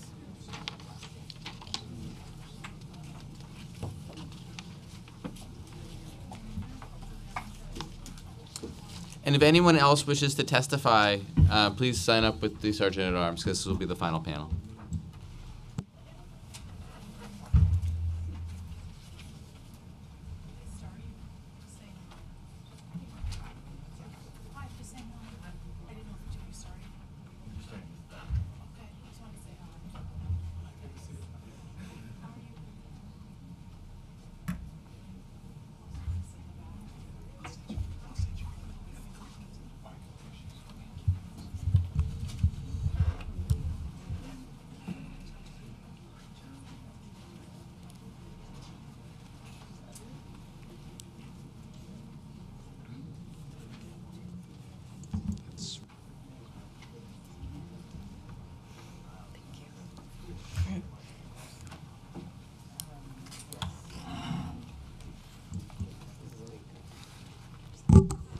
Wants to begin. Okay.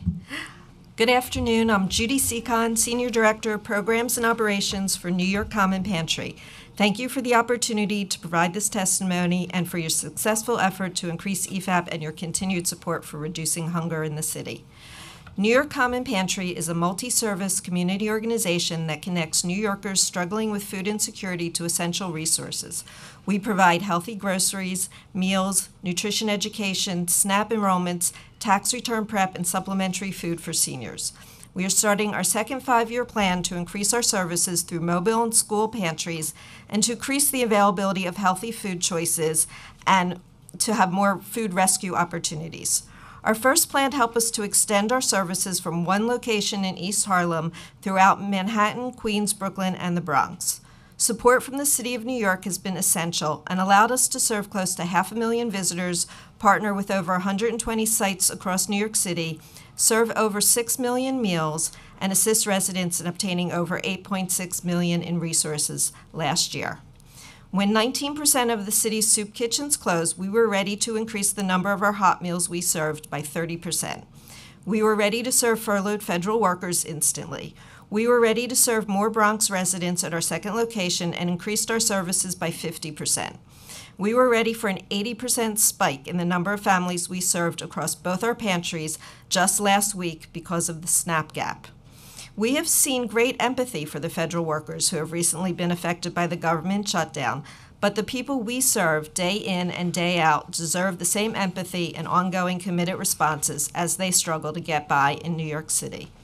In order for New York Common Pantry and other emergency food providers in the city to remain ready to serve, we must be able to rely not just on EFAP, but also on the council through its various funding lines, and we call on the mayor to increase those areas in his budget.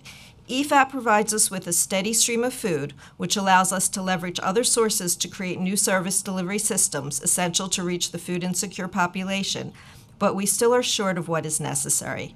We are grateful for your continued support and are eager to find new ways we can continue as your partners in the work we do. Thank you. I just want to, uh, one more person signed up. Uh, Karina Santos Taveras, Welfare Rights Initiative.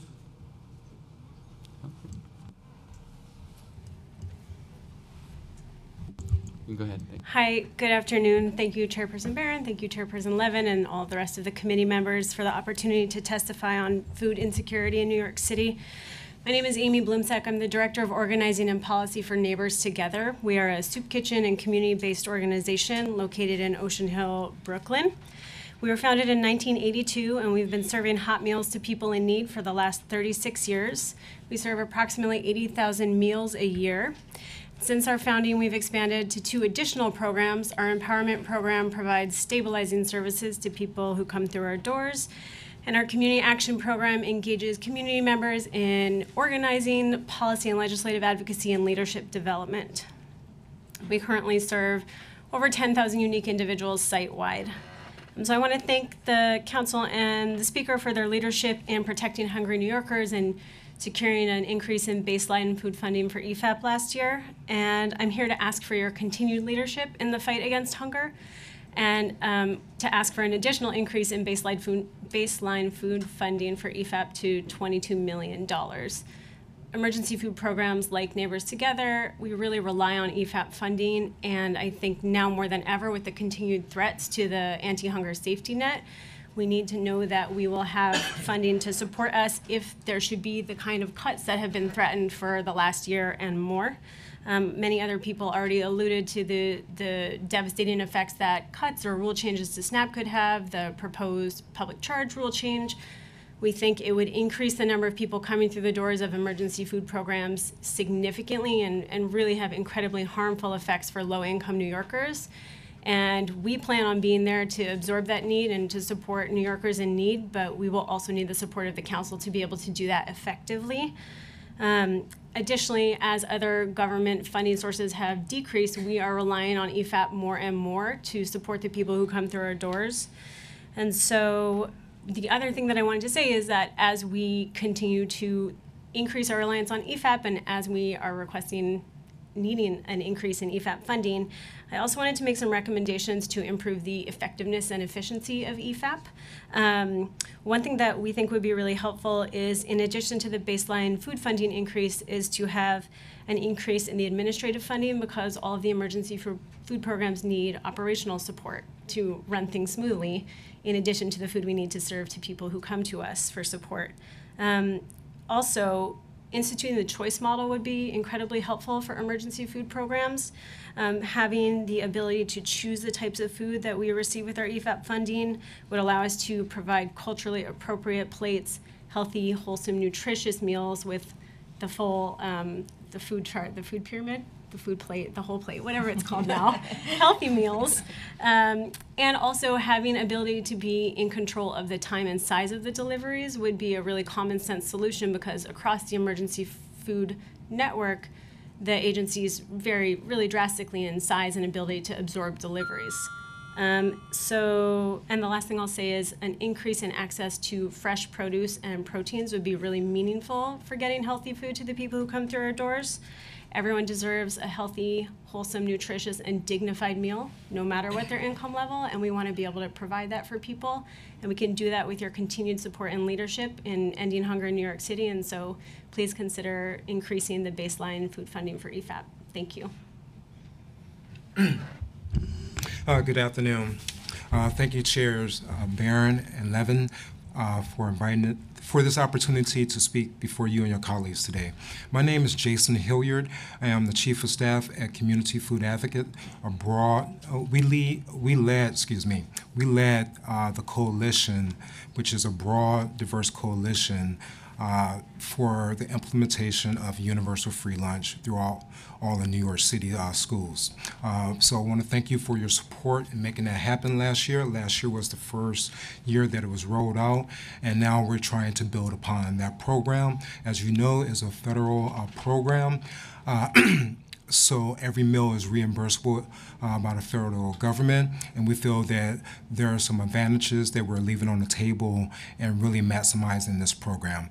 And one of those issues uh, that I would like to bring to your attention today is the enhanced cafeteria. Uh, this is uh, a school food ideal uh, that we fell in love with uh, a number of years ago. It's currently in approximately 48 buildings and will grow to 50 buildings over the next year and a half. However, we're trying in this year's capital budget to increase that to 350 schools uh, over a five-year period. Uh, the cost of these enhanced cafeterias are $500,000 per school, and we feel that $175 uh, in the capital budget uh, would be sufficient in reaching uh, that goal of 350 buildings over a five-year period.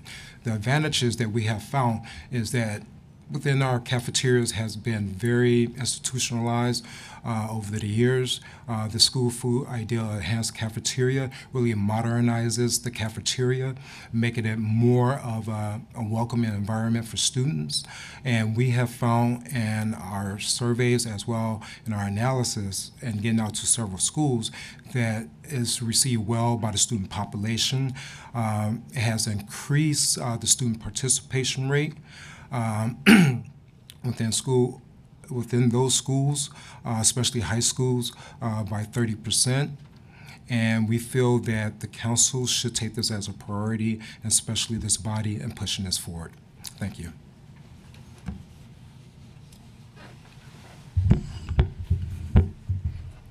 Good af- can, okay. Good afternoon. Uh, thank you so much uh, for allowing me to testify. My name is Karina uh, Santos Tavares. I'm a student at Hunter College. I also represent the Welfare Rights Initiative, which is a, stu- a student activist and leadership training organization which supports CUNY students in crisis, providing community leadership training and legal advocacy. I would like to express my concern regarding food insecurity among CUNY students, uh, such as myself. I have personally experienced food insecurity as a result of financial hardship, and I'm not being and not being able to access CUNY pantries at my home campus, Hunter College, because not all CUNY schools provide their students in need with food insecurity uh, resources such as food pantries and also cafeteria vouchers. Many students are forced to go without food for a day or more. In 2017, I was personally I have personally gone to school hungry as a result of my campus, Hunter College, not having available food resources. In addition, I was also not allowed to access food, um, CUNY food pantries and cafeteria vo- voucher programs on other campus. Many student, many times I was forced to rely on public food pantries.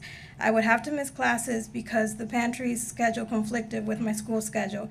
To avoid hunger, I took many days off throughout the semester to show up at the opening time of the food pantry, and as a result, my grades were impa- were um, impacted with my GPA lowering. This directly impacted my ability to receive college housing scholarships that are based on my GPA. Furthermore, I do not get any form of financial aid. This includes Excelsior, Pell, and TAP. Because I'm facing tempor- temporarily uh, homelessness, I live in the Hunter College dorms. The merit based academic scholarships I have are what has covered my tuition and has allowed me to have a safe place to stay until my graduation date, uh, which will take place May 2019. Taking time off from school to potential and potentially running the risk of losing my funding, my funds to access public pantries is not an effective way to challenge food insecurities among college students, especially single college students. Unlike CUNY pantries, public pantries sometimes do not distribute the same equal amount of food to single able bodied people as they do for families. I believe that an effective solution to tackle food insecurity among CUNY students is to emulate programs such as the cafeteria voucher, which only three CUNY schools currently have in place Bronx Community College, Medgar Evers, and John Jay and CUNY pantries on all campus versus a select few. Because again, if you go to my school and my school doesn't have a pantry, you can't go to CSI, John Jay, or Lehman. They only serve their own students. Um, another solution, I'm sorry. Um, in addition, HRA expanding their definition of housing, which would count college dorms as temporary housing, allowing college students facing food insecurity and homelessness access to the 250 housing allowance, as there is as there is no policy or rule that excludes college dorms from the requirements for the housing allowance. I would like to thank you for allowing me to testify, and I greatly appreciate your advocacy work for the community. Thank you. Oh, I want to thank this panel. Um, Mr. Veras, I think uh, your testimony is a, a, a good. Um, oh, actually, sorry, we have one more one more member to testify. But it, uh, I want to thank you for your testimony. Uh, I think it's, it's very impactful, and, and um, certainly uh, the recommendations, including that last recommendation, we really have to take that under advisement. Yeah, because I I currently uh, live in the Hunter dorms, and that's what's allowed me to complete my last semester. If it weren't for that, I would I would have been forced to drop out of school because I was put in that position. But I've tried to access the um, 20 the 250 housing allowance that HR provides, but they say that I can't get it because I live in a dorm, but it's technically temporary temporary housing. We should. We will. I, I move out in May, and Right. Hunter has a policy where if you are scheduled to move out at a particular date in May when the semester ends and you're still there, you will be charged $150 per day until you move out. So I can't like afford to stay after I graduate. And I just want to add one last comment um, for the last group that talked about why is it that a lot of students are not accessing um, public assistance. I actually, so with the Welfare Rights Initiative, I work with that population, and one of the things that I see is that many times if there's a student with a child, they can't bring the child to the center, so they may not be able to access it. And then another issue is uh, mental health. Many times they go to their local centers and they're told false information. They're told that, you know, you may not qualify, you have to drop out of school. I've personally been told that for me to get benefits, I need to drop out. which is unacceptable. Um, the gentleman from HRA is indicating that he, he'll, he'll, he's here to, to maybe speak. Hi. Um, but I want to also congratulate you on graduating in this. Thank you. Thank you. Um, and uh, okay, so uh, Zamir Hassan uh, is the final final member of the public to testify. Thank you to this entire panel. Thank you.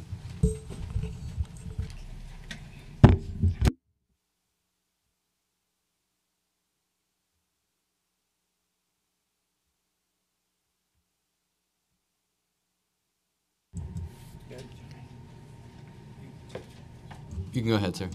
I- uh, Good afternoon. I came here at 10 o'clock and kind of little got tired. And I'm, this is the first time I'm doing something like this. So I need to Welcome. Uh, I, I need to tell you a little story. I came to United States 50 years ago. Went to grad school at, in Ithaca, New York. And I was in IT when there was no IT. So you could see how well I was doing. And part of American dream. Uh, big houses, fast cars, right? Year 2000, I end up going to, first time in my life, to a soup kitchen as a chaperone to my son's school.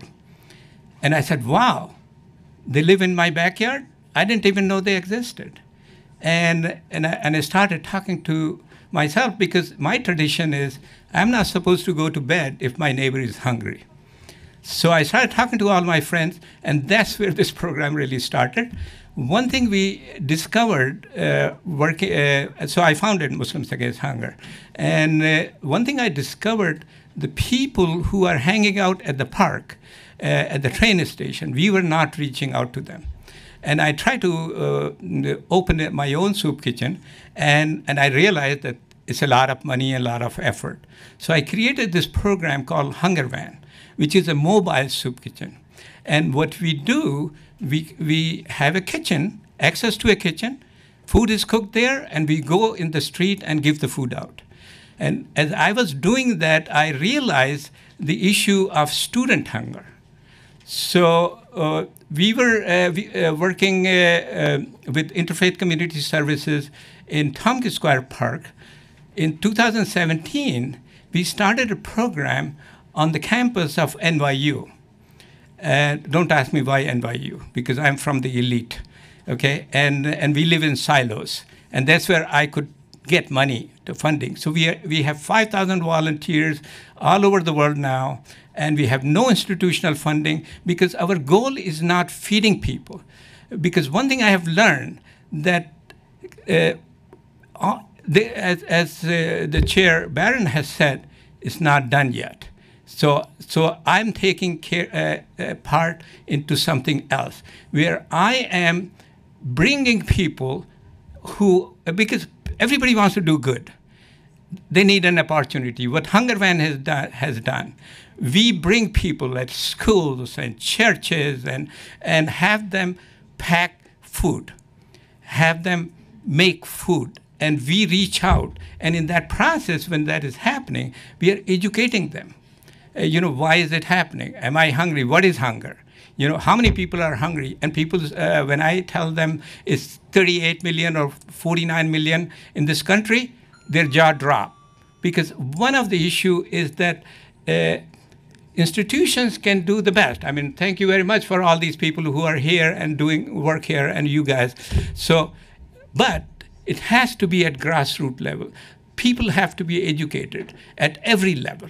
And we are doing program with the with high schools. We are doing programs uh, with the colleges, and we are bringing them together. Like one of the issues they were discussing uh, earlier, uh, I was here, the college program. Uh, that they can't reach out to students and they are not coming to their program. They have that stuff. Uh, so what I would do as a suggestion, I'm going to uh, follow up with them. I'll do an event at the college where we'll bring all the people who wants to help out and we'll make food and give that food to their food pantry. And uh, so, so there is, has to be a lot of education on the ground, in addition to everything else which is happening. The government is doing it, church is doing it, all these guys are doing it. So there, ha- there is a missing piece of education because we live in silos. You know, uh, I didn't know they exist. You know, uh, I thought that they, they live somewhere else. And that's what, especially the community, my community is a new community, and they got a lot of money.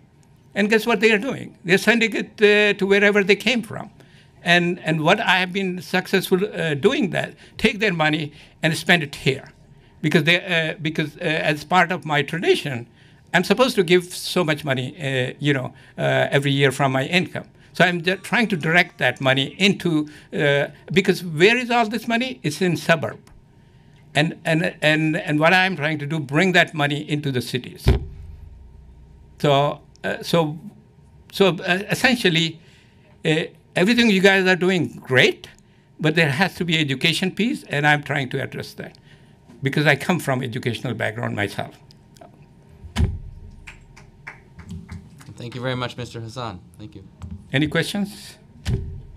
By, by the way, uh, in last year, all the numbers are there. We have served 60,000 meals. Mm. Uh, and, and with this uh, NYU program, which started uh, 17, we have served there uh, at Washington Square Park, right there, about 15,000 meals. And, and we, we are only two days a week, and we are planning to do it every day. We That's- commend you for your service and uh, for your insight, and we thank you for coming. Thank you. Thanks for having me here. That's it. Gavel us out. Do you want to do it again? Uh, There being no further witnesses, this hearing is adjourned. Thank you. I got